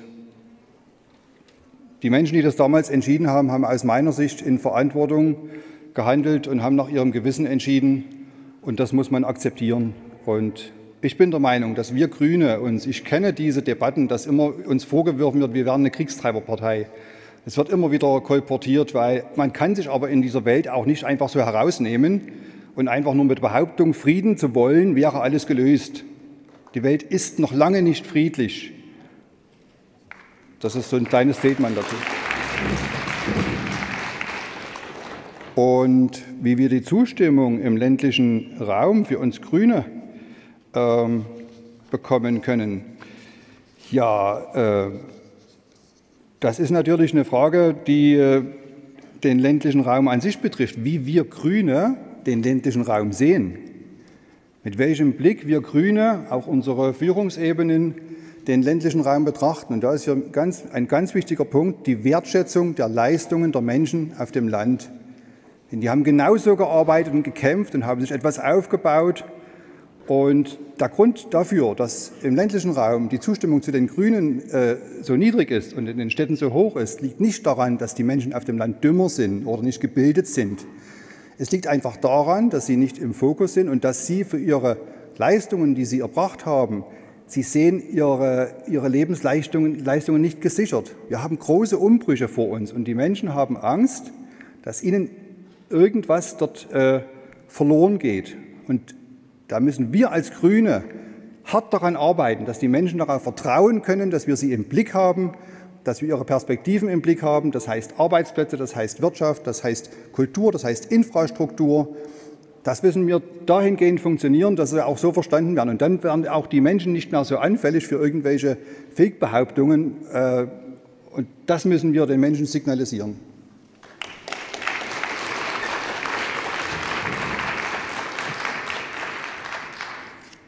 Danke, Olaf.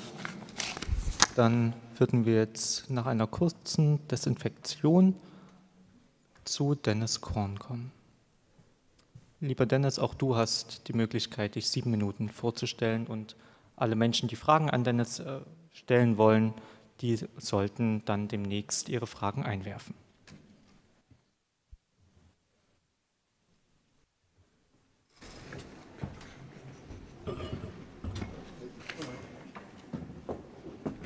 Dennis, du hast das Wort.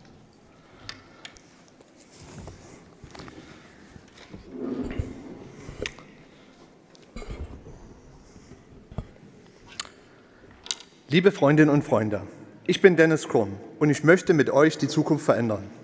Als Sohn einer Familie, die seit fünf Generationen einen Dachdeckerbetrieb führte, lernte ich diesen interessanten und anspruchsvollen Beruf. Seitdem sehe ich das Handwerk als einen wichtigen Baustein für Sachsen an. Als Dachdeckermeister werde ich um das Vertrauen der Handwerkerinnen werben. Zusammen mit meiner Frau habe ich drei Kinder. Dadurch habe ich einen guten Einblick in die Lebensrealität von Eltern. Mit 44 Jahren bringe ich viel menschliche Erfahrung mit ein. Gleichzeitig habe ich die Kraft, Veränderungen anzupacken und bin immer bereit, dazu zu lernen.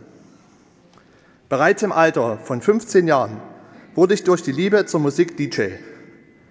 Durch unzählige Veranstaltungen kenne ich in ganz Sachsen sehr viele Menschen und diese mich.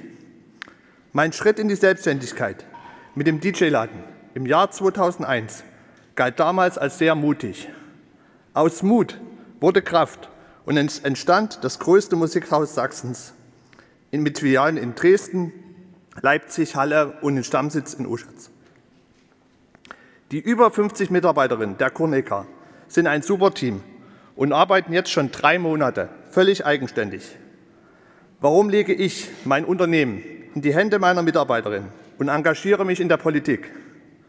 Weil sich in Deutschland etwas ändern muss.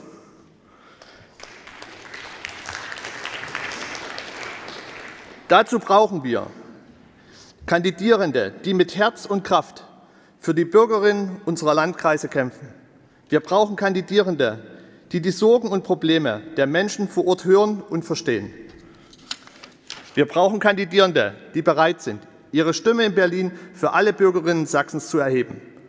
Aus diesen Gründen stehe ich heute hier vor euch und bitte euch um eure Stimme. Ich bin kein erfahrener Politiker, aber ich stehe für Aufbruch und für Wechsel. Bei der letzten Bundestagswahl wählten in meinem Wahlkreis nur 2,6 Prozent Bündnis 90 Die Grünen. Das wird diesmal definitiv anders. Ich habe mir das persönliche Ziel gesetzt, die Stimmen von 30.000 Nordsächsinnen und Nordsachsen zu erhalten. Ich kämpfe um das Direktmandat und um jede Stimme. Durch meine frühzeitige Nominierung im November 2020 konnte ich zunächst viel Aufbauarbeit im Kreisverband leisten und auch Außenstehende für grüne Positionen begeistern. Unser Wahlkampfteam zählt jetzt schon 32 aktive Menschen. Nach der Übergabe aller verbleibenden Aufgaben in meiner Firma konnte ich am 1. Februar offiziell in den Vollzeitwahlkampf einsteigen. Mit dem neuen grünen Büro in der Innenstadt von Oschatz werden wir erstmals in der Geschichte unseres Kreisverbandes richtig sichtbar. Mit der Aktion Nistkasten starteten wir die erste Stufe unseres Wahlkampfes. Das nähere Kennenlernen der Naturfreundinnen und Gartenbesitzerinnen war das Ziel. Über 1000 bestellte Exemplare verteilte ich in ganz Nordsachsen. Neben vielen persönlichen Gesprächen bei der Übergabe bekamen wir über 250 Bilder von gestalteten Nistkästen zurück. Eine bekannte Künstlerin gestaltete zwei Unikate für Annalena und für Robert. Heute habe ich fünf Nestkästen im Gepäck. Einer steht noch hier, der ist für Annette, die ist leider weggerannt. Warum, werdet ihr sicherlich fragen. Weil ich glaube, dass wir mit der guten Zusammenarbeit von Stadtverbänden und Kreisverbänden Verbänden gemeinsam einen starken Wahlkampf führen können und dann fünf Menschen nach Berlin schicken können. Davon bin ich überzeugt. Aktuell, aktuell verteilt unser Wahlkampfteam fleißig Einwohnerinnenbriefe an jeden Haushalt im Landkreis Nordsachsen. Das ist die zweite Stufe unseres Wahlkampfes. Viele weitere Aktionen sind geplant, zum Beispiel der Einsatz eines grünen Bungee-Trampolins und einer grünen Dodgeball. Mit meiner Nordsachsen-Tour werde ich mit dem Fahrrad alle 343 Orte im Wahlkreis Nordsachsen besuchen und mit den Menschen vor Ort ins Gespräch kommen. Auf meiner Agenda stehen Firmen, Verbände, Vereine und Bürgermeisterinnen. Ich sehe persönliche Gespräche und die Gewinnung von Multiplikatorinnen als einen wichtigen Schlüssel zum Erfolg. Meine Herzensthemen sind die Landwirtschaft, unser Klima, die Energiewende und die Wirtschaft. Weiterhin kenne ich mich durch meine Erfahrungen in den Themenbereichen Digitalisierung, Kultur und Sport aus.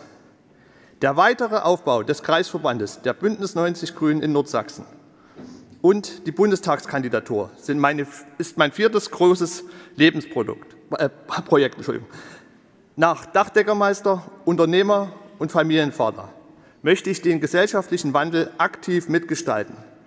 Wir müssen die Landwirtschaft ökologischer ausrichten, den Flächenverbrauch durch kluge Konzepte stärker reduzieren und Kerosin besteuern. Dabei ist das Klimaziel von 1,5 Grad unbedingt einzuhalten. Ich setze mich aktiv für die Integration, Pluralismus und für ein erweitertes Bleiberecht ein. In meiner Firma macht Gafur Bashadost, ein junger Afghane, seine Ausbildung. Dadurch konnten wir seine Abschiebung verhindern und ein Teil meiner Mitarbeiterinnen zeigen, dass ihre Vorbehalte gegenüber geflüchteten Menschen unbegründet sind. So funktioniert Integration.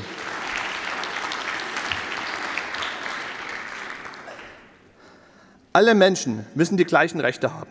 Sie müssen gleiche Chancen bekommen und müssen vor Diskriminierung geschützt werden. Wir müssen die Beurteilung und Benachteiligung nach Geschlecht, Herkunft und sexueller Orientierung überwinden. Wir brauchen eine bunte, vielfältige Gesellschaft, die die Unterschiede der Menschen zu einem Vorteil für alle macht. Der Rechtsextremismus darf in unserer Gesellschaft keinen Platz haben. Wir sind als Grüne, aber auch als Demokratinnen und vor allem als Menschen gefordert, alles in unserer Macht Stehende zu unternehmen, zu unternehmen um ihn zu bekämpfen. Liebe Freundinnen und liebe Freunde, geboren wurde ich in Sachsen. Hier bin ich aufgewachsen.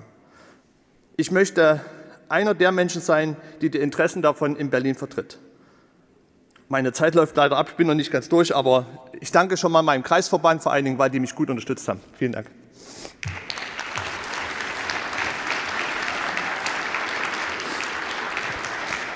Danke, Dennis. Wir werden jetzt die Redebeiträge, die Fragen vielmehr. Es gibt offenbar genügend Fragen. Erste Frage von Barbara Scheller, KV Nordsachsen. Wie stehst du zur Erweiterung des Flughafens? Was tust du dazu, ähm, die Bürger von Schkeuditz zu ermutigen, grün zu wählen? Zweite Frage von Lydia Engelmann, ähm, Sächsische Schweiz Osterzgebirge. Wie würdest du die Menschen aus der LGBTIQ-Plus-Community in den ländlichen Räumen stärken?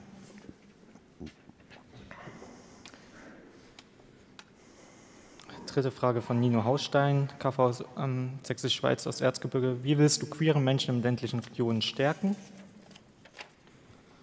Und letzte Frage von, ähm, ja, jetzt weiß ich nicht, äh, Vor- und Nachname, auf jeden Fall ähm, von Felix Friedrich. Okay, danke Felix. Aus dem KV Görlitz. Inwiefern willst du dich für die LGBTIQ-I-Community in Nordsachsen einsetzen? Dennis, du hast dafür drei Minuten Zeit. Ja, vielen, vielen Dank für die tollen Fragen. Ähm, die, glaube ich, zweite und vierte Frage geht da so ziemlich in dieselbe Richtung und ich freue mich äh, immer, immer, über die kritischen ähm, Fragen zu diesem Thema. Das sind sehr wichtige Themen und ihr wisst, ich bin da noch nicht 100% fit, habe aber hoffentlich nächste Woche eine sehr intensive Videokonferenz mit der Grünen Jugend und hoffe da so weit fit gemacht zu werden, dass ich mit dem Thema dann vollumfänglich äh, mich richtig positionieren kann. Also wie gesagt, in dem Bereich bin ich leider nicht 100% fit. Das liegt halt daran, dass ich da ja, noch nicht genügend Zeit hatte, mich in dieses Thema einzuarbeiten. Bitte ich zu entschuldigen. Zum Thema Flughafen bin ich 100% fit. Ähm, hier ist meine ganz klare Haltung, wir müssen diesen Ausbau unbedingt verhindern. Ähm, hier ist eine schon so extrem große Lärmbelästigung da, dass ich auch ziemlich oder ich mir ziemlich sicher bin, dass wir im Wahlkampf in diesem ganzen Bereich sehr, sehr viele Stimmen einsammeln können. Also gerade in der Region Schkeuditz und Taucha, Grostitz, ähm, in Verlängerung sogar bis Eilenburg gibt es enorm viele Menschen, die davon sehr, sehr betroffen sind. Und ich glaube, ein auch im Wahlprogramm stehendes Nachtflugverbot, wenn wir das auf Leipzig schaffen auszubauen, das würde uns so viel Stimmen bringen, wenn wir uns da ganz klar als Grüne hier positionieren. Äh, das ist ein Punkt, wo ich denke, da können wir unheimlich viel Stimmen holen. Und ähm, ja, wie will ich den ländlichen Raum stärken? Ähm, ja, die Frage, ich weiß jetzt nicht, ob die sich bezieht mehr auf die ähm, auf den ländlichen Raum als solches oder ob es mehr um die Grünen an sich geht. Also ich sehe das so, wir müssen erstmal als Grüne uns dort richtig präsentmäßig zeigen. Äh, momentan äh, tue ich das ja. Ich bin einer der wenigen, der schon jetzt frühzeitig mit dem Wahlkampf anfangen konnte. Und damit äh, sind wir natürlich im ländlichen Raum präsent, was wir vorher null waren. Also gerade in Nordsachsen ist da leider in der Vergangenheit so gut wie nichts passiert. Was an sich die Stärkung des ländlichen Raums im Gesamten angeht, müssen wir halt wirklich schauen, dass wir die Infrastruktur entwickeln. Also ich bin jetzt zum Beispiel diese Woche sehr intensiv in der Arzberger Region unterwegs gewesen und wir reden hier über ganz tolle Verkehrsprojekte wie Milau, die hier quer durch die Landschaft gebaut werden sollen, die zum Teil auch berechtigt und sinnvoll sind, aber dort gibt es Straßen, das ist noch richtig klassisches Kopfsteinpflaster. Und wenn wir dort solche Leute oder Menschen äh, in dem Sinn dort haben, die dort wohnen, die fühlen sich nicht nur abgehangen, die sind abgehangen. Das ist einfach die Realität und es wäre einfach schön, wenn wir da von der ganzen Infrastruktur das so hinkriegen, dass die ländlichen Regionen da gestärkt werden, besonders auch in den nächsten Jahren. Das ist gerade in der Arzberger Region ein Riesenproblem. Die müssen ihre ganzen Trinkwasserleitungen erneuern und haben das Problem, dass sie dort mit knapp 2000 Einwohnern in einer Riesenfläche einen riesen Millionenberg Geld aufbringen müssen, um diese Trinkwasserleitung zu bauen. Und das werden die an Einwohnerbeiträgen gar nicht bezahlen können. Das muss man einfach realistisch sehen. Vielen Dank.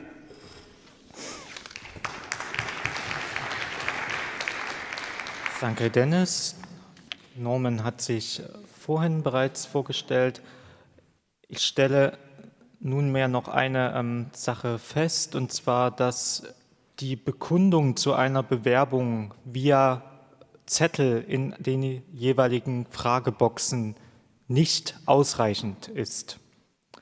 Lieber Cornelius, wir können deine Bewerbung für diesen Platz jetzt nicht berücksichtigen, weil du dich nicht äh, gemeldet hast, als dieser Platz aufgerufen wurde. Du hast die Gelegenheit, dann wieder bei 8 einzusteigen. Wir treten nun in den ersten Wahlgang ein. Ihr seht eingeblendet die Möglichkeiten. Ihr könnt für Listenplatz 6 euch mit der 1 enthalten, mit der 2 für Nein stimmen die drei für Olaf Holbeck, die vier für Dennis Korn und die fünf für Norman Folger. Ich eröffne den Wahlgang.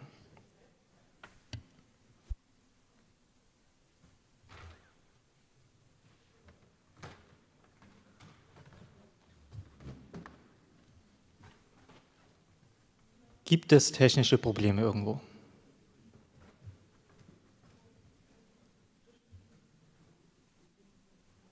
Es gibt technische Probleme hier vorn. Gibt es sonst noch irgendwo technische Probleme? Hm.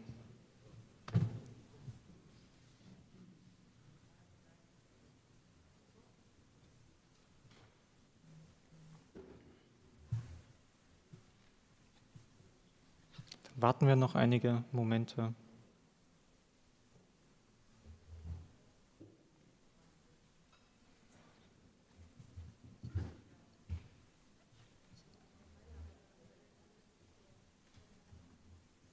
Konnten nunmehr alle ihre Stimme abgeben? Das scheint der Fall zu sein. Dann schließe ich hiermit den Wahlgang und ich glaube, wir bekommen ein Video.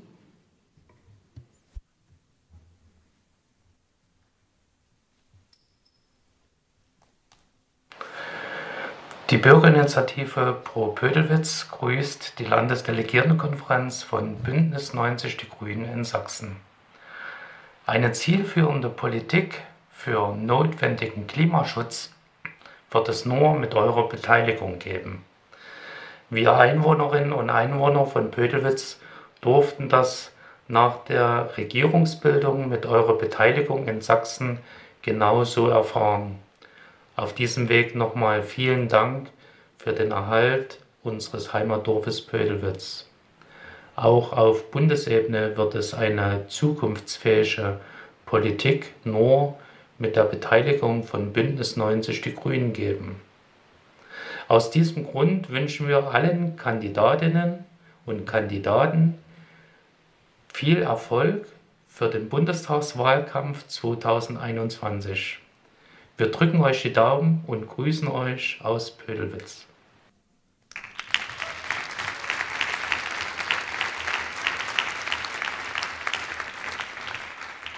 Uns liegt ein Ergebnis vor. Wie ihr wisst, ist im ersten Wahlgang gewählt, wer die Hälfte der abgegebenen Stimmen erhält. Es gab 107 abgegebene Stimmen, daher liegt das Quorum bei 54. Drei Personen haben sich enthalten, ebenso drei Personen haben mit Nein gestimmt. Auf Olaf entfielen 14 Stimmen, auf Dennis 7 und auf Norman 80. Ich stelle fest, dass Norman gewählt wurde. Norman, nimmst du die Wahl an? Ich sehe freudiges Nicken. Dann ist Norman gewählt und wir kommen zu Platz 7.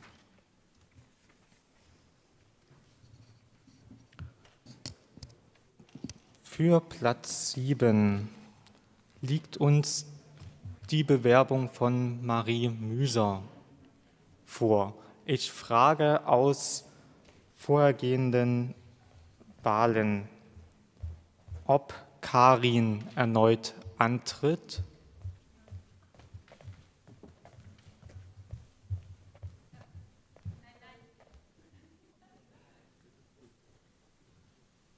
War das ein Nein? War das ein Ja? Gut, danke. Karina und Carola. Gut, dann Marie, hast du jetzt sieben Minuten Zeit, dich vorzustellen.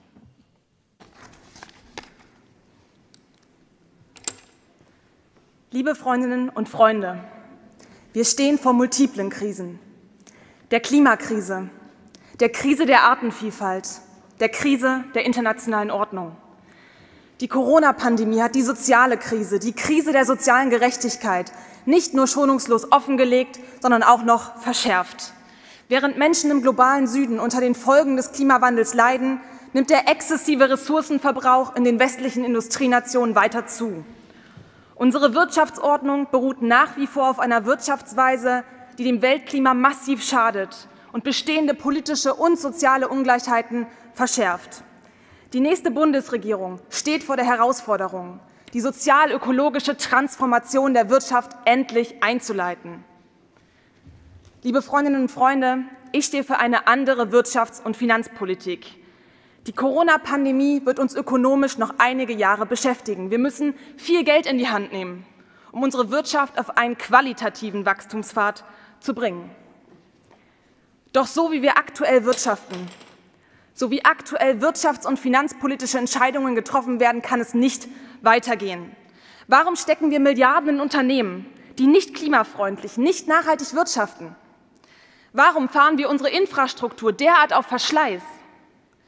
Warum schieben wir notwendige Investitionen in Klimaschutz, in Bildung, in digitale Infrastruktur auf die lange Bank? Und warum verschärfen politische Entscheidungen die sozialen Ungerechtigkeiten, statt sie aufzuheben? Liebe Freundinnen und Freunde, ich möchte Klimaschutz und soziale Gerechtigkeit zusammendenken. Wir müssen endlich die wichtigen Investitionen tätigen, um die sozial-ökologische Transformation einzuleiten. Wir müssen dem Dogma Schwarze Null den Rücken kehren, weil ein zerstörter Planet und eine kaputtgesparte Infrastruktur die nachfolgenden Generationen viel stärker belastet als Staatsschulden. Und wir müssen die fossilen Subventionen, die den Bundeshaushalt immer noch in Milliardenhöhe belasten, endlich abschaffen. Für mich, liebe Freundinnen und Freunde, ist dabei aber eine Sache ganz zentral. Wir nehmen Menschen nur dann mit, wenn wir eine konsequente, gerechte Sozialpolitik machen. Eine Politik, die Menschen heute und im Alter wirksam vor Armut schützt. Und ja, dazu müssen wir auch über Steuern diskutieren, die umverteilend wirken. Eine echte Erbschaftssteuer, eine Finanztransaktionssteuer oder auch die Wiedereinführung der Vermögenssteuer. Und wir müssen das stigmatisierende System Hartz IV abschaffen und durch eine tatsächlich existenzsichernde Grundsicherung ersetzen. Und auch die großen Konzerne, die großen Digitalkonzerne, die transnationale Gewinne erwirtschaften und in der Krise noch profitiert haben, müssen einen angemessenen Teil zur Finanzierung des Gemeinwohls beitragen. Liebe Freundinnen und Freunde, wir erreichen Menschen auch nur dann, wenn wir für die Angleichung von Lebensverhältnissen sorgen, zwischen Ost und West, aber auch zwischen Stadt und Land. Und Michael Kellner hat es heute früh ausgeführt. Nach 30 Jahren Einheit haben wir noch immer mit ungleichen Löhnen und Renten, unterschiedlicher Produktivität und mangelnder Repräsentation von Ostdeutschen zu kämpfen. Doch wenn wir von der Angleichung von Lebensverhältnissen sprechen, darf es uns nicht ausschließlich um monetäres Wachstum gehen. Denn das klassische Wachstumsmodell hat angesichts dieser multiplen Krisen ausgedient. Es darf auch nicht nur darum gehen, nur ein paar große Konzernzentralen in den neuen Bundesländern anzusiedeln. Es muss uns vielmehr darum gehen, die vielen kleinen und mittelständischen Unternehmen mit klimafreundlichen, nachhaltigen Produkten weltmarktfähig zu machen. Und dadurch, liebe Freundinnen und Freunde, können Sachsen, können die neuen Bundesländer einen ganz konkreten Beitrag zu unserem neuen Wirtschafts- und Wachstumsmodell leisten. Sachsen ist leider noch immer Niedriglohnland. Und auch im direkten Vergleich müssen wir feststellen, dass die Menschen in den neuen Bundesländern im Schnitt noch deutlich weniger verdienen als die Menschen in den alten Bundesländern. Wir brauchen nicht nur einen höheren Mindestlohn, sondern insbesondere eine deutlich stärkere Tarifbindung, um die Angleichung von Lebensverhältnissen tatsächlich voranzubringen. Denn gute Löhne und faire Arbeitsbedingungen sind ganz zentral im Prozess der sozialökologischen Transformation.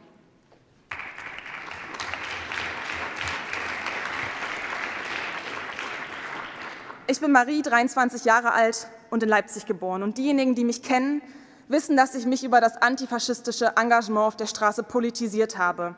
Ich stand damals noch während meiner Schulzeit auf der Straße, um gegen Pegida und Legida zu demonstrieren. Und ich muss sagen, dieses rassistische und fremdenfeindliche Gedankengut beschämt mich bis heute. Ich habe die Zeit nach dem Abitur dann im Leipziger Land verbracht, um Mädchen und junge Frauen, geflüchtete Mädchen und junge Frauen bei ihrem Weg in Arbeitsmarkt und Gesellschaft zu unterstützen. Und ich musste da tatsächlich auch schmerzlich feststellen, wie schwer es geflüchtete Menschen in Deutschland haben, wie schlecht es auch um Beratungs- und Unterstützungsangebote vor Ort stand. Und genau dieses Engagement hat mich zur Parteipolitik gebracht. Ich war erst bei der Grünen Jugend Leipzig, dann auch bei den Grünen Leipzig und heute auch im Landesparteirat der Grünen Sachsen. Ich habe mich bei den Grünen Leipzig aktiv in verschiedene Wahlkämpfe eingebracht den Kommunalwahlkampf, den Oberbürgermeisterinnenwahlkampf, den Landtagswahlkampf und auch den Europawahlkampf. Und ich hatte das große Glück, im letzten Jahr unsere sächsische EU-Abgeordnete Anna Cavazzini auch im EU-Parlament begleiten zu dürfen und unterstützen zu dürfen. Aber, liebe Freundinnen und Freunde, Politik ist für mich nicht nur Parteipolitik. Für mich bleibt das antifaschistische Engagement auf der Straße ganz zentral. Denn genau dieses vielfältige Engagement hält unsere plurale Demokratie lebendig. Und gerade in, in Zeiten des Wiedererstarken, des Populismus, des Rechtsextremismus, des Antisemitismus gilt es immer wieder, unsere plurale Demokratie gegen ihre Feinde zu verteidigen. Und der Feind, liebe Freundinnen und Freunde, der Feind steht rechts.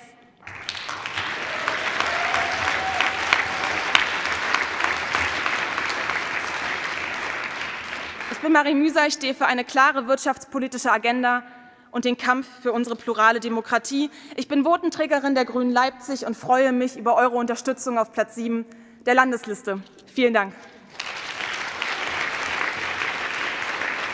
Danke, Marie. Wir werden jetzt Fragen losen. Es sind Fragen eingeworfen worden.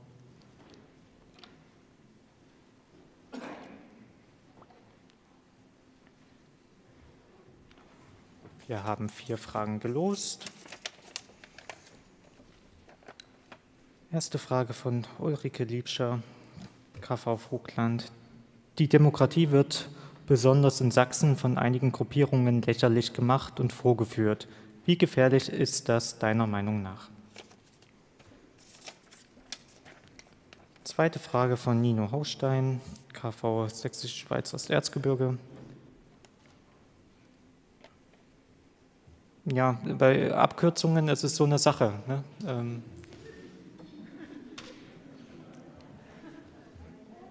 KMU. Kleine Mittelstände. Ich konnte es jetzt nicht verstehen, aber. Ach so, alles klar. Wie willst du kleine und mittelständische Unternehmen, aber dann auch richtig abkürzen, äh, Investitionen in soziale und ökologische Nachhaltigkeit schmackhaft machen?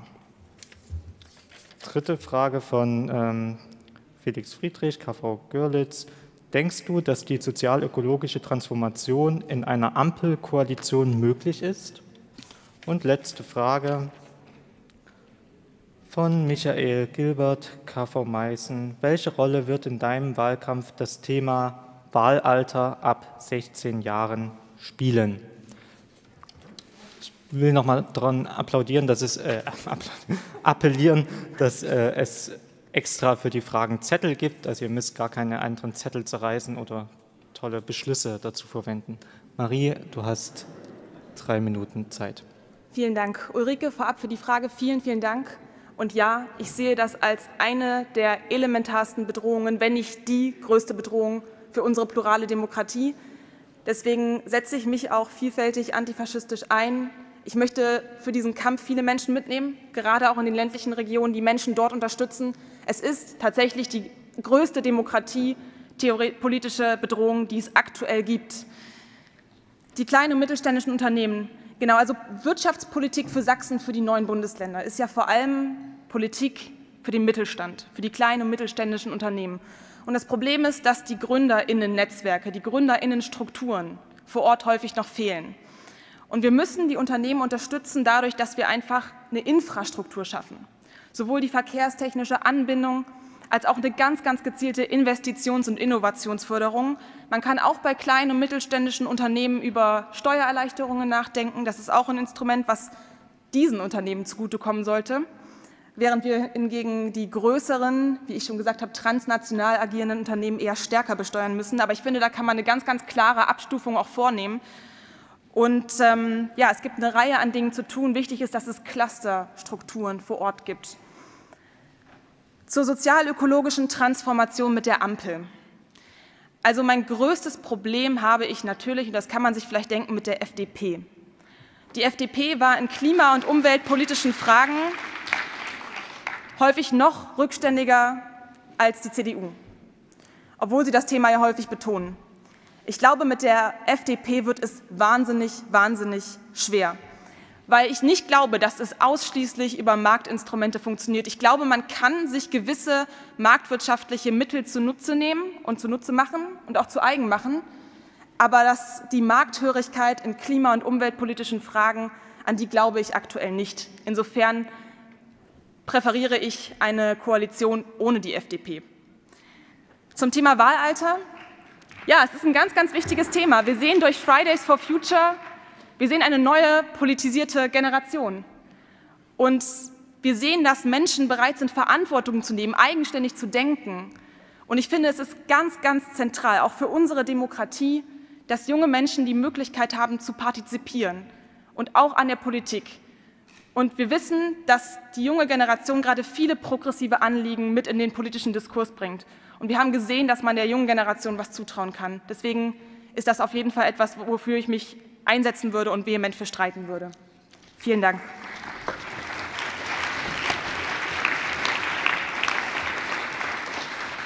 Danke, Marie. Dann treten wir nun in das Wahlverfahren, also in den ersten Wahlgang ein. Ihr habt die Möglichkeit, bei Listenplatz 7 euch zu enthalten, mit der 1 mit Nein zu stimmen, mit der 2 mit der 3 Carola Köpferl zu wählen oder mit der 4 Marie Müser. Dazu scheint es keine Fragen zu geben, daher eröffne ich den Wahlgang.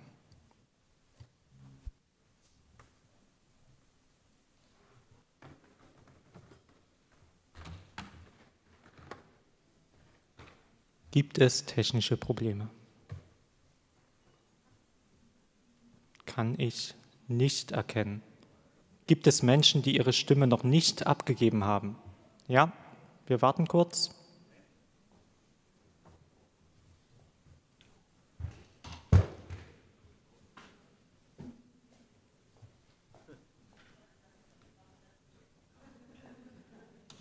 Braucht ihr Hilfe?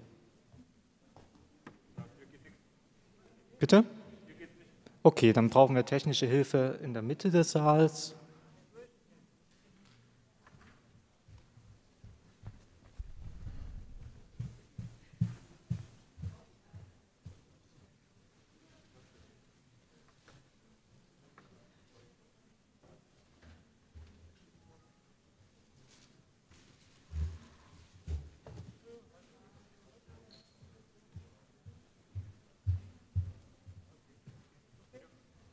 Probleme geklärt?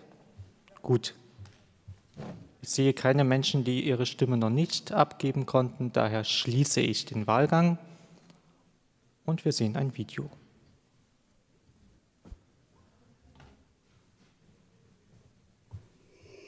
Liebe Frauen, Männer und Aktive von Bündnis 90 Die Grünen, der Landesfamilienverband SCHIA e.V., selbstbestimmte Handlungsstrategien und Initiativen für Alleinerziehende, grüßt Sie recht herzlich und wünscht Ihnen für heute kreative, zielführende Diskussionen um den grünen Kampf für Klima und Ökologie, wie für eine ressourcenorientierte Wirtschaft einen nachhaltigen Sinn zu verleihen, braucht es eine gerechte Finanz- und Wirtschaftspolitik, aber auch und insbesondere eine kluge Familien- und Sozialpolitik, welche die Bedarfe unserer Kinder, Jugendlichen, jungen Erwachsenen und älteren Menschen berücksichtigt.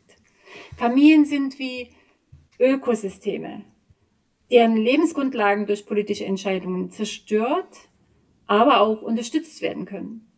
Schaffen wir es nicht, diese zeitnah, zielgenau, bedarfsgerecht weiterzuentwickeln und zu evaluieren, zerstören wir unsere menschliche Gemeinschaft und unsere Zukunft und die unserer Kinder.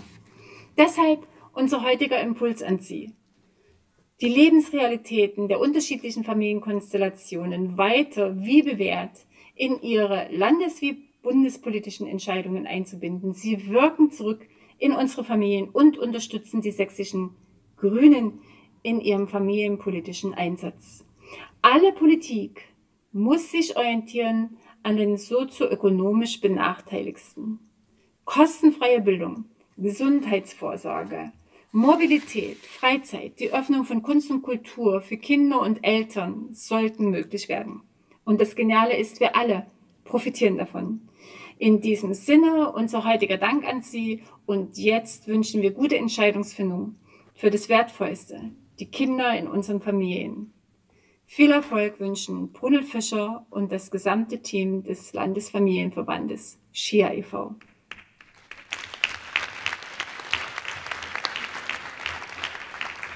Uns liegt für Listenplatz 7 ein Ergebnis vor. Es haben 107 Personen ihre Stimme abgegeben. Damit liegt das Quorum bei 54. Eine Person hat sich enthalten, drei Personen haben mit Nein gestimmt.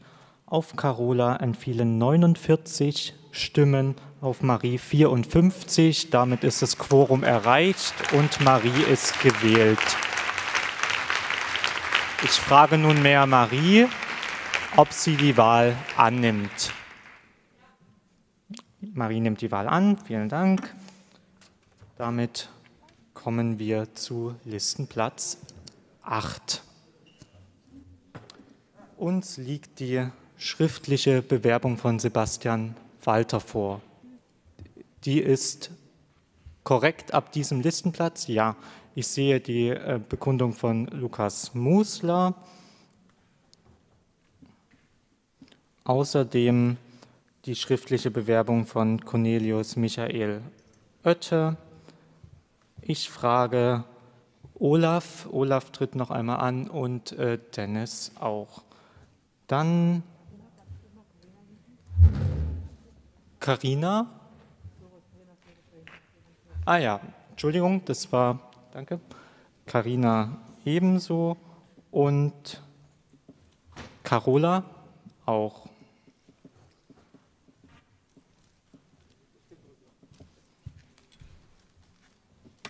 Dann haben wir eine Reihe von Personen, die sich noch nicht vorgestellt haben. Als erstes erhält das Wort äh, Lukas, äh, sieben Minuten danach Cornelius und dann Sebastian. Ich bitte jetzt alle Menschen, die Lukas Fragen stellen möchten, das in den nächsten Minuten in die jeweiligen Boxen zu werfen. Lukas, du hast das Wort.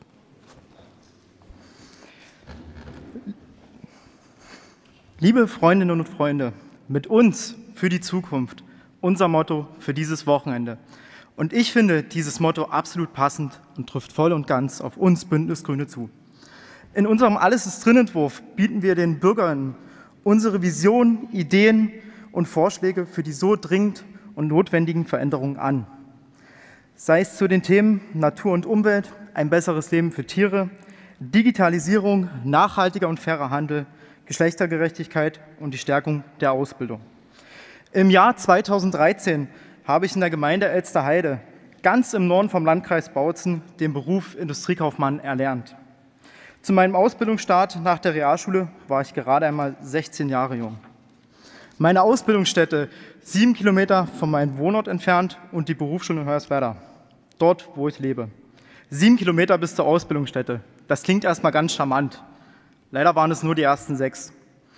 Der letzte Kilometer zum Gewerbegebiet ist eine Straße, wo bis, zur, bis vor kurzer Zeit noch 100 km/h gefahren werden durfte. Kein Fußweg dorthin, geschweige eine Bushaltestelle im Gewerbegebiet. Unsere Vision muss greifen. Entlang an jeder Straße ein lückenloses Fahrradwegenetz, denn das Fahrrad hat auch für die Mobilitätswende ein enormes Potenzial.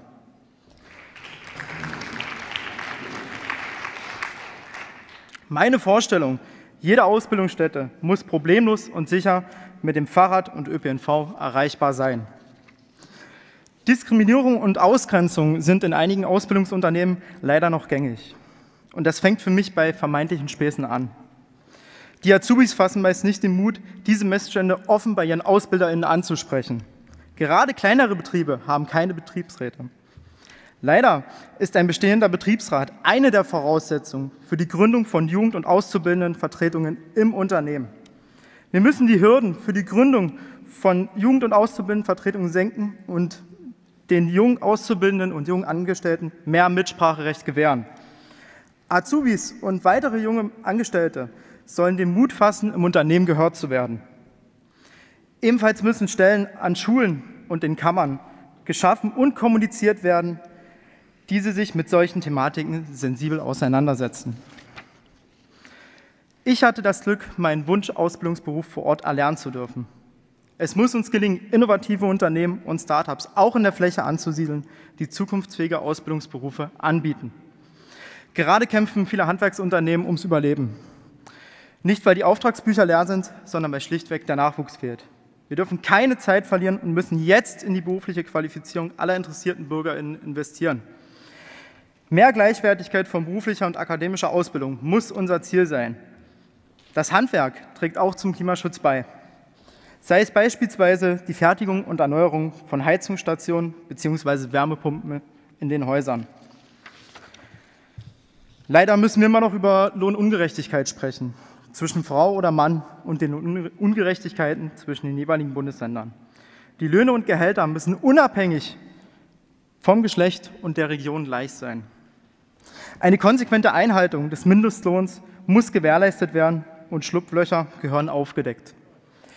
Branchenspezifische Mindestvergütung und Tarifverträge tragen ebenfalls zur Einkommensgerechtigkeit bei. Liebe Freundinnen und Freunde, die, die Ansiedlung von zukunftsfähigen Instituten und innovativen Unternehmen gerade in der Fläche treiben den Prozess Strukturwandel aktiv voran. Nur wenn wir die Menschen und Räte vor Ort aktiv in die Findungs- und Entscheidungsprozesse einbinden, schaffen wir die nötige Akzeptanz. Wir müssen den Menschen jetzt Perspektiven für ein Leben danach aufzeigen. Die Lausitz und Nordsachsen müssen Energieregionen bleiben. Die Braunkohle ist, ist nicht nur klimaschädlich, sondern auch absolut unwirtschaftlich. Wir müssen jetzt den Ausbau von erneuerbaren Energien wirklich vorantreiben. Solar gehört nicht nur auf die Dächer, sondern auch in die Fläche, entlang an Autobahnen, Schienen, aber eventuell auch in den ein oder anderen noch nicht gefluteten Tagebau. Der große Tourismusstandort Lausitzer Seenland ist noch in weiter Entfernung. Schilder betreten verboten, Lebensgefahr oder Gefahr Straßeneinbruch tragen nicht zum Sicherheitsgefühl und zur, Attraktiv und zur Attraktivitätssteigerung dieser sonst so schönen Region bei. Nicht nur in den Städten, sondern auch in den ländlichen Räumen ist für die Menschen die Mobilität von hoher Bedeutung. Wir müssen jetzt finanzielle Mittel bereitstellen, um den Ausbau des Schienennetzes aktiv voranzutreiben und alte Strecken reaktivieren. Des Weiteren ist unsere Devise Straßenerhalt vor Straßenneubau. Der Supermarkt vor Ort, der kurze Weg zum Arzt oder der sichere Weg in die Kitas bzw. zur Schule. Die lokale Daseinsvorsorge, Mobilität und die Digitalisierung in den ländlichen Räumen sollte uns ein Herzensanliegen sein. Gerade in der Corona-Pandemie ist mir der Bereich Kultur ein sehr wichtiges Herzensthema geworden. Die Pandemie hat uns gezeigt, welche Gruppen nicht genügend wertgeschätzt werden. Neben den Care-Berufen, die schon vor der Pandemie nicht ausreichend wertgeschätzt worden sind, wurden auch AkteurInnen in der Kultur vernachlässigt. Liebe Freundinnen und Freunde, ich spiele in einer Ska-Punk-Band Posaune und zu einem gelungenen Konzert gehören nicht nur wir, die MusikerInnen, sondern ohne TechnikerInnen, Catering, InhaberInnen von Konzerthallen und vielen weiteren wäre ein gelungenes Konzert undenkbar. Für diese Menschen war 2020 ein schwieriges Jahr. Zu viel Bürokratie, um Hilfen zu beantragen. Die Hilfen wurden dann auch noch zu spät ausgezahlt. Wir müssen alles daran setzen, dass Konzerthallen, Museen, Clubs, Kinos, Theater und Kneipen wieder problemlos nach der Pandemie öffnen können. Ich habe so richtig Lust auf ein Live-Konzert und ich hoffe ja auch. Vielen Dank.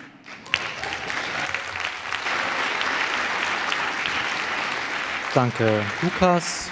Wir werden jetzt Fragen losen. Jetzt habe ich den Stift.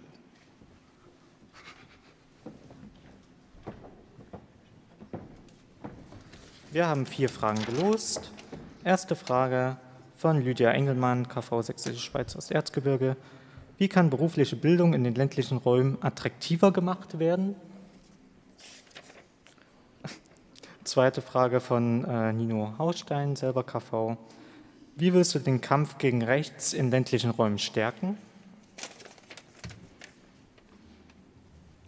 Dritte Frage von Karl Niklas Lempert, KV Dresden. Wie willst du Menschen aktiv in den Strukturwandelprozess einbinden? Und letzte Frage von Cornelius Oette, KV Leipzig. Ähm, äh, was hältst du von äh, 365 Euro slash äh, 1 Euro Tagestickets für Azubis und Co.?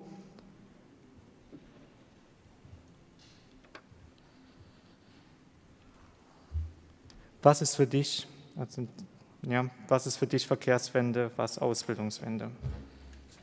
Was war Verkehrswende? Oder Ausbildungswende. Ah, okay. Dann hast du für diese Fragen jetzt drei Minuten Zeit. Genau. Ähm, ich würde mal anfangen mit dem Thema äh, berufliche äh, Bildung im, ländlichen Raum attraktiver zu gestalten. Mir fällt da persönlich immer wieder eine Geschichte ein. Also eigentlich muss man dieses Thema viel, viel eher denken, schon ähm, mit dem Realschulabschluss oder Hauptschulabschluss. Äh, als ich damals die vierte Klasse beendet habe, war ich einer der wenigen, der dann auf die Realschule gewechselt ist. Und da kam immer schon ja, ein Teil von den alten Klassenkameradinnen, also die Eltern, dann zu meiner Mutti an und haben gesagt, äh, Kerstin, ähm, wie kannst du denn Lukas auf die Realschule schicken? Was machst du denn da? Und äh, ich glaube, da ist einfach wirklich schon äh, dieses Thema, die Akzeptanz weiter zu stärken von Realschulabschlüssen und ähm, Hauptschulabschlüssen, weil das sind wirklich die Personen,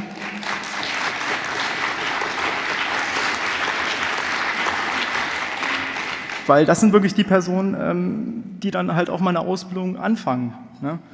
Und dann kann ich auch gleich wieder auf das nächste Thema darauf hinweisen, dieses 365-Euro-Ticket ist, ist, wunderschön, äh, wenn es funktioniert, aber wir haben halt immer noch äh, Unternehmen, die halt mal überhaupt nicht angebunden sind. Äh, wie ich es gerade eben äh, kurz genannt habe, Katja, du warst ja mal bei mir im Unternehmen gewesen, da fährt kein Bus dahin, da ist nichts äh, geschweige ein sicherer Fahrradweg. Also wir können darüber reden, gar keine Frage, aber wir sollten erstmal die Voraussetzungen schaffen, dass halt wirklich auch die Auszubildenden dorthin kommen, weil die sind einfach nach, der, nach ihrem Realschulabschluss nur 16 Jahre alt und haben keine andere Chance, dorthin zu kommen.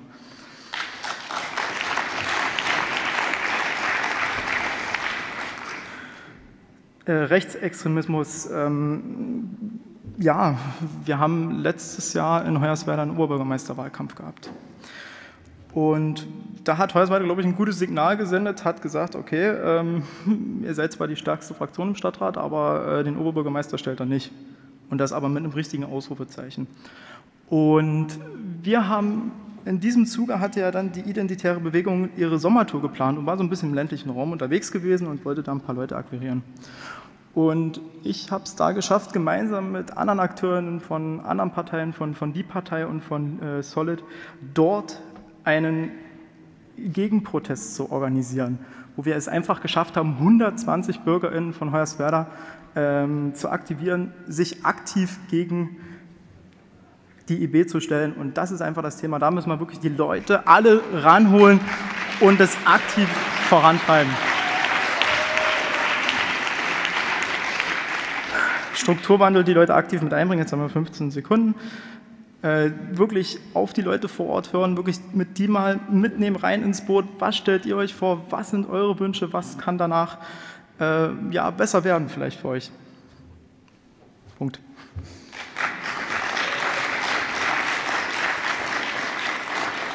Danke, Lukas.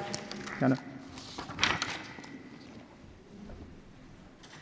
Dann kommen wir jetzt zur Bewerbung von Cornelius Michael Oette. Cornelius, du hast gleich für sieben Minuten das Wort und diejenigen, die Fragen an Cornelius stellen möchten, bitte ich, das demnächst zu tun. Cornelius, du darfst loslegen.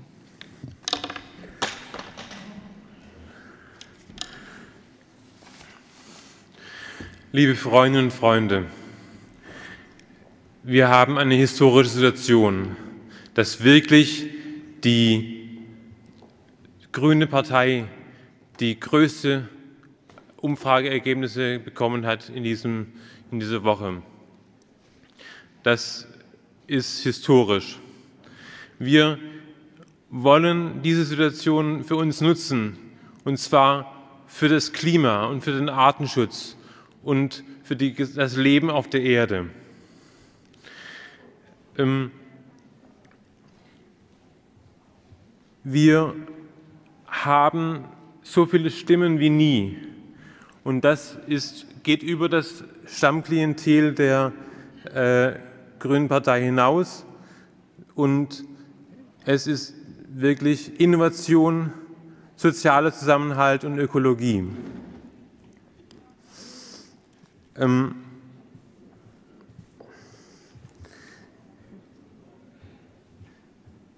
wir wollen hier in der Lausitz, wir wollen hier in Sachsen äh, danach schauen, dass wir auf andere Weise Energie gewinnen. Das ist viel mit Solar- und äh, Windkraft. Das ist aber auch, dass wir die Leute, die dort arbeiten in den Bergwerken, anders einbinden, dass wir denen eine Perspektive bieten, dass wir zum Beispiel die Leute umschulen für Windräder, Installation auf dem ganzen Land und da auch offshore. Wir wollen die Seen, die entstehen, nutzen, touristisch, weil das ein großes Standbein sein kann, Tourismus ins Land zu holen und Geld ins Land zu holen. Wir wollen weiter viel mehr sozialen Zusammenhalt in ganz Deutschland.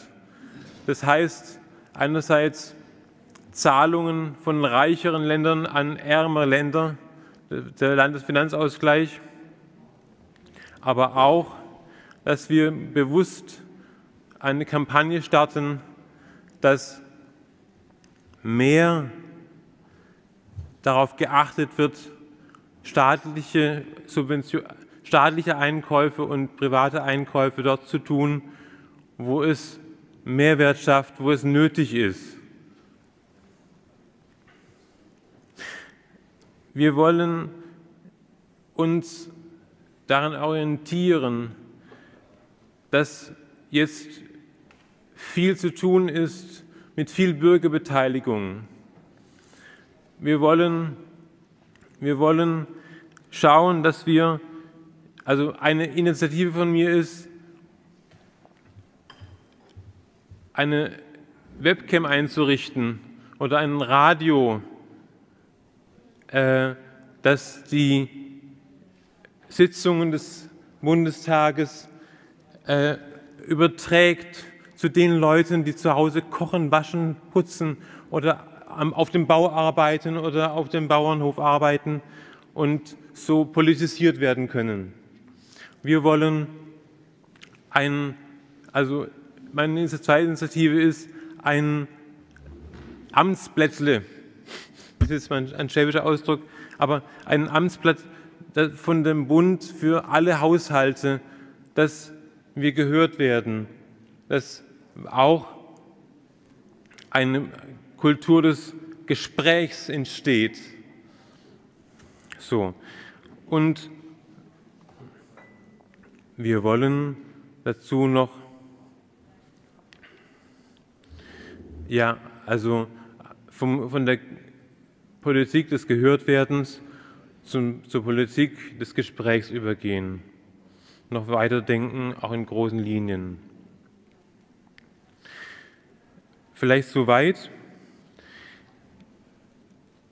Ich finde wichtig, dass wir alle Regenbogenfarben, die ganzen Farben des Prismas, des weißen Lichtes nehmen und nein, äh, wirklich schauen, dass wir allen Bevölkerungsschichten und allen Berufsgruppen etwas zu bieten haben und dass wir auf bestem Wege dorthin. Das war's erstmal.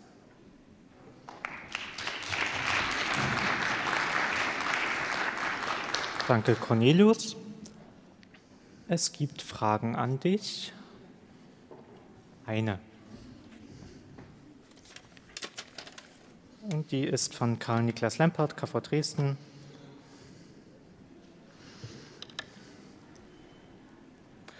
Wie kommt es, dass du dich bereits in Brandenburg auf der Landesliste beworben hast und das hier wieder tust?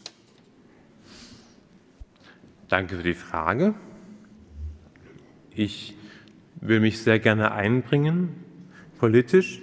Ich möchte mich äh, hier vorstellen in Sachsen, in Leipzig, weil ich hier durch meine Freundin äh, seit einem Jahr viel aufhalte und äh, ja, weil ich denke, dass ich wirklich was zu, zu geben habe mit vielen kreativen Ideen und äh, ja, danke. Danke, Cornelius. Dann erhält nunmehr der letzte Kandidat, der noch nicht gesprochen hat, äh, das Wort. Das ist Sebastian Walter.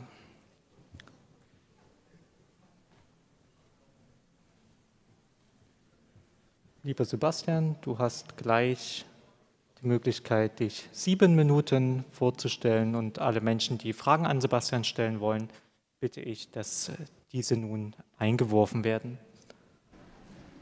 Sebastian, du hast das Wort. Liebe Freundinnen und Freunde, dieses Land steht in diesem Herbst vor einer Schicksalswahl. Wir erleben diesen Tagen, wie wir als Gesellschaft mehrere Krisen zugleich bewältigen müssen. Gesundheitskrise infolge der Corona-Pandemie legt schonungslos die Defizite offen in diesem Land die in den letzten 16 Jahren CDU-geführter Bundesregierung entstanden sind, die in 16 langen Jahren Zögern und Zaudern entstanden sind. Und die Corona-Pandemie zeigt auch, wie erschöpft und ausgelaugt die Große Koalition ist. Gleichzeitig erleben wir, wie sich die Klimakrise Jahr für Jahr weiter drastisch verschärft. Die letzten fünf Jahre waren weltweit die heißesten Jahre seit Beginn der Wetteraufzeichnung. Im Erzgebirge, wo ich als Direktkandidat vor Ort antrete, stehen die Fichten unter Stress wie seit Jahrzehnten nicht mehr. Fast alle anderen Baumarten wohl auch so sehr wie noch nie seit Beginn der Forstwirtschaft. In Nordsachsen erleben wir äh, regelmäßig Dürresommer und wir sehen, wie die Elbe im Sommer regelmäßig austrocknet. Aber wir, wir erleben auch die weltweiten Auswirkungen der Klimakrise. Wassermangel, Hunger, Konflikte und die Destabilisierung von Staaten. Wenn wir jetzt nichts unternehmen, dann wird es noch viel, viel schlimmer. Und wenn wir jetzt nichts unternehmen, werden in den nächsten 30 Jahren weit über 100 Millionen Menschen auf die Flucht sich begeben müssen. Und ich finde es die politische Aufgabe meiner Generation, die Klimakrise endlich in den Griff zu bekommen. Und dafür möchte ich kämpfen.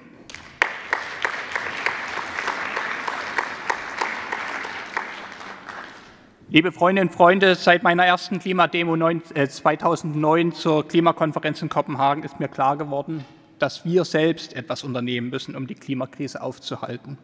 Wir selbst müssen endlich raus aus der Braunkohle im Leipziger Südraum, in der Lausitz. Aber wir müssen auch alles unternehmen, damit wir endlich die Photovoltaik auf die Dächer bekommen, damit wir endlich die Windenergie zum Fliegen bringen. Und genau deswegen ist es so wichtig, dass die wachsende Klimabewegung rund um den Erdball jetzt Druck auf die Parlamente ausübt. Und wir Grüne müssen die politische Kraft sein, die eine 1,5 Grad Politik endlich voranbringt. Eine Politik, die das Pariser Klimaabkommen eben nicht nur als abstraktes Vertragswerk sieht, sondern eben auch mit einem Bundesklimaschutzgesetz auf 1,5 Grad Fahrt endlich in die Umsetzung bringt. Und das ist aus meiner Sicht unsere grüne Aufgabe in der nächsten Bundesregierung. Das ist unser grüner Auftrag, liebe Freundinnen und Freunde. Und wer Klimaschutz wirklich umsetzen möchte, der kommt auch an einer Verkehrswende nicht vorbei. Denn nach der Industrie und der Energiewirtschaft ist der Verkehrssektor der drittgrößte Verursacher von Treibhausgasen, Tendenz steigend. Es wird höchste Zeit, die Politik des CSU-geführten Bundesverkehrsministeriums als Geldumschlagplatz für bayerische Autobahnen zu beenden. Denn Mobilität ist eben nicht die Freiheit des männlichen Autofahrers auf der Autobahn.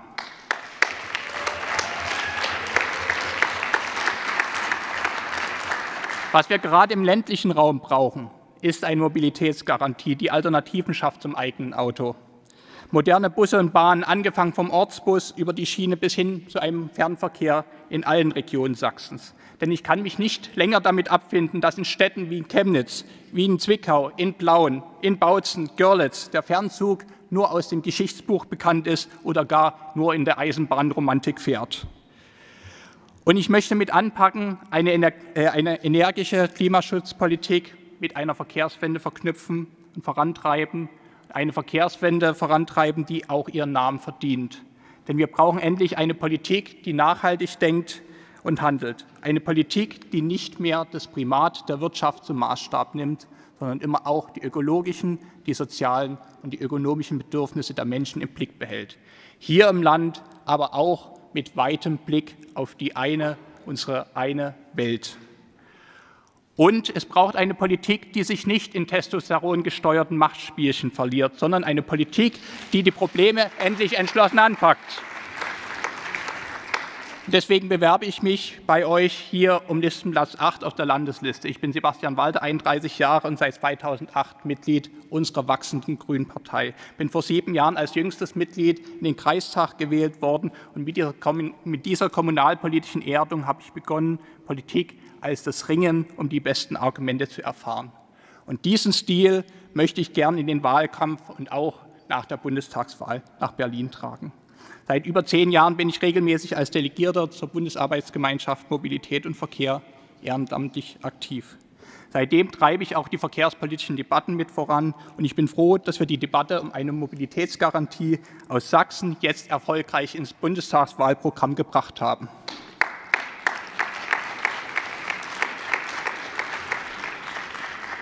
Als Sprecher eines ländlichen Kreisverbandes und der LAG Mobilität und Verkehr weiß ich auch um die Problemstellung und Aufgaben im ländlichen Raum.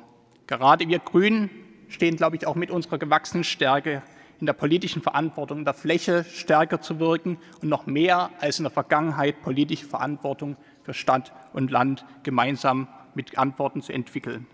Und schon jetzt zeigen wir in elf Bundesländern, wie wir die Zukunft aktiv gestalten, wie wir Veränderungen hin zu mehr Klimagerechtigkeit für die Energiewende, für die Agrarwende, für die Verkehrswende anstoßen.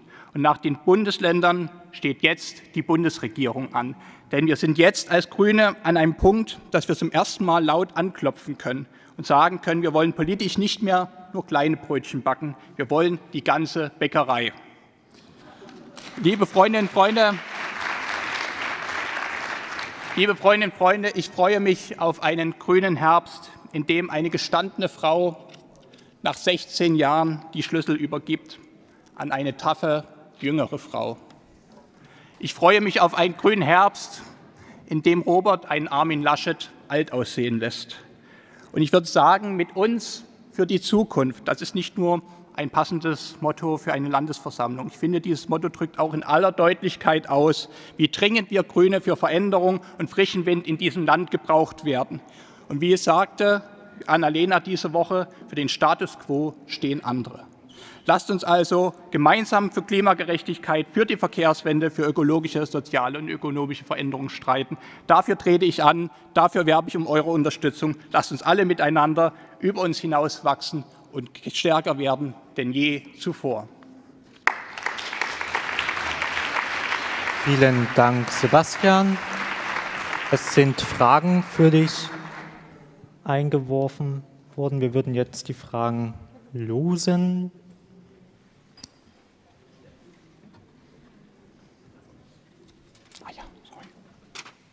Ein Stift wird gereicht. Eine Frage ist eingeworfen worden von Lydia Engelmann, äh, KV Sächsische Schweiz Osterzgebirge. Wer ist dein Wunsch-Koalitionspartner? Für diese einfache, aber äh, nicht simple Frage hast du drei Minuten Zeit. Wenn ich mir ein, äh, eine Wunschkoalition aussuchen könnte, die auch nach menschlichem Ermessens bei dieser Bundestagswahl auch erreichbar wäre und wo wir trotzdem dafür kämpfen müssen, ist Grün-Rot-Rot. Und wenn die Grünen die Chance haben, das Amt der Bundeskanzlerin der Bundesrepublik Deutschland zu stellen, dann sollten sie diese Chance ergreifen.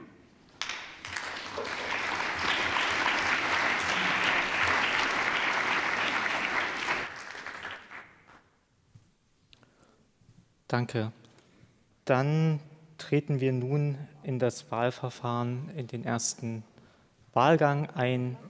Ihr habt in diesem Wahlgang zu Listenplatz 8 nur eine Stimme, aber viele Wahlmöglichkeit. Ihr könnt euch mit der 1 enthalten, mit der 2 Nein stimmen, mit der 3 Carina Flores wählen, mit der 4 Olaf Holbeck, mit der 5 Dennis Korn, mit der 6 Carola Köpferl, mit der 7 Lukas Mosler, mit der 8 Cornelius Michael Oette und oder vielmehr oder mit der 9 Sebastian Walter. Ihr habt eine Stimme und gewählt ist, wer die mehr als die Hälfte der abgegebenen Stimmen erhält in dem ersten Wahlgang. Die Wahl ist eröffnet.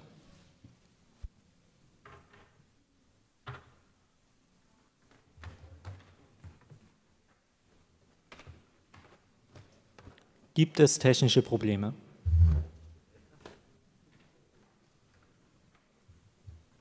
Kann ich nicht erkennen. Gibt es Personen im Saal, die ihre Stimme noch nicht abgegeben haben oder abgeben konnten? Scheint mir auch nicht so. Dann schließe ich hiermit den Wahlgang.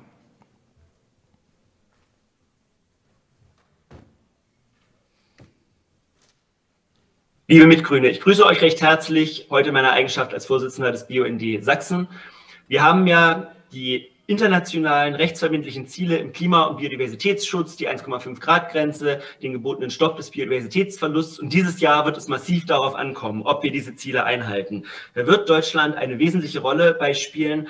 Da haben wir große Hoffnung auf euch, dass wir vorankommen mit dem Ziel, null fossile Brennstoffe, eine stark reduzierte Tierhaltung und einen stark reduzierten Pestizideinsatz deutschlandweit hinzubekommen. Und was noch viel wichtiger ist, wir hoffen auf eine intensivere Rolle Deutschlands auf EU-Ebene. Da darf Deutschland nicht länger der Bremser sein, weil letzten Endes kann man zum Beispiel die komplette Defossilisierung nur transnational erreichen. Wir müssen weg von rein deutschen Diskussionen über CO2-Preise und ähnliches für Null Emissionen bis 2035, die nötig sind für die Klima, aber auch für die Biodiversitätsziele müssen wir auf EU-Ebene der von der Leyen-Kommission massiv Druck machen. Das werden wir vom BUND aus, auch von den Grünen und allen anderen erwarten, dass ihr da erfolgreich seid. Und wir wünschen euch dafür alles Gute.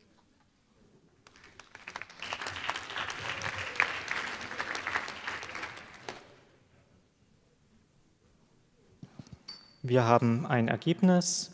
In diesem Wahlgang wurden 104 Stimmen abgegeben. Damit lag das Quorum bei 53. Es hat sich keine Person enthalten, eine Person hat mit Nein gestimmt. Es entfielen auf Karina vier Stimmen, auf Olaf neun, auf Dennis sieben, auf Carola 18, auf Lukas 38, auf Cornelius eine Stimme, auf Sebastian 26. Ich stelle fest, dass keine Person das nötige Quorum erreicht hat. Wir treten daher in einen zweiten Wahlgang ein.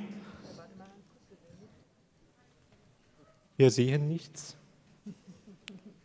Wir suchen nach einer Quelle. Das Ergebnis wollen wir euch natürlich nicht vorenthalten. Jetzt könnt ihr es sehen. Okay, wir, können es sehen. Jetzt könnt ihr es sehen. Schön. Wunderbar, dann könnt ihr nachprüfen, dass ich keinen Unsinn erzählt habe. Wir treten somit in einen zweiten Wahlgang ein. Für diesen Wahlgang sind alle Bewerberinnen zugelassen, die beim ersten Wahlgang mehr als 15 Prozent der Stimmen erhalten haben. Ich stelle fest, dass das drei Personen sind. Carola, Lukas und Sebastian tritt eine der genannten Personen nicht erneut an. Kann ich nicht erkennen, dann kommen wir nun zum zweiten Wahlgang. In diesem Wahlgang ist gewählt, wer mehr als die Hälfte der abgegebenen Stimmen erhält.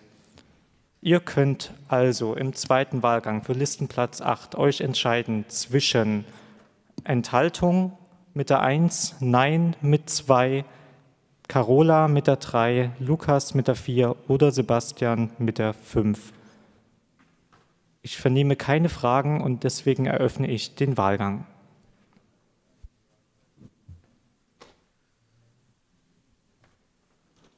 Gibt es technische Probleme?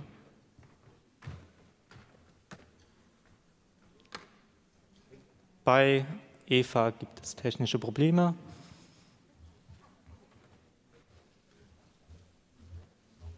Es eilen Menschen noch zu Wahlgeräten, das warten wir noch ab.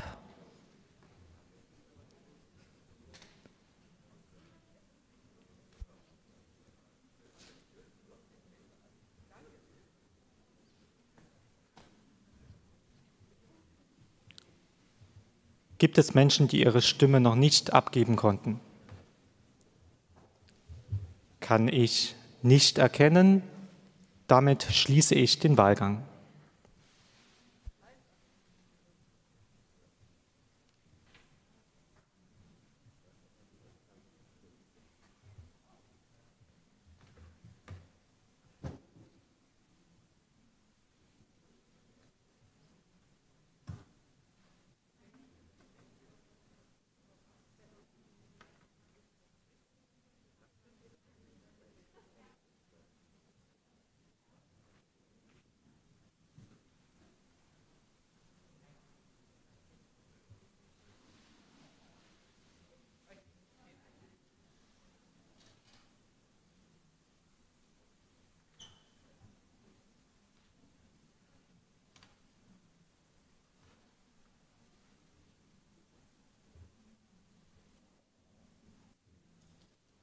Uns liegt ein Ergebnis vor. Es wurden 108 Stimmen abgegeben im zweiten Wahlgang für Listenplatz 8. Damit liegt das Quorum bei 55. Es hat sich keine Person enthalten. Es gab drei Nein-Stimmen auf Carola, entfielen 27 Stimmen, auf Lukas 47 Stimmen, auf Sebastian 31. Ich stelle fest, dass keine Person das nötige Quorum erreicht hat. Wir brauchen einen dritten Wahlgang. In diesem Wahlgang sind alle Personen zugelassen, die mindestens 30 Prozent der abgegebenen Stimmen des vorhergehenden Wahlgangs erreicht haben. Ich stelle damit fest, dass nur Lukas den nächsten Wahlgang erreicht hat.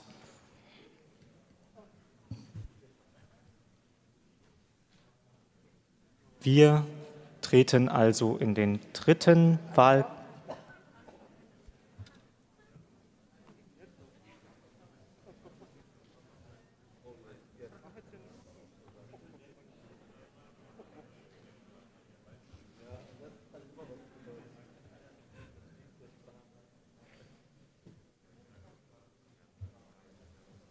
Ich korrigiere mich, Entschuldigung dafür. Es müssen sind 30 Prozent der abgegebenen Stimmen jedoch mindestens äh, zwei Personen, also ähm, die zwei Bestplatzierten. Also äh, nehmen wir einen dritten Wahlgang vor mit Lukas, der ähm, 30 Prozent erreicht hat, und mit Sebastian, der das zweitbeste Ergebnis in diesem Wahlgang erreicht hat. Wir gehen also in den dritten Wahlgang zu Listenplatz 8 Ihr habt die Möglichkeit, euch zu enthalten mit der 1, Nein zu stimmen mit der 2, Lukas mit der 3 zu wählen oder Sebastian mit der 4. Gibt es hierzu Fragen? Kann ich nicht erkennen, damit eröffne ich den Wahlgang.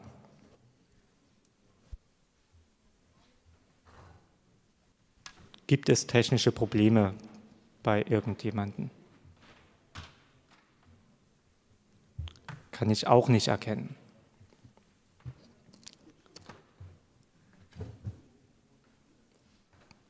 Konnten alle Personen ihre Stimme abgeben? Das scheint mir so. Dann schließe ich hiermit den Wahlgang.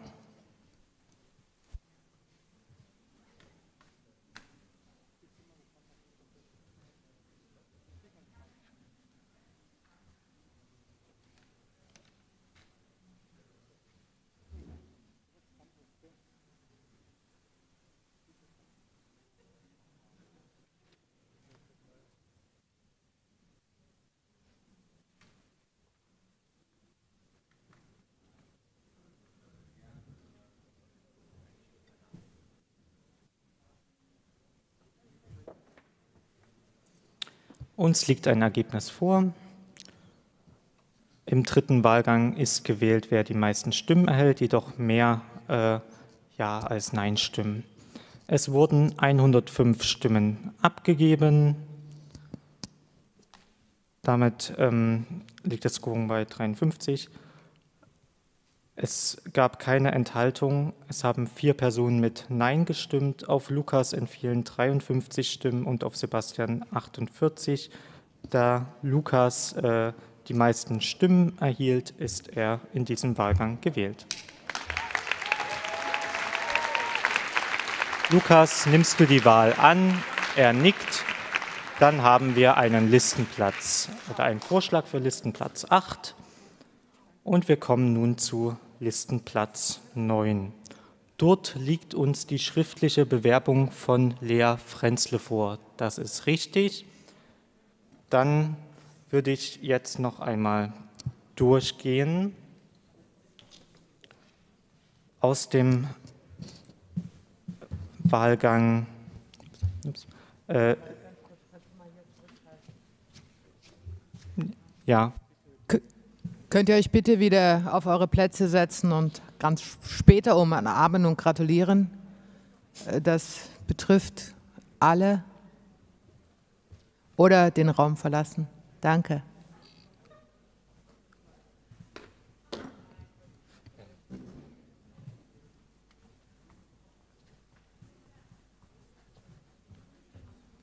Gut, dann kommen, nun, kommen wir nun zu Listenplatz 9.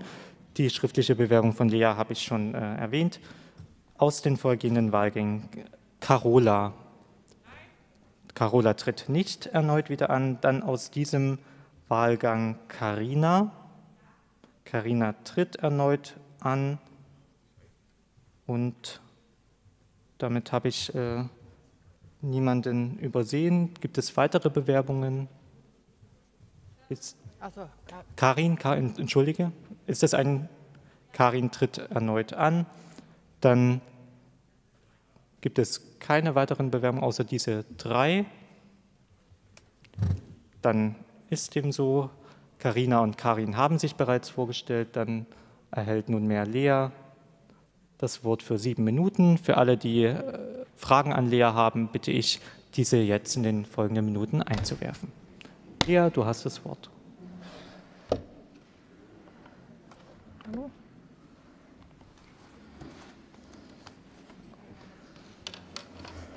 Gerd. Darf ich? Liebe Freundinnen, liebe Freunde, es heißt, nichts sei so mächtig wie eine Idee, deren Zeit gekommen ist. Und es ist vielleicht die Aufgabe für PolitikerInnen schlechthin, den richtigen Ideen zur richtigen Zeit den Raum zu geben. Für mich heißt das, Wissenschaft als Taktgeberin der Politik ernst zu nehmen. Denn aus den aktuellen Debatten in Forschung und Wissenschaft zeigt sich, wo die Probleme liegen und zumindest oft genug auch Ansätze für deren Lösung. Das gilt für die Klimakrise genauso wie für die Corona-Pandemie. Und diese Lösungsansätze, die müssen wir dann politisch umsetzen. Das ist die eine Seite. Die andere Seite ist, den Menschen vor Ort zuzuhören. Es geht eben nicht darum, dass sich die Bürgerinnen bequem zurücklehnen können, weil die Politik die Dinge ja schon regeln wird. So funktioniert Demokratie zumindest in meinem Verständnis nicht. Hier ist Unterstützung angesagt aus der Berufspolitik, aus dem Bundestag, aus dem Landtag für die Menschen, die sich vor Ort ganz konkret engagieren. Für sie und von ihnen werden wir gewählt.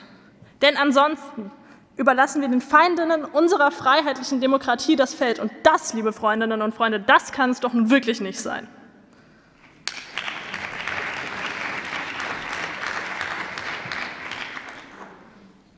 Aber gesellschaftlicher Wandel, Transformationsprozesse, Veränderungen, all das macht vielen Menschen Angst, weil Verbesserungen für viele eben oft genug auch mit Verschlechterungen für einige einhergehen. Das gehört zur Ehrlichkeit dazu, dass wir das klar kommunizieren. Aber als fast fertig studierte Umweltingenieurin habe ich nun mal einfach ein Herz für den Wandel. Es geht mir hier um die Kreislaufwirtschaft. Die Natur macht es uns vor. Da haben wir die geschlossenen Kohlenstoffkreisläufe, die geschlossenen Nitratkreisläufe, die wir weltweit so dringend auch in der Industrie bräuchten. Und ehrlich gesagt kann es doch auch irgendwie nicht sein, dass wir es noch nicht mal schaffen, die europäischen Vorgaben zu Recycling vernünftig in nationales Recht zu gießen. Es will mir nicht in den Sinn, warum wir es nicht schaffen, beispielsweise Kunststoffe so zu normen, dass wir sie hinterher auch vernünftig wieder separieren können und recyceln können. Technisch ist das kein Problem. Nötig ist es auch. Aber machen muss man es eben. Und dazu brauchen wir politisch andere Rahmenbedingungen. Liebe Freundinnen, liebe Freunde, wir sind die Partei, die die Notwendigkeit zum Wandel sieht und ihn nicht als Gefahr, sondern als Chance begreift. Ich bin Kommunaler, ich bin Kreisrätin, mir ist die Strukturentwicklung gerade im ländlichen Raum wichtig. Und als angehende Ingenieurin habe ich eine Leidenschaft für Technologie. Die werde ich mir nebenbei gesagt auch nicht von dem Sexismus nehmen lassen, den ich als junge Frau auf der Baustelle regelmäßig erleben muss.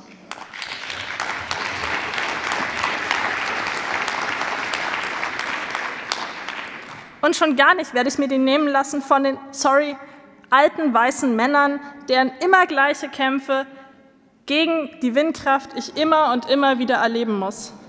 Ich kämpfe vor Ort für Windräder gegen Windmühlen.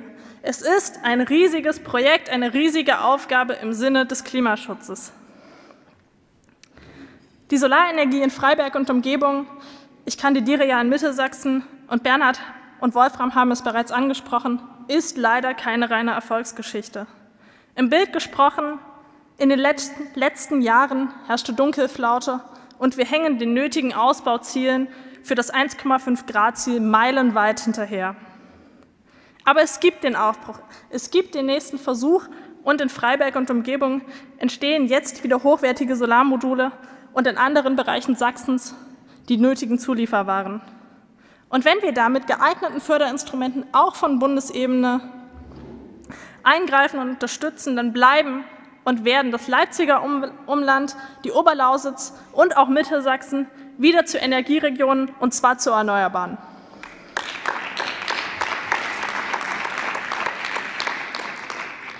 Das heißt aber auch, dass wir dieses, das haben wir doch schon immer so gemacht, überwinden müssen. Das ist der Stil der Union, das ist das, was uns die Klimakrise beschert hat und das hatten wir 16 Jahre lang eindeutig genug in diesem Land. Wenn es nicht anders wird, kann es nicht besser werden. Liebe Freundinnen, liebe Freunde, Annalena hat es gesagt, Franziska hat es gestern unterstrichen, es geht um einen anderen, einen neuen Stil von Politik. Ein Stil, wo nicht die eigene Person und auch nicht die eigene Partei im Mittelpunkt steht, sondern die Sache und die Werte, die man darin vertritt.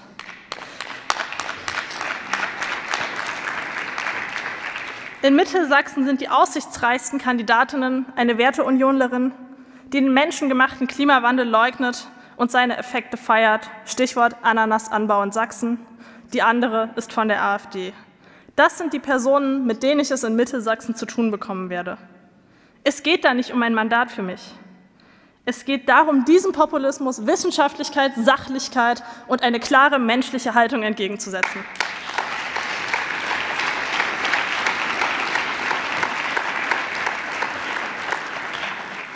Und darum, liebe Freundinnen und Freunde, würde ich mich sehr freuen, wenn ihr mir dazu die Unterstützung und den Schwung aus dem Landesverband mitgebt.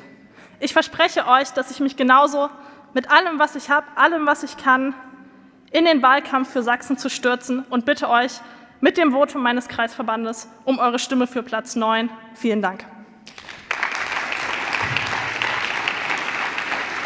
Danke, Lea. Wir schauen es gibt eine Frage von Paul Löser aus mhm. dem KV Sächsische Schweiz aus Erzgebirge. Wie können wir die Menschen in den ländlichen Regionen, wie können wir die Menschen in den ländlichen Regionen für die Energiewende begeistern? Für diese Beantwortung hast du drei Minuten Zeit. Vielen Dank. Wichtige Frage. Ich glaube, neben der Angst vor Veränderungsprozessen spielt da auch ganz oft so ein Nimbismus die Rolle, not in my backyard, wenn es um Windkraft geht, wenn es um Solar geht. Und das ändert sich erfahrungsgemäß sehr schnell, wenn die BürgerInnen vor Ort an den Gewinnen, die sich damit erwirtschaften lassen, beteiligt werden. Das ist das eine. Deswegen brauchen wir auch eine, brauchen wir gute Möglichkeiten, brauchen wir Förderungen für BürgerInnen, Energiekooperativen, Kooperativen, Entschuldigung, schwieriges Wort. Ähm, und das andere ist eine klare Kommunikation von Anfang an in der Projektentwicklung, ist auch Sicherheit, beispielsweise in den, äh, was die Windkraftvorranggebiete angeht, was die Ausbaupläne angeht, die in den Regionalplänen verankert werden. Sollten in Mittelsachsen zum Beispiel ist die Windkraft gerade rausgelöst. Und last but not least, ich erlebe es immer wieder, dass da totaler wissenschaftlicher, ich kann es nicht anders sagen, Nonsens erzählt wird, dem muss man sich dann auch einfach mit Wissenschaft, mit Fakten, mit klarer Haltung entgegenstellen. Danke, Lea. Danke euch. Dann treten wir für den Listenplatz 9 in das Wahlverfahren ein und im ersten Wahlgang habt ihr die Möglichkeit,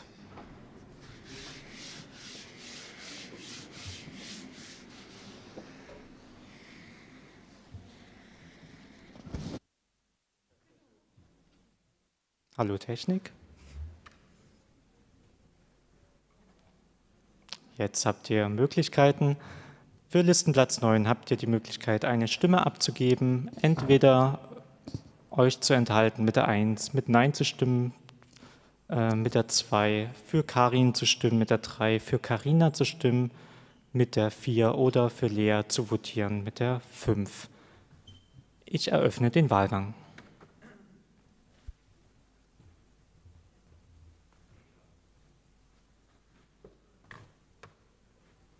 Gibt es hierbei technische Probleme?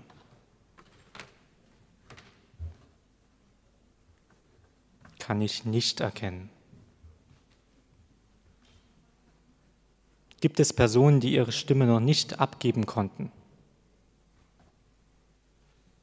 Kann ich auch nicht erkennen. Damit schließe ich den Wahlgang und wir sehen ein Video.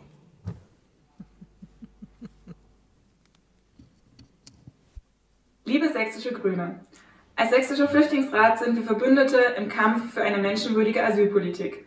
Eine Partei, die sich zu einer menschenrechtsfreundlichen Asylpolitik bekennt, stellen wir auch klare Anforderungen. In Sachsen, auf Bundesebene und an den europäischen Grenzen. Wir sind uns einig, das Dublin-System gehört abgeschafft und die Aufnahmebereitschaft der sicheren Häfen in den deutschen Kommunen muss umgesetzt werden. Eine humanitäre Asylpolitik bedeutet für uns aber mehr. Mehr, als derzeit im Entwurf des Wahlprogramms steht. Eine humanitäre Asylpolitik bedeutet keine Lager an den europäischen Außengrenzen, auch keine offenen Lager keine Lager in Deutschland, sondern die sofortige dezentrale Unterbringung von Schutzsuchenden. Keine Abschiebung und erst recht keine Abschiebung in Krisengebiete, sowie die Eröffnung langfristiger Bleibeperspektiven statt Kettenduldungen. Wir blicken gespannt auf die kommenden Monate.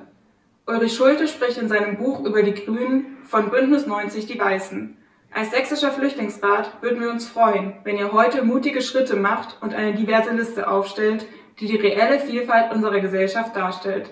Danke und viel Erfolg.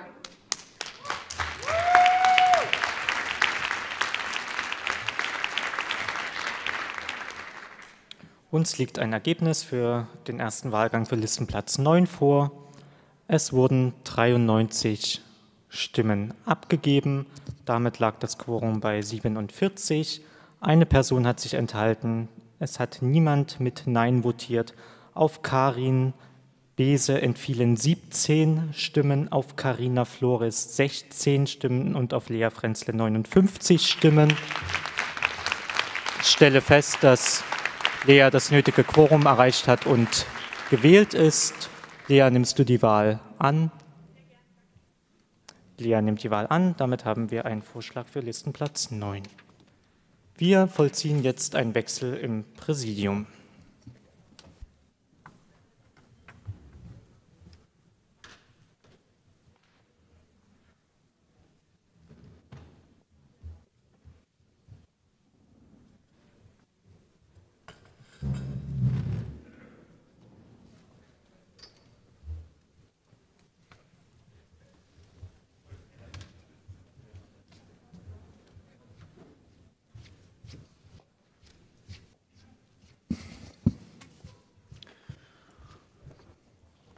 So, liebe Freundinnen und Freunde, auch wenn ich eigentlich in der Präsidiumsschicht gerade noch nicht dran wäre, müssen wir noch kurz was miteinander aushandeln bzw. noch einen neuen Beschluss fassen. Merke, wenn der Versammlungsleiter mit einem einschlägigen Wahlgesetzkommentar durch die Gegend läuft, dann muss man kurz mal nachdenken. Folgende Situation hat sich jetzt eingestellt. Die zweite Person zur Versicherung an Eidesstadt, Lisa Stein, hat sich aufgrund persönlicher Gründe von dieser Veranstaltung wegbegeben müssen.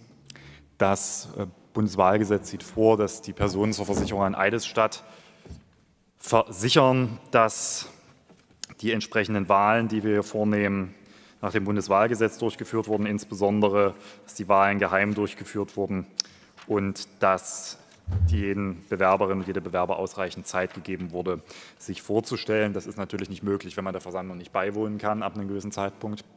Wir haben jetzt allerdings nochmal nachgeschlagen, der 21.6 Bundeswahlgesetz spricht davon, dass es sich zwei von dieser, äh, also von dieser von der Versammlung bestimmten Teilnehmer handeln muss. Es ist nicht geregelt, wann sie das bestimmt und wir gehen nach dem Grundsatz, dass ein Kreationsorgan bis Ablauf bzw. bis Ende seiner Tätigkeit als Kreationsorgan jederzeit auch Beschlüsse korrigieren kann, was die Bestellung von Personen angeht. Das haben wir auch nochmal kursorisch geprüft, haben schnell auch nochmal Rücksprache mit dem Bundesverband genommen, der das ähnlich sieht und wir würden daher vorschlagen, dass bei den Personen zur Versicherung an Eidesstadt für die heutige Versammlung eine Neubestellung erfolgt.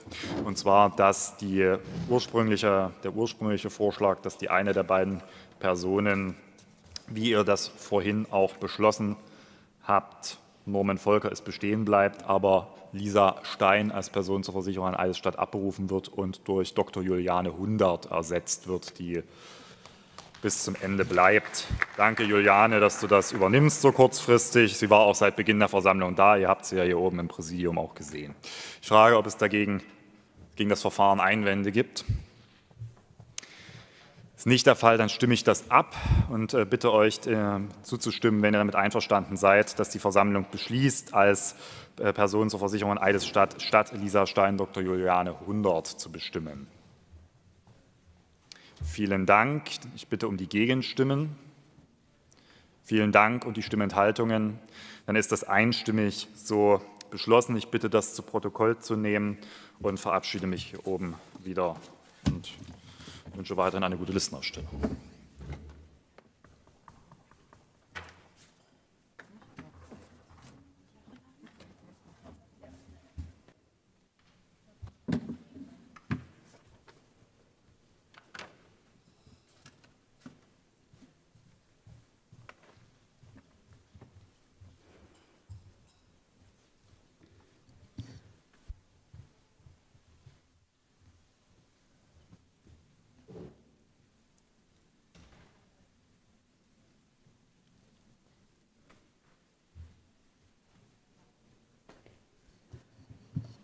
So, liebe Versammlung, wir treten jetzt in das Wahlverfahren für den Listenplatz 10, also ab 10 ein.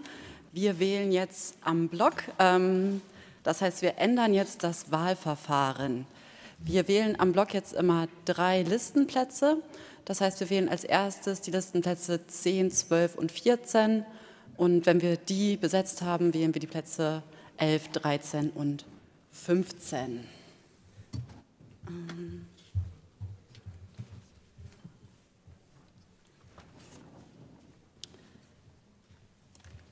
Das heißt, ich rufe jetzt zunächst die zu besetzenden Listenplätze ähm, 10, 12 und 14 auf. Und da haben ich hier vorliegen die Bewerbung von Horst Grummig, ist das richtig? Ja, habe ich gehört. Ähm, und dann wäre jetzt die Frage an die Versammlung, wer aus den vorhergehenden Wahlgängen nochmal antreten würde. Gibt es da Meldungen? Ich sehe die Meldung von Olaf Hohlbeck. Gibt es weitere? Karina Flores? Also Karina, Olaf, Horst, ich sehe da. Äh, ah, Dennis Korn sehe ich noch, ja.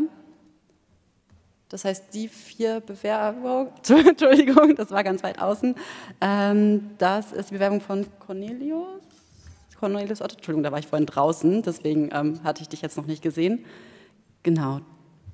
Das heißt, Gibt es noch weitere Bewerbungen, die ich jetzt übersehen habe? Dann haben wir die fünf Bewerbungen. Und zwar, ich zähle das nochmal auf, das ist die Bewerbung von Horst, von Cornelius, von Carina, von Dennis und von Olaf. Und damit schließe ich die Bewerbungsliste. Ähm, Im Vorstellungsverfahren hatten wir jetzt nur Horst Grummig noch nicht kennengelernt, deswegen würde ich Horst nach vorne bitten. Auch hier haben wir das gleiche Vorstellungsverfahren wie bei den vorherigen neun Listenplätzen. Das heißt, es gibt sieben Minuten Redezeit für die Bewerber und im Anschluss die Möglichkeit, Fragen zu stellen. Auch hier könnt ihr weiterhin die Frageboxen nutzen. Wir lassen wieder vier Fragen zu und dafür gibt es drei Minuten Zeit.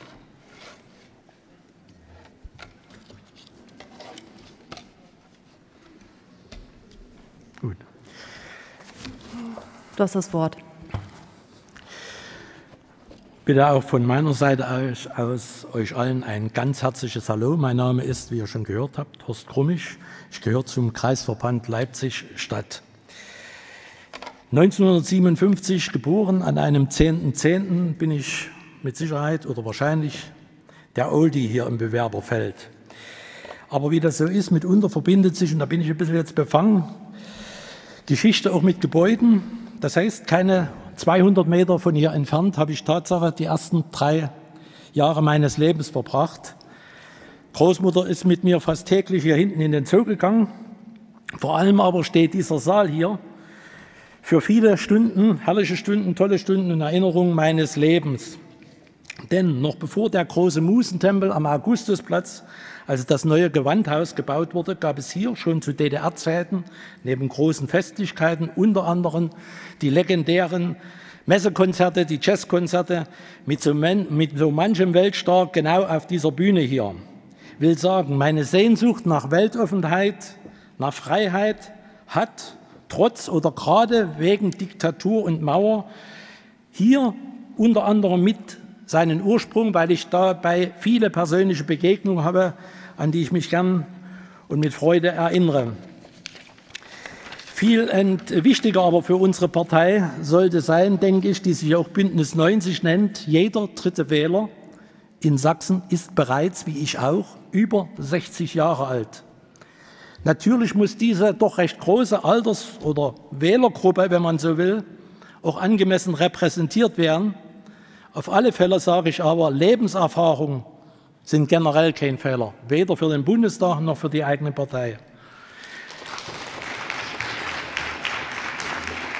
Und wer mich etwas genauer kennt, der weiß aber auch, dass ich viele Jahre nach der Wende, also zu bundesrepublikanischen Zeiten, als Fußballtrainer aktiv war und damit recht gute Kontakte auch zur jüngeren Generation habe und beileibe nicht nur zu meinem eigenen 25-jährigen Sohn. Das beste Feedback erhalte ich allerdings im Taxi. Das heißt, ich bin hier in Leipzig und im Umland seit fünf Jahren als Taxifahrer unterwegs.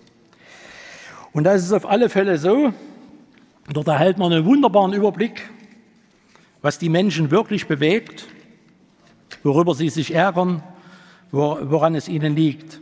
Und da sage ich mal, Politik spielt bei denen nicht die erste Rolle, sondern sie reden und philosophieren in erster Linie über das ganz reale Leben.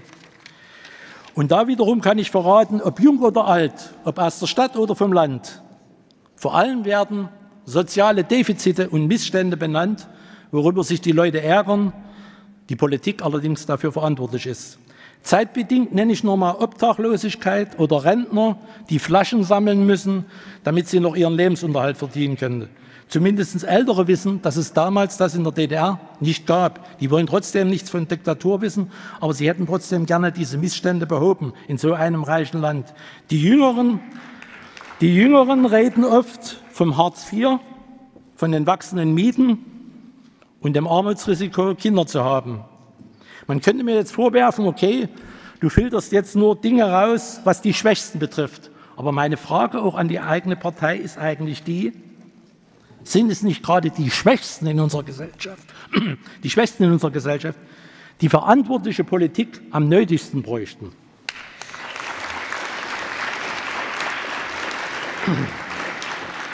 Und dann denke ich, wir sollten, und das sind die Menschen, mit denen wir arbeiten können, dann sollten wir alle da sehr, sehr froh darüber sein, dass es noch viele Menschen in dieser Gesellschaft gibt, ob jung oder alt, die Empathie für andere haben, obwohl sie selber nicht in dieser Notlage sind.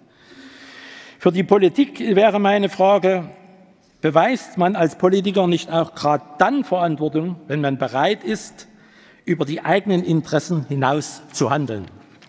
Persönlich legen, jedenfalls lege mir in so einem reichen Land daran, an einer, ich sage es mal mit meinen Worten, Renaissance des Sozialstaates, des Gemeinwesens der Solidarität.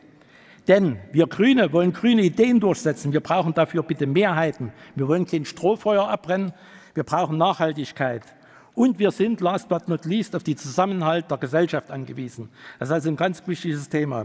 Und jemand, der mir neulich bei mir ins Taxi stieg, der sagt, weißt du, energetische Haussanierung, schön und gut, aber verraten mir bitte, ob meine Kinder morgen noch Arbeit haben und die, Wohnung, äh, die Miete ihrer Wohnung bezahlen können. Da beginnt für mich Politik und das darf nicht bei Corona aufhören. Das muss eher für uns alle eine Mahnung sein, aus persönlichen Fehlern, aus politischen Fehlern zu lernen. Lernende Politik ist bekanntlich vorausschauende Politik. Also apropos, schauen wir mal voraus, Klimakrise. Und meine persönliche Notiz dabei ist vor allem, vergesst mir bitte, bitte, ihr äh, seid die Jugend, ihr wollt die Zukunft gestalten, vergesst mir bitte den Tierschutz nicht. Weil, ich sage es euch, 15 Prozent aller Schadstoffemissionen erhalten wir aus dieser industriellen Massentierproduktion. Da ist der Transport der Tiere und die Kühlung des Fleisches noch nicht mal eingerechnet. Der eigentliche Krebs schadet aber die Rodung von Regenwäldern. Das ist ein Schaden für Wasser, Boden und Luft, der ist ganz immens. Darum sprechen viele Klimawissenschaftler heute schon vom womöglichen Klimakiller Number One. Ich will mich da aber nicht streiten. Fortschritt, Menschlichkeit, Progressivität kann und will ich einfach nicht damit verbinden, wie wir zum Teil heute noch mit Tieren umgehen. Das ist für mich teilweise schlimmer noch im Mittelalter, denn manche dieser Tiere sehen in ihrem ganzen Leben nicht ein einziges Mal die Sonne, höchstens auf den Tiertransporten dann durch ganz Europa. Damit, mit diesem Wahnsinn müssen wir Schluss machen. Grüne sind für das Leben insgesamt auf dieser Erde da. Und wir alle wissen, wie viel Positives auch gerade für unsere Kinder im Umgang mit Tieren entstehen kann. Und darum bleibe ich dabei, ergreifen wir Grüne auch für Tiere konsequent Partei. Und äh, diese Konsequenz das sagen mir auch 90 Prozent meiner Fahrgäste im Taxi, diese Konsequenz bezieht sich natürlich auf die Politik. Hier geht es um Vertrauen und Zustimmung. Und da hat die Politik riesen Nachholbedarf, denn wie kein Spiel ohne Regeln funktioniert, so funktioniert auch die Demokratie nicht.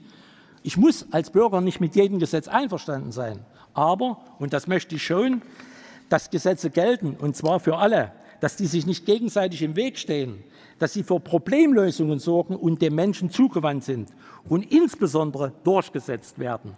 Und da mal ein kurzer Blick noch auf unseren Staat, auf unseren Rechtsstaat. Wie lange reden wir schon über Kriminalitätsbekämpfung, gerade äh, was Bandenkriminalität angeht, Rechtsextremismus, Kindermissbrauch, Gewalt gegen Frauen, der Fall Tönnies Wirecard, Hass im Internet, so äh, Munitionsverschwindet, äh, verschwindet. Ja, ich komme zum Schluss, letzter Satz. Munitionsverschwinden bei Sicherheitskräften. Wie lange soll ich da noch reden? Annalena, denke ich, hat viel zu tun hier und wir sollten sie nach Kräften unterstützen. Und Dankeschön.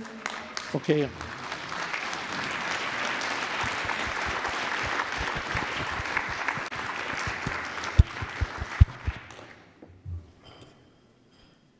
Okay, haben wir Fragen vorliegen?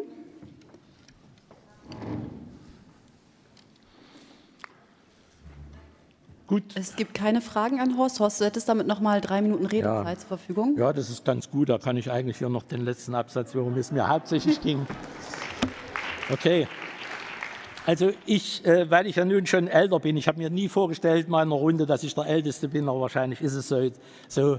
Also meine Botschaft an euch, gerade die Jugend, das Leben geht schneller vorbei, als ihr denkt. Das klingt jetzt vielleicht ein bisschen sarkastisch. Aber ich, ich rate euch allen und macht was draus. Macht einfach was draus. Aber bitte denkt daran, und dafür möchte ich eigentlich werben, dass das Leben insgesamt auf unserem Planeten den Wert darstellt, für den wir uns alle, und zwar mit Nachdruck, einsetzen, streiten und engagieren sollten. Das wäre es. Dankeschön. Ach so, und jetzt, ich darf ja, ich habe ja noch eine Minute, ähm, weil ich wurde, ich wurde draußen gefragt, äh, warum ich alter Kerl denn überhaupt noch hier mir dieses antue. Ähm, weil ich sage, okay, also zu Hause, ich ärgere mich über so viele Dinge, ich habe euch die Probleme ja beschrieben, zu Hause dann mit der eigenen Katze zu streiten, das macht wenig, das macht, das macht wenig Sinn, das macht wenig Sinn. Darum spreche ich die Dinge an und ich hoffe, dass die Politik das auch mitnimmt, vor allem hier unsere jungen Kandidaten, die an der Spitze stehen, die ja gute Chancen haben, im Bundestag zu kommen, dass die das eine oder andere mitnehmen und vielleicht mal auch nach den anderen Erfahrungen fragen, dass wir einfach auch insgesamt als, wir brauchen ja Mehrheiten, insgesamt als Partei näher rankommen an manche Probleme, dass wir nicht so weit von den Menschen weg sind. Da könnt ihr mich immer gerne fragen und wie gesagt, ansonsten Dankeschön und noch schönen Tag. Danke.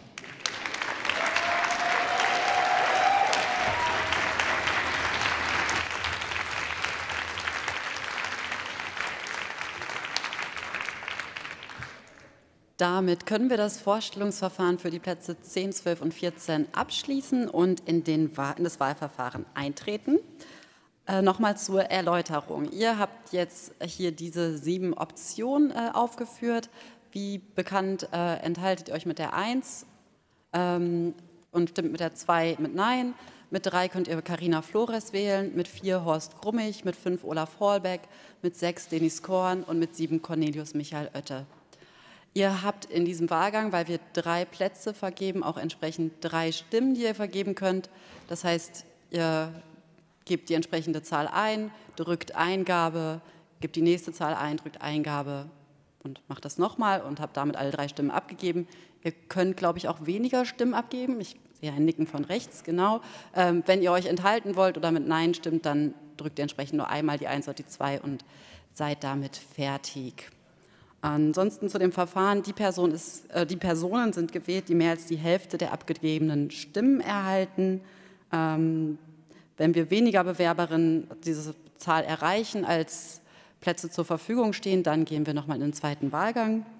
Und ähm, genau die Reihenfolge äh, ist dann entsprechend, wie, wer die meisten Stimmen hat, bekommt Platz 10 und dann wird es runtergestuft. Gibt es zu dem Verfahren, weil es jetzt ein anderes Verfahren ist, weil es in den vorherigen Wahlgängen Fragen? Das erkenne ich nicht. Dann eröffne ich den Wahlgang.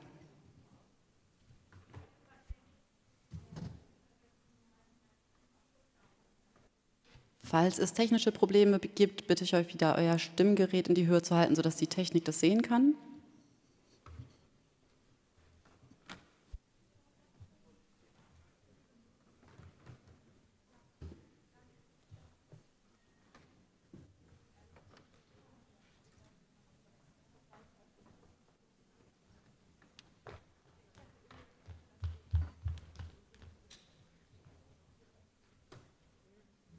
Hier vorne gibt es eine Frage oder ein technisches Problem?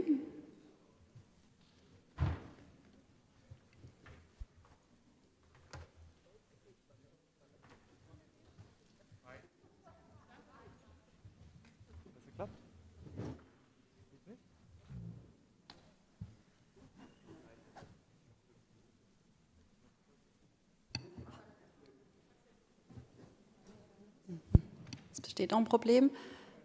Ich habe da hinten aus Chemnitz auch noch ein Arme schwenken gesehen, aber da wird eher getanzt bei Franka. Alles klar. Bewegungspause, okay. Ähm, ja, das steht euch natürlich auch frei, dass ihr euch ein bisschen auf euren Plätzen bewegt. Wir sitzen ja schon lange hier. Das findet auch schon fleißige Nachahmer.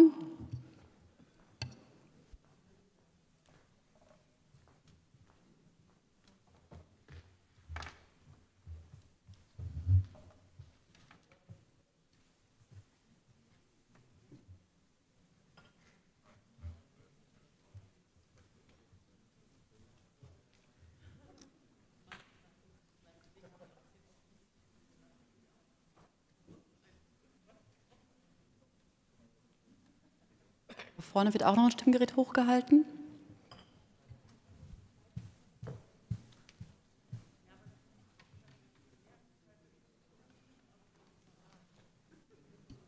Ganz hinten wird auch noch gewunken. Ich weiß nicht, ob wir jetzt nur einen Techniker haben, der helfen kann oder ob, ja, das sieht so aus. Dann müssten wir einmal kurz warten.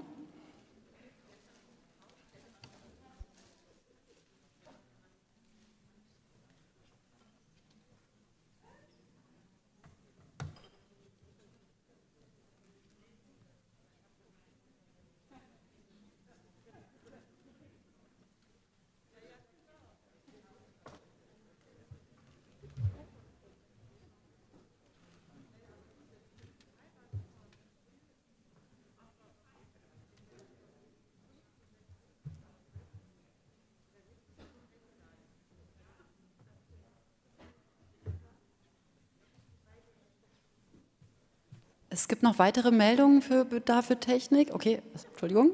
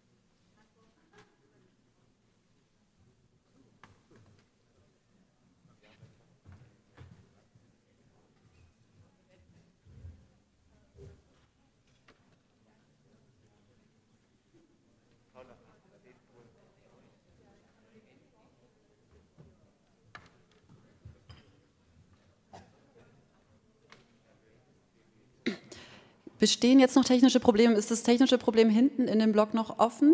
Das gelöst? Hat noch jemand ein technisches Problem? Dann würde ich bitten, dass einmal klar erkenntlich das Gerät noch hochgehalten wird.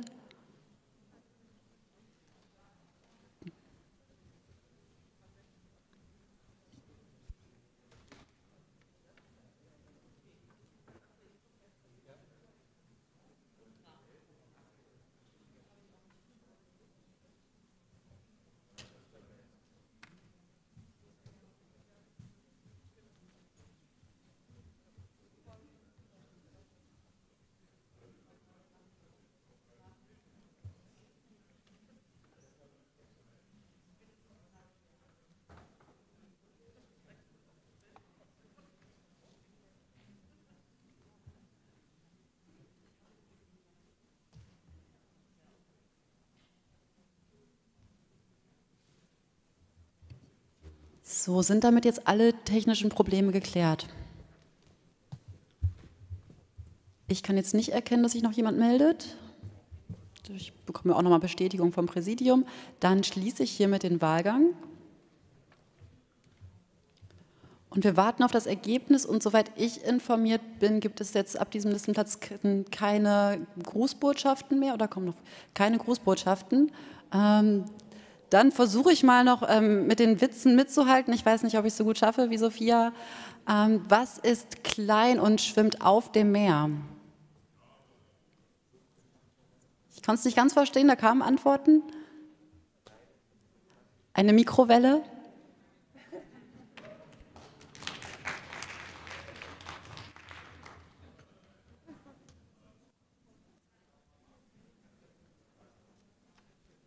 Und wir haben ein Ergebnis vorliegen. Es gab jetzt entsprechend mehr abgegebene Stimmen, weil ihr ja alle drei Stimmen hattet.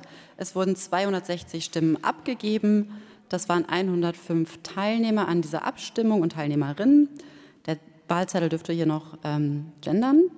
Das Quorum liegt bei 53 abgegebenen Stimmen. Und äh, insgesamt haben sich drei Personen enthalten. Zwei haben mit Nein gestimmt. 59 Stimmen entfielen auf Karina, 76 Stimmen auf Horst, 63 Stimmen auf Olaf, 54 Stimmen auf Dennis und drei Stimmen auf Cornelius. Damit sind drei Personen gewählt. Und zwar ähm, ist für den Listenplatz 10 Horst gewählt. Horst, nimmst du die Wahl an?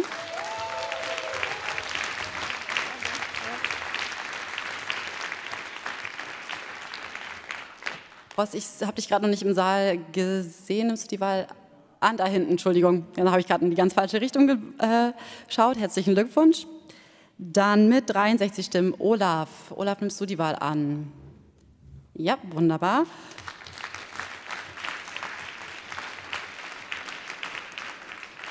Und Karina mit 59 Stimmen.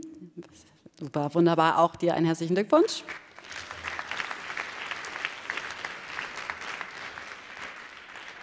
Damit schließen wir das Wahlverfahren für die, Wahl, äh, für die Listenplätze 10, 12 und 14 und treten in den nächsten Dreierblock an. Das sind jetzt die ungeraden Listenplätze, nämlich 11, 13 und 15 und damit die List letzten Listenplätze, die wir hier heute vergeben. Ich frage einmal die bisherigen Kandidierenden, wenn ich das jetzt richtig hier stehen habe, würde Karina noch die Möglichkeit haben, noch mal zu kandidieren? Äh, Karin, Entschuldigung, das Karina wurde gerade gewählt. Karin, so rum. Carina Bese, äh, Karin Bese, so. Du kandidierst nochmal. Carola, was ist mit dir? Das ist ein Daumen hoch. Ja, wunderbar. Gibt es weitere Bewerbungen auf die Listenplätze 11, 13 und 15? Hier vorne, ähm, kannst du mir einmal deinen Namen nennen? Caroline Renner. Okay, wunderbar.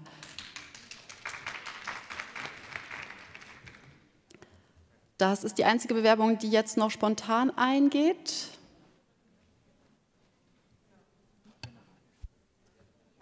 Achso, ähm, jetzt habe ich ganz äh, die bekannte äh, Bewerbung unterschlagen. Wir haben auch noch die Bewerbung von Anne Schettler vorliegen. Anne, bist du? Die zieht zurück. Okay. Ähm, damit hätten wir dann jetzt für diesen Wahlgang, ähm, jetzt habe ich mir den Namen gerade dummerweise nicht notiert, Caroline Renner. Ähm, Caroline Renner, Karin Bese und Carola Köpferl. Und Caroline Renner würde sich dann jetzt zuerst noch vorstellen. Auch bei dir gilt, du hast sieben Minuten Zeit und danach kommt die Fragerunde.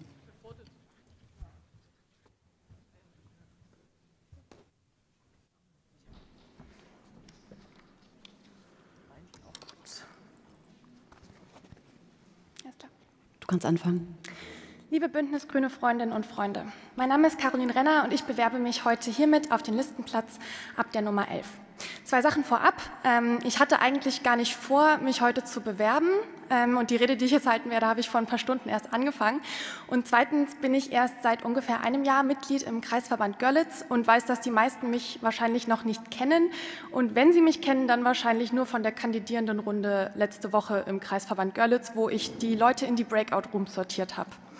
Ähm, Warum ich mich jetzt trotzdem dafür entschieden habe, auf Platz 11 zu gehen, ist, weil ich finde, dass auf unserer Liste Kandidierende aus den ländlichen Räumen nicht in dem Maße zu finden sind, wie sie vertreten sein sollten. Bernhard hat in seiner Rede ähm, von der Vielfalt der Region auf unserer Landesliste gesprochen. Ich sehe das anders. Ich sehe Dresden, Chemnitz und Leipzig sehr stark vertreten und für den ländlichen Raum ist da eindeutig, eindeutig noch Luft nach oben. Wie wollen wir Wählerinnen und Wähler in den kleinen und mittleren Städten auf den Dörfern gewinnen, wenn wir ihnen nicht zeigen, dass wir wenigstens den Willen haben, auch sie im Bundestag zu repräsentieren und ihre Interessen zu vertreten? Ich weiß, worum es dabei geht. Seit fünf Jahren lebe ich jetzt schon in Görlitz. Das ist die östlichste und übrigens auch die schönste Stadt Deutschlands. Ich habe dort studiert und mich danach entschieden, jetzt noch ein bisschen länger zu bleiben und mich politisch für eine lebenswertere und bessere Stadt und Oberlausitz zu engagieren, sowohl im Kreis als auch im Ortsvorstand der Bündnisgrünen in Görlitz. Ich finde, es ist bitter nötig, in dieser Region etwas zu tun und das Augenmerk der Politik auf uns und die ländlichen Räume zu lenken. Warum? Weil es bei uns noch sehr, sehr viel zu tun gibt. Freundinnen von mir, die aus dem Ausland zum Studieren nach Görlitz gekommen sind, werden im Netz angefeindet, in ihren Vereinen diskriminiert und auf offener Straße vor ihrer Haustür aufgrund rassistischer Motive angegriffen. Es gab und gibt, zurzeit auch bedingt durch die Pandemie, zu wenige Arbeitsplätze und noch weniger gut bezahlte Arbeitsplätze in der Region. In den Landkreisen Görlitz und Bautzen gibt es genau eine eine Ärztin, die legal Schwangerschaftsabbrüche durchführt. Die nächste Möglichkeit dafür gibt es knapp eineinhalb Stunden entfernt in Dresden. Ich finde das persönlich unzumutbar.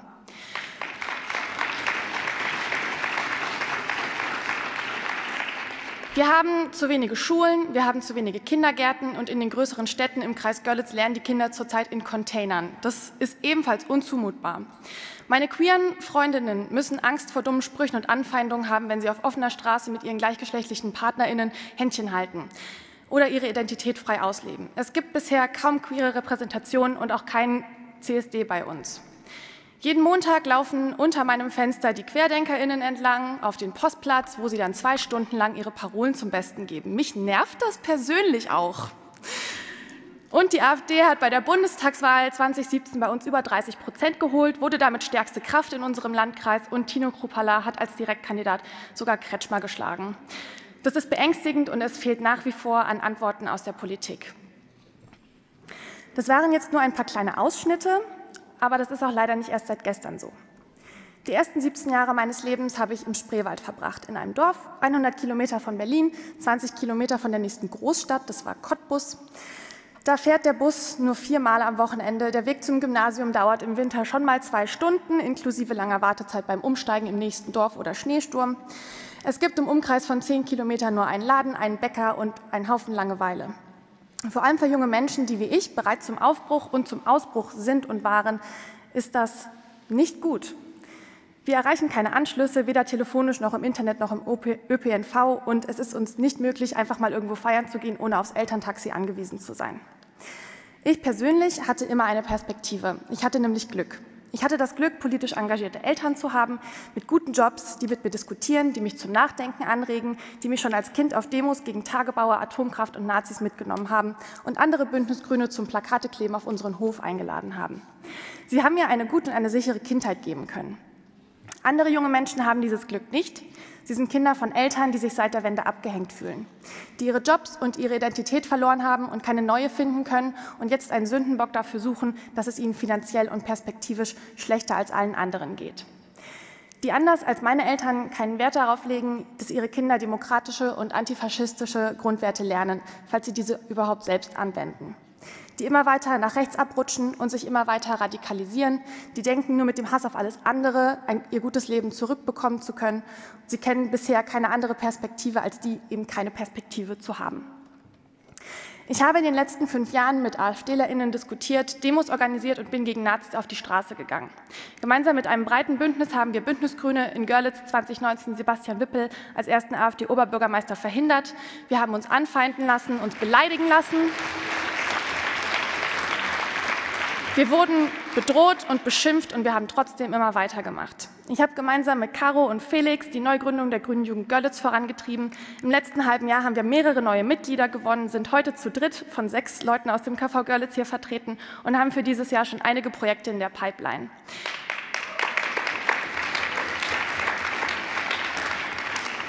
Wir sind mit FFF auf die Straße gegangen in Görlitz und Zittau, gemeinsam mit Greta und Alex, die ihr vorhin auch schon hier im Video gesehen habt. Und wir hören uns auch immer wieder an, dass wir zu jung seien, um eine Meinung zu haben und uns politisch zu engagieren. Und wir machen trotzdem weiter. Und ich möchte genau diesen Menschen, die sich engagieren, die etwas tun, die machen und sich kümmern und jeden Tag für eine bessere und gerechte Gesellschaft kämpfen, dass wir Bündnisbühne auch Sie, Bündnisgrüne auch Sie auf unserer Landesliste vertreten. Ich möchte für die jungen Menschen und vor allem für die jungen Frauen im ländlichen Raum als Kandidatin sichtbar sein. Eine bekannte Görlitzer Persönlichkeit sagt immer gern, Görlitz muss jünger und weiblicher werden. Und diesen Part möchte ich für Ostsachsen gerne auf unserer Landesliste übernehmen. Vielen Dank.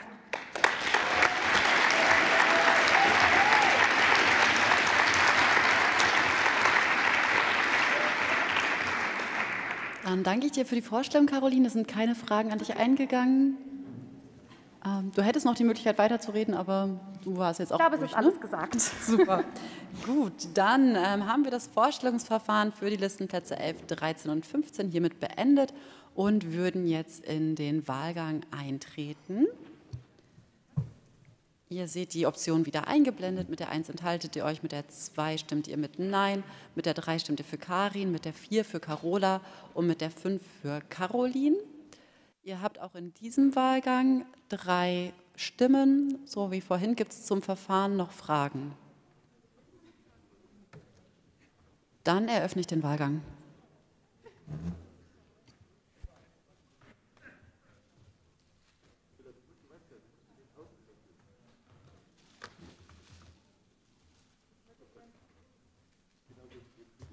Hier vorne gibt es technische Probleme.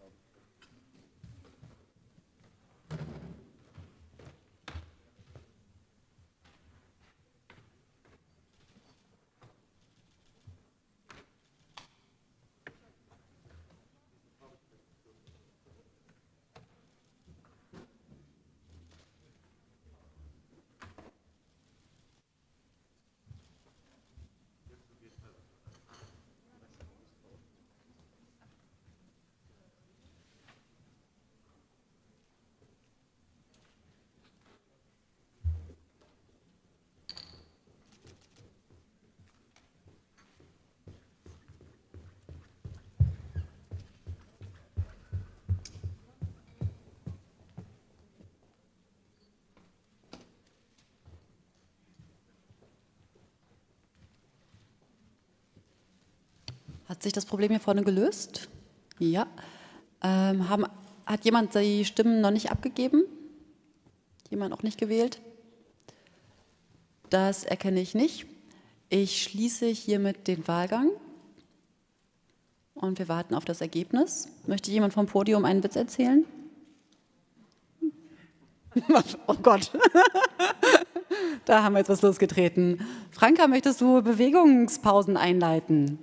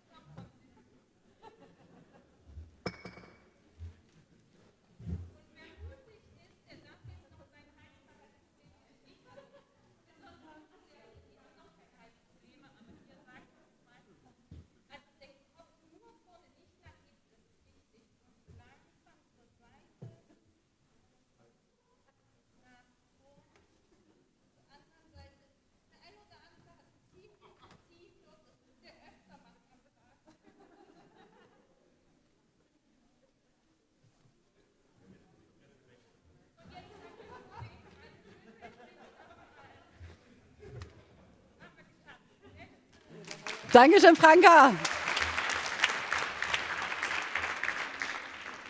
Es wurde jetzt schon auf dem Präsidium bedauert, dass die Presse mehrheitlich schon weg ist.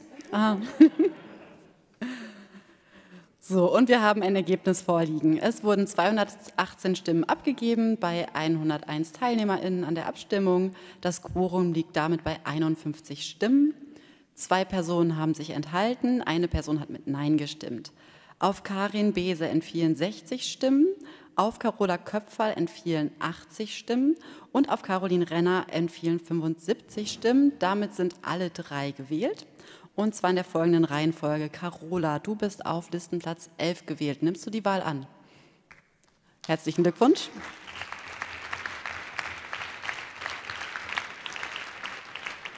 Karin, Listenplatz 13 geht an dich. Nimmst du den an? Nee, hoch? Ups, Entschuldigung, Entschuldigung, upsi. ähm, bin ich, ich nehme alles zurück. Äh, Caroline, ganz, ich bin noch ganz verwirrt von dem, von dem Anblick gerade. Caroline, der äh, drei, Listenplatz 13 geht an dich. Nimmst du ihn an? Herzlichen Glückwunsch. Und Karin, der Listenplatz 15 jetzt an dich. Nimmst du an? Wunderbar. Auch an dich ein herzliches Glückwunsch. Damit stelle ich fest, dass wir eine Reihenfolge für die Landesliste für die Bundestagswahl aufgestellt haben und wir würden jetzt ähm, in die Schlussabstimmung kommen. Dafür haben wir noch mal einen Wechsel auf dem Präsidium.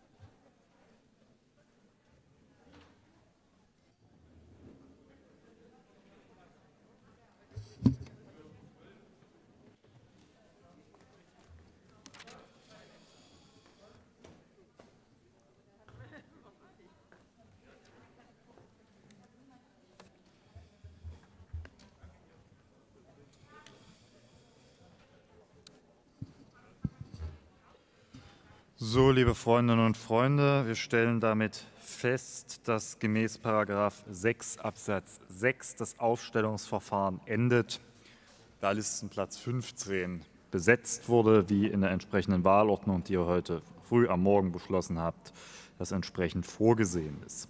Demnach treten wir jetzt in das Verfahren zur Schlussabstimmung über die zuvor gereihte Liste ein. Dazu die wird jetzt schriftlich erfolgen, also wirklich mit Papier und Stift und nicht mit elektronischen Abstimmungssystemen, da es sich dann um die wahlrechtlich maßgebliche Schlussabstimmung hierbei handelt. Die Wahlkommission, die ihr bestimmt hat, wird nun die Stimmzettel austeilen.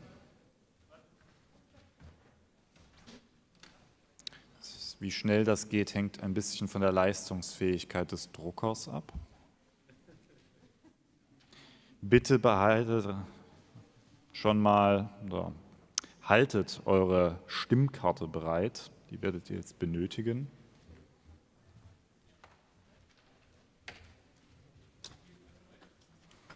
Das ist zur Frage führt, wo meine ist.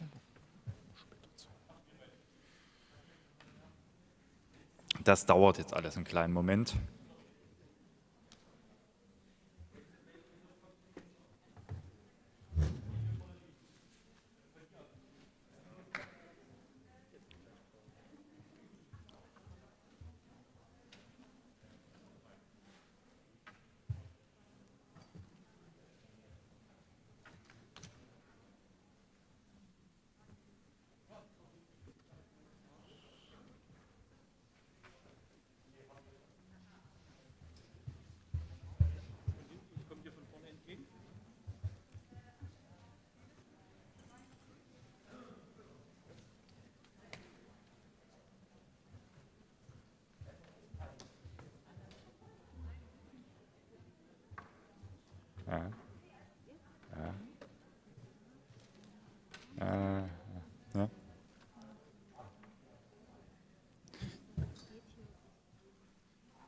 und das Präsidium zu berücksichtigen, genau.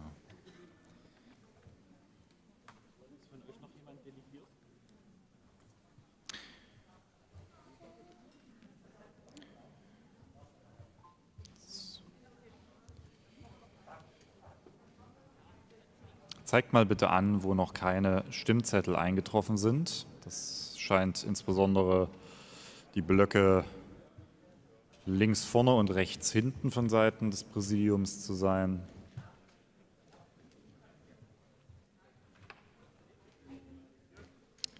Bitte nur an Personen austeilen, nicht an Plätze. Tische können nicht wählen. So. Nochmal anzeigen, wer noch Bedarf hat. Ja, okay, das ist immer noch der ganze. Ja, das kommt von hinten jetzt. Die Stimmzettel. Der Drucker druckt.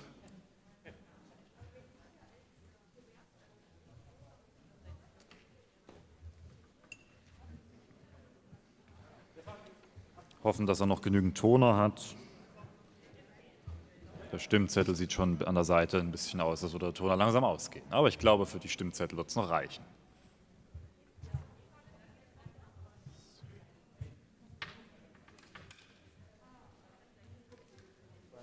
So, bitte nochmal die Hand aufzeigen. Jetzt kommen hier nämlich für den von mir linken Quadranten vorne die Stimmzettel.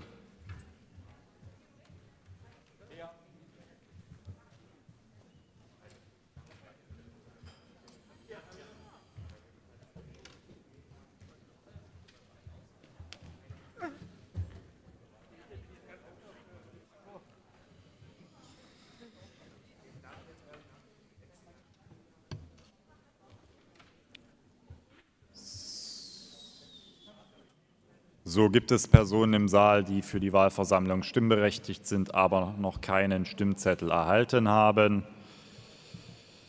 Im Saal, nicht außerhalb des Saals.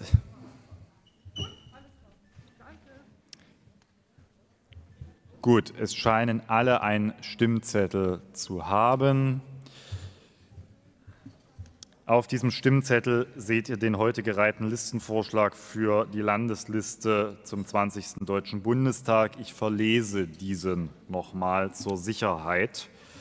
Listenplatz 1 Paula Picciotta, Listenplatz 2 Bernhard Herrmann, Listenplatz 3 Merle Spellerberg, Listenplatz 4 Kassem Taher Saleh, Listenplatz 5 Annette Gila, Listenplatz 6 Norman Folger, Listenplatz 7 Marie Müser, Listenplatz 8 Lukas Mosler, Listenplatz 9 Lea Frenzle, Listenplatz 10 Horst Grummich, Listenplatz 11 Carola Köpferl, Listenplatz 12 Olaf Horlbeck, Listenplatz 13 Caroline Renner, Listenplatz 14 Karina Flores und Listenplatz 15 Karin Bese. Ich frage, ob jemand der Meinung ist, dass es nicht der Vorschlag ist, den wir heute gereiht haben.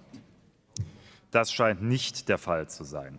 Ihr könnt nun entweder oberhalb des Trennstriches für die gesamte Landesliste votieren. Die Stimme gilt dann entsprechend für alle unterhalb des Trennstrichs stehenden Kandidatinnen und Kandidaten. Das ist also eine Verfahrensvereinfachung. Das heißt, wenn ihr dort Ja ankreuzt, wählt ihr alle Kandidatinnen und Kandidaten. Stimmt ihr Nein, stimmt ihr für jeden Kandidaten mit Nein oder keine Kandidatin. Und stimmt ihr mit, oben mit Enthaltung, heißt das, ihr stimmt mit Enthaltung für jeden der unten benannten Kandidatinnen und Kandidaten. Oder ihr könnt unterhalb des Trennstrichs einzeln über jede Bewerberin und jeden Bewerber abstimmen. In der Schlussabstimmung ist es notwendig, dass eine Bewerberin oder ein Bewerber mindestens 50 Prozent der abgegebenen Stimmen erhalten haben muss. Andernfalls wird die Person von der Liste gestrichen und nachfolgende Personen rücken nach. Wichtig, der Stimmzettel ist ungültig, wenn entweder weder oberhalb noch unterhalb des Trennstriches Kreuze zu finden sind oder wenn sowohl oberhalb als auch unterhalb des Trennstriches Kreuze zu finden sind oder wenn ihr euch für die Einzelvotierung unterhalb des Trennstriches entscheidet, ihr aber nicht bei allen Bewerberinnen und Bewerbern mit Ja, Nein oder Enthaltung votiert. Gibt es dazu Fragen? Das scheint mir nicht der Fall zu sein. Dann eröffne ich jetzt den Wahlgang. Bitte haltet eure Stimmkarten bereit. Die Wahlkommission wird dort die Nummer 1 entsprechend abkreuzen. Und wir bitten, dass ihr der Wahlkommission bei der Stimme, also wenig wie möglich nahe kommt aus, äh, ne, ihr wisst schon, Infektionsschutz und so. Ich eröffne den Wahlgang.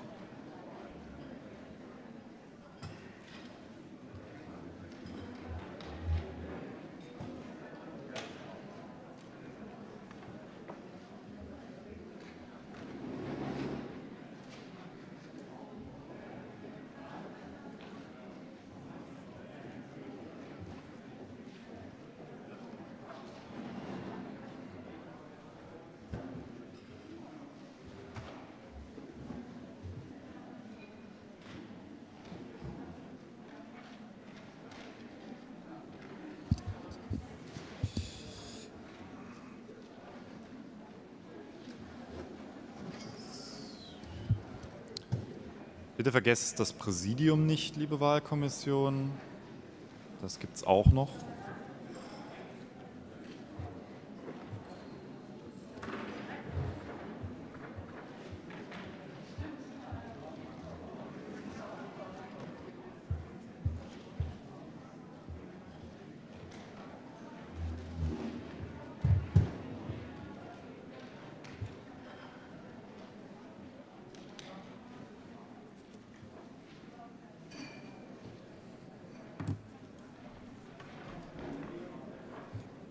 Das war die 7.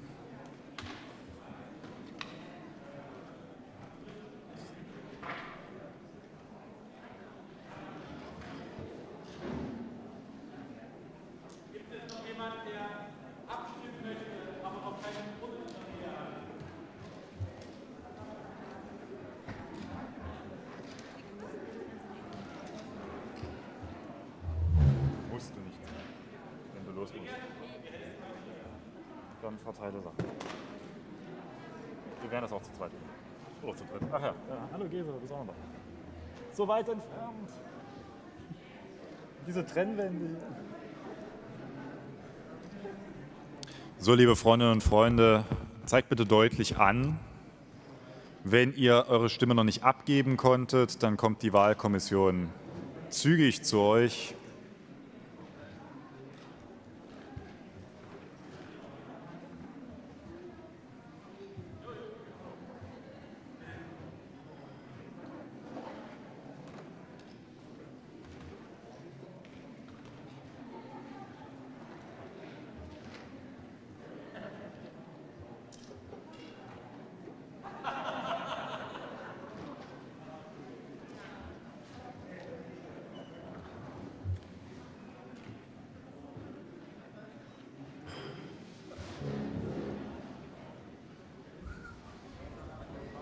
Gibt es noch Personen im Saal, die ihre Stimmen, also ihren Stimmzettel, noch nicht abgeben konnten? Das scheint nicht der Fall zu sein. Damit schließe ich den Wahlgang und bitte die Wahlkommission auszuzählen.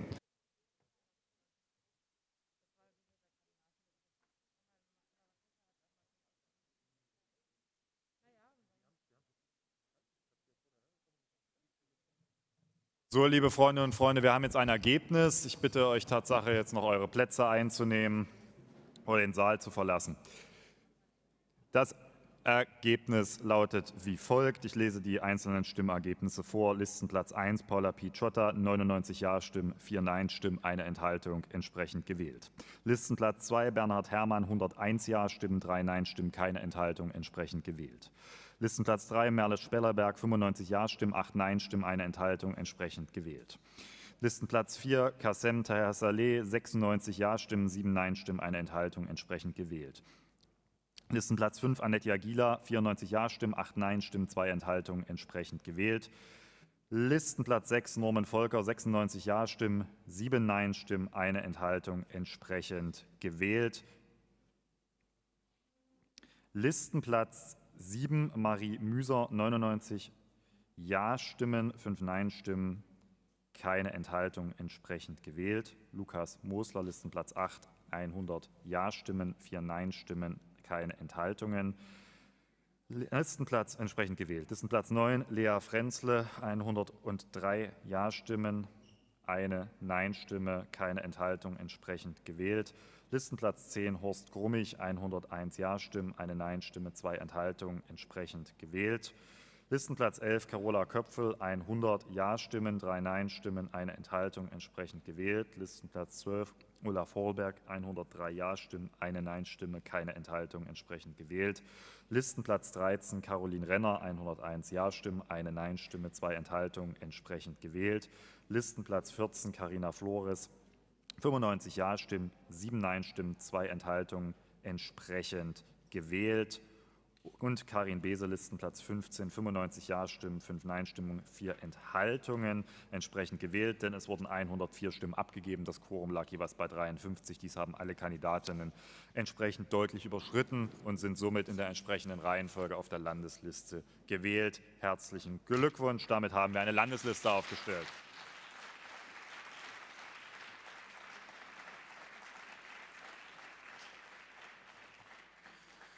Zum Schluss der Versammlung darf und muss ich euch fragen, ob sich gegen den Verlauf der Versammlung oder gegen dieses Ergebnis Widerspruch regt. Schlechte Witze sind kein Beanstandungsgrund.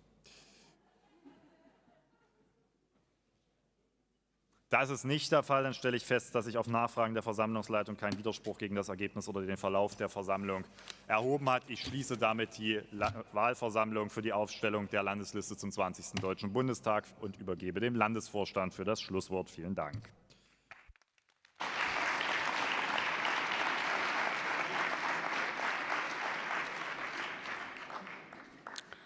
Ja, liebe Freundinnen und Freunde, ich, mir bleibt zum Schluss dieser äh, Versammlung einfach nochmal Danke zu sagen.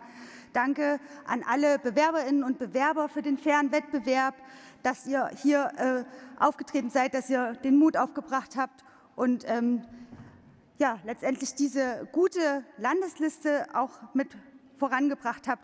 Ich danke allen Delegierten, vor allem für eure Disziplin, auch bei der Einhaltung des Hygienekonzepts bis zum Schluss. Und ähm, ich danke auch allen Mitgliedern, die von zu Hause aus diese Versammlung verfolgt haben und das auch respektiert haben, dass es eben dieses Mal leider nicht möglich ist, dass wir alle hier zusammenkommen.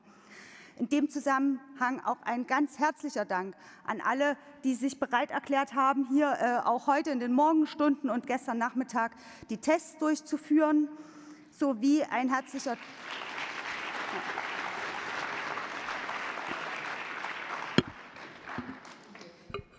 und ein herzlicher Dank ans Präsidium und alle weiteren Präsidiumsmitglieder. Allen voran herzlichen Dank an Valentin, der auch, das muss man einfach auch immer wieder sagen, mit viel Mühe das hier äh, vorbereitet hat, uns bei der Choreografie, bei allen Fragen rund um Wahlordnung und äh, Geschäftsordnung etc. unterstützt hat. Ähm, danke auch dir.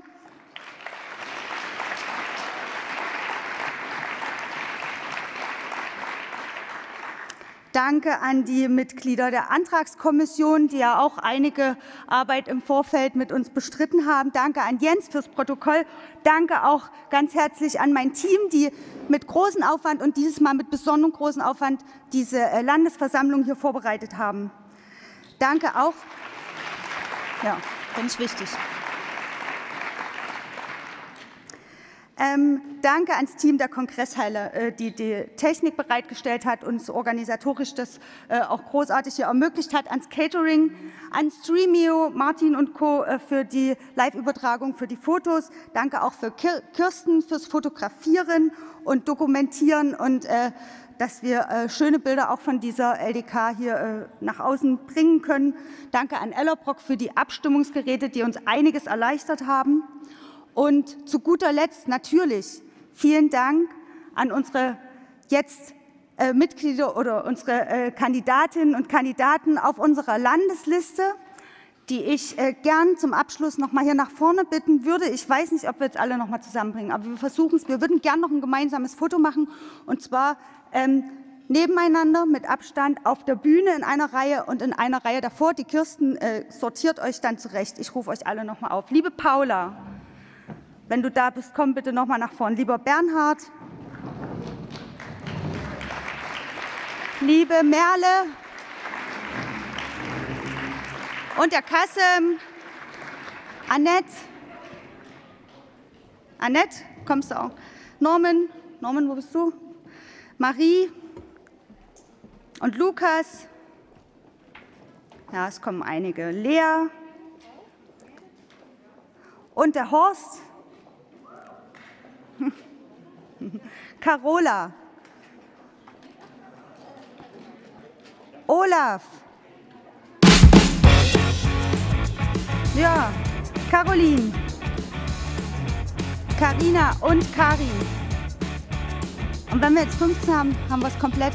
Vielen Dank, einen guten Nachhauseweg und bis bald.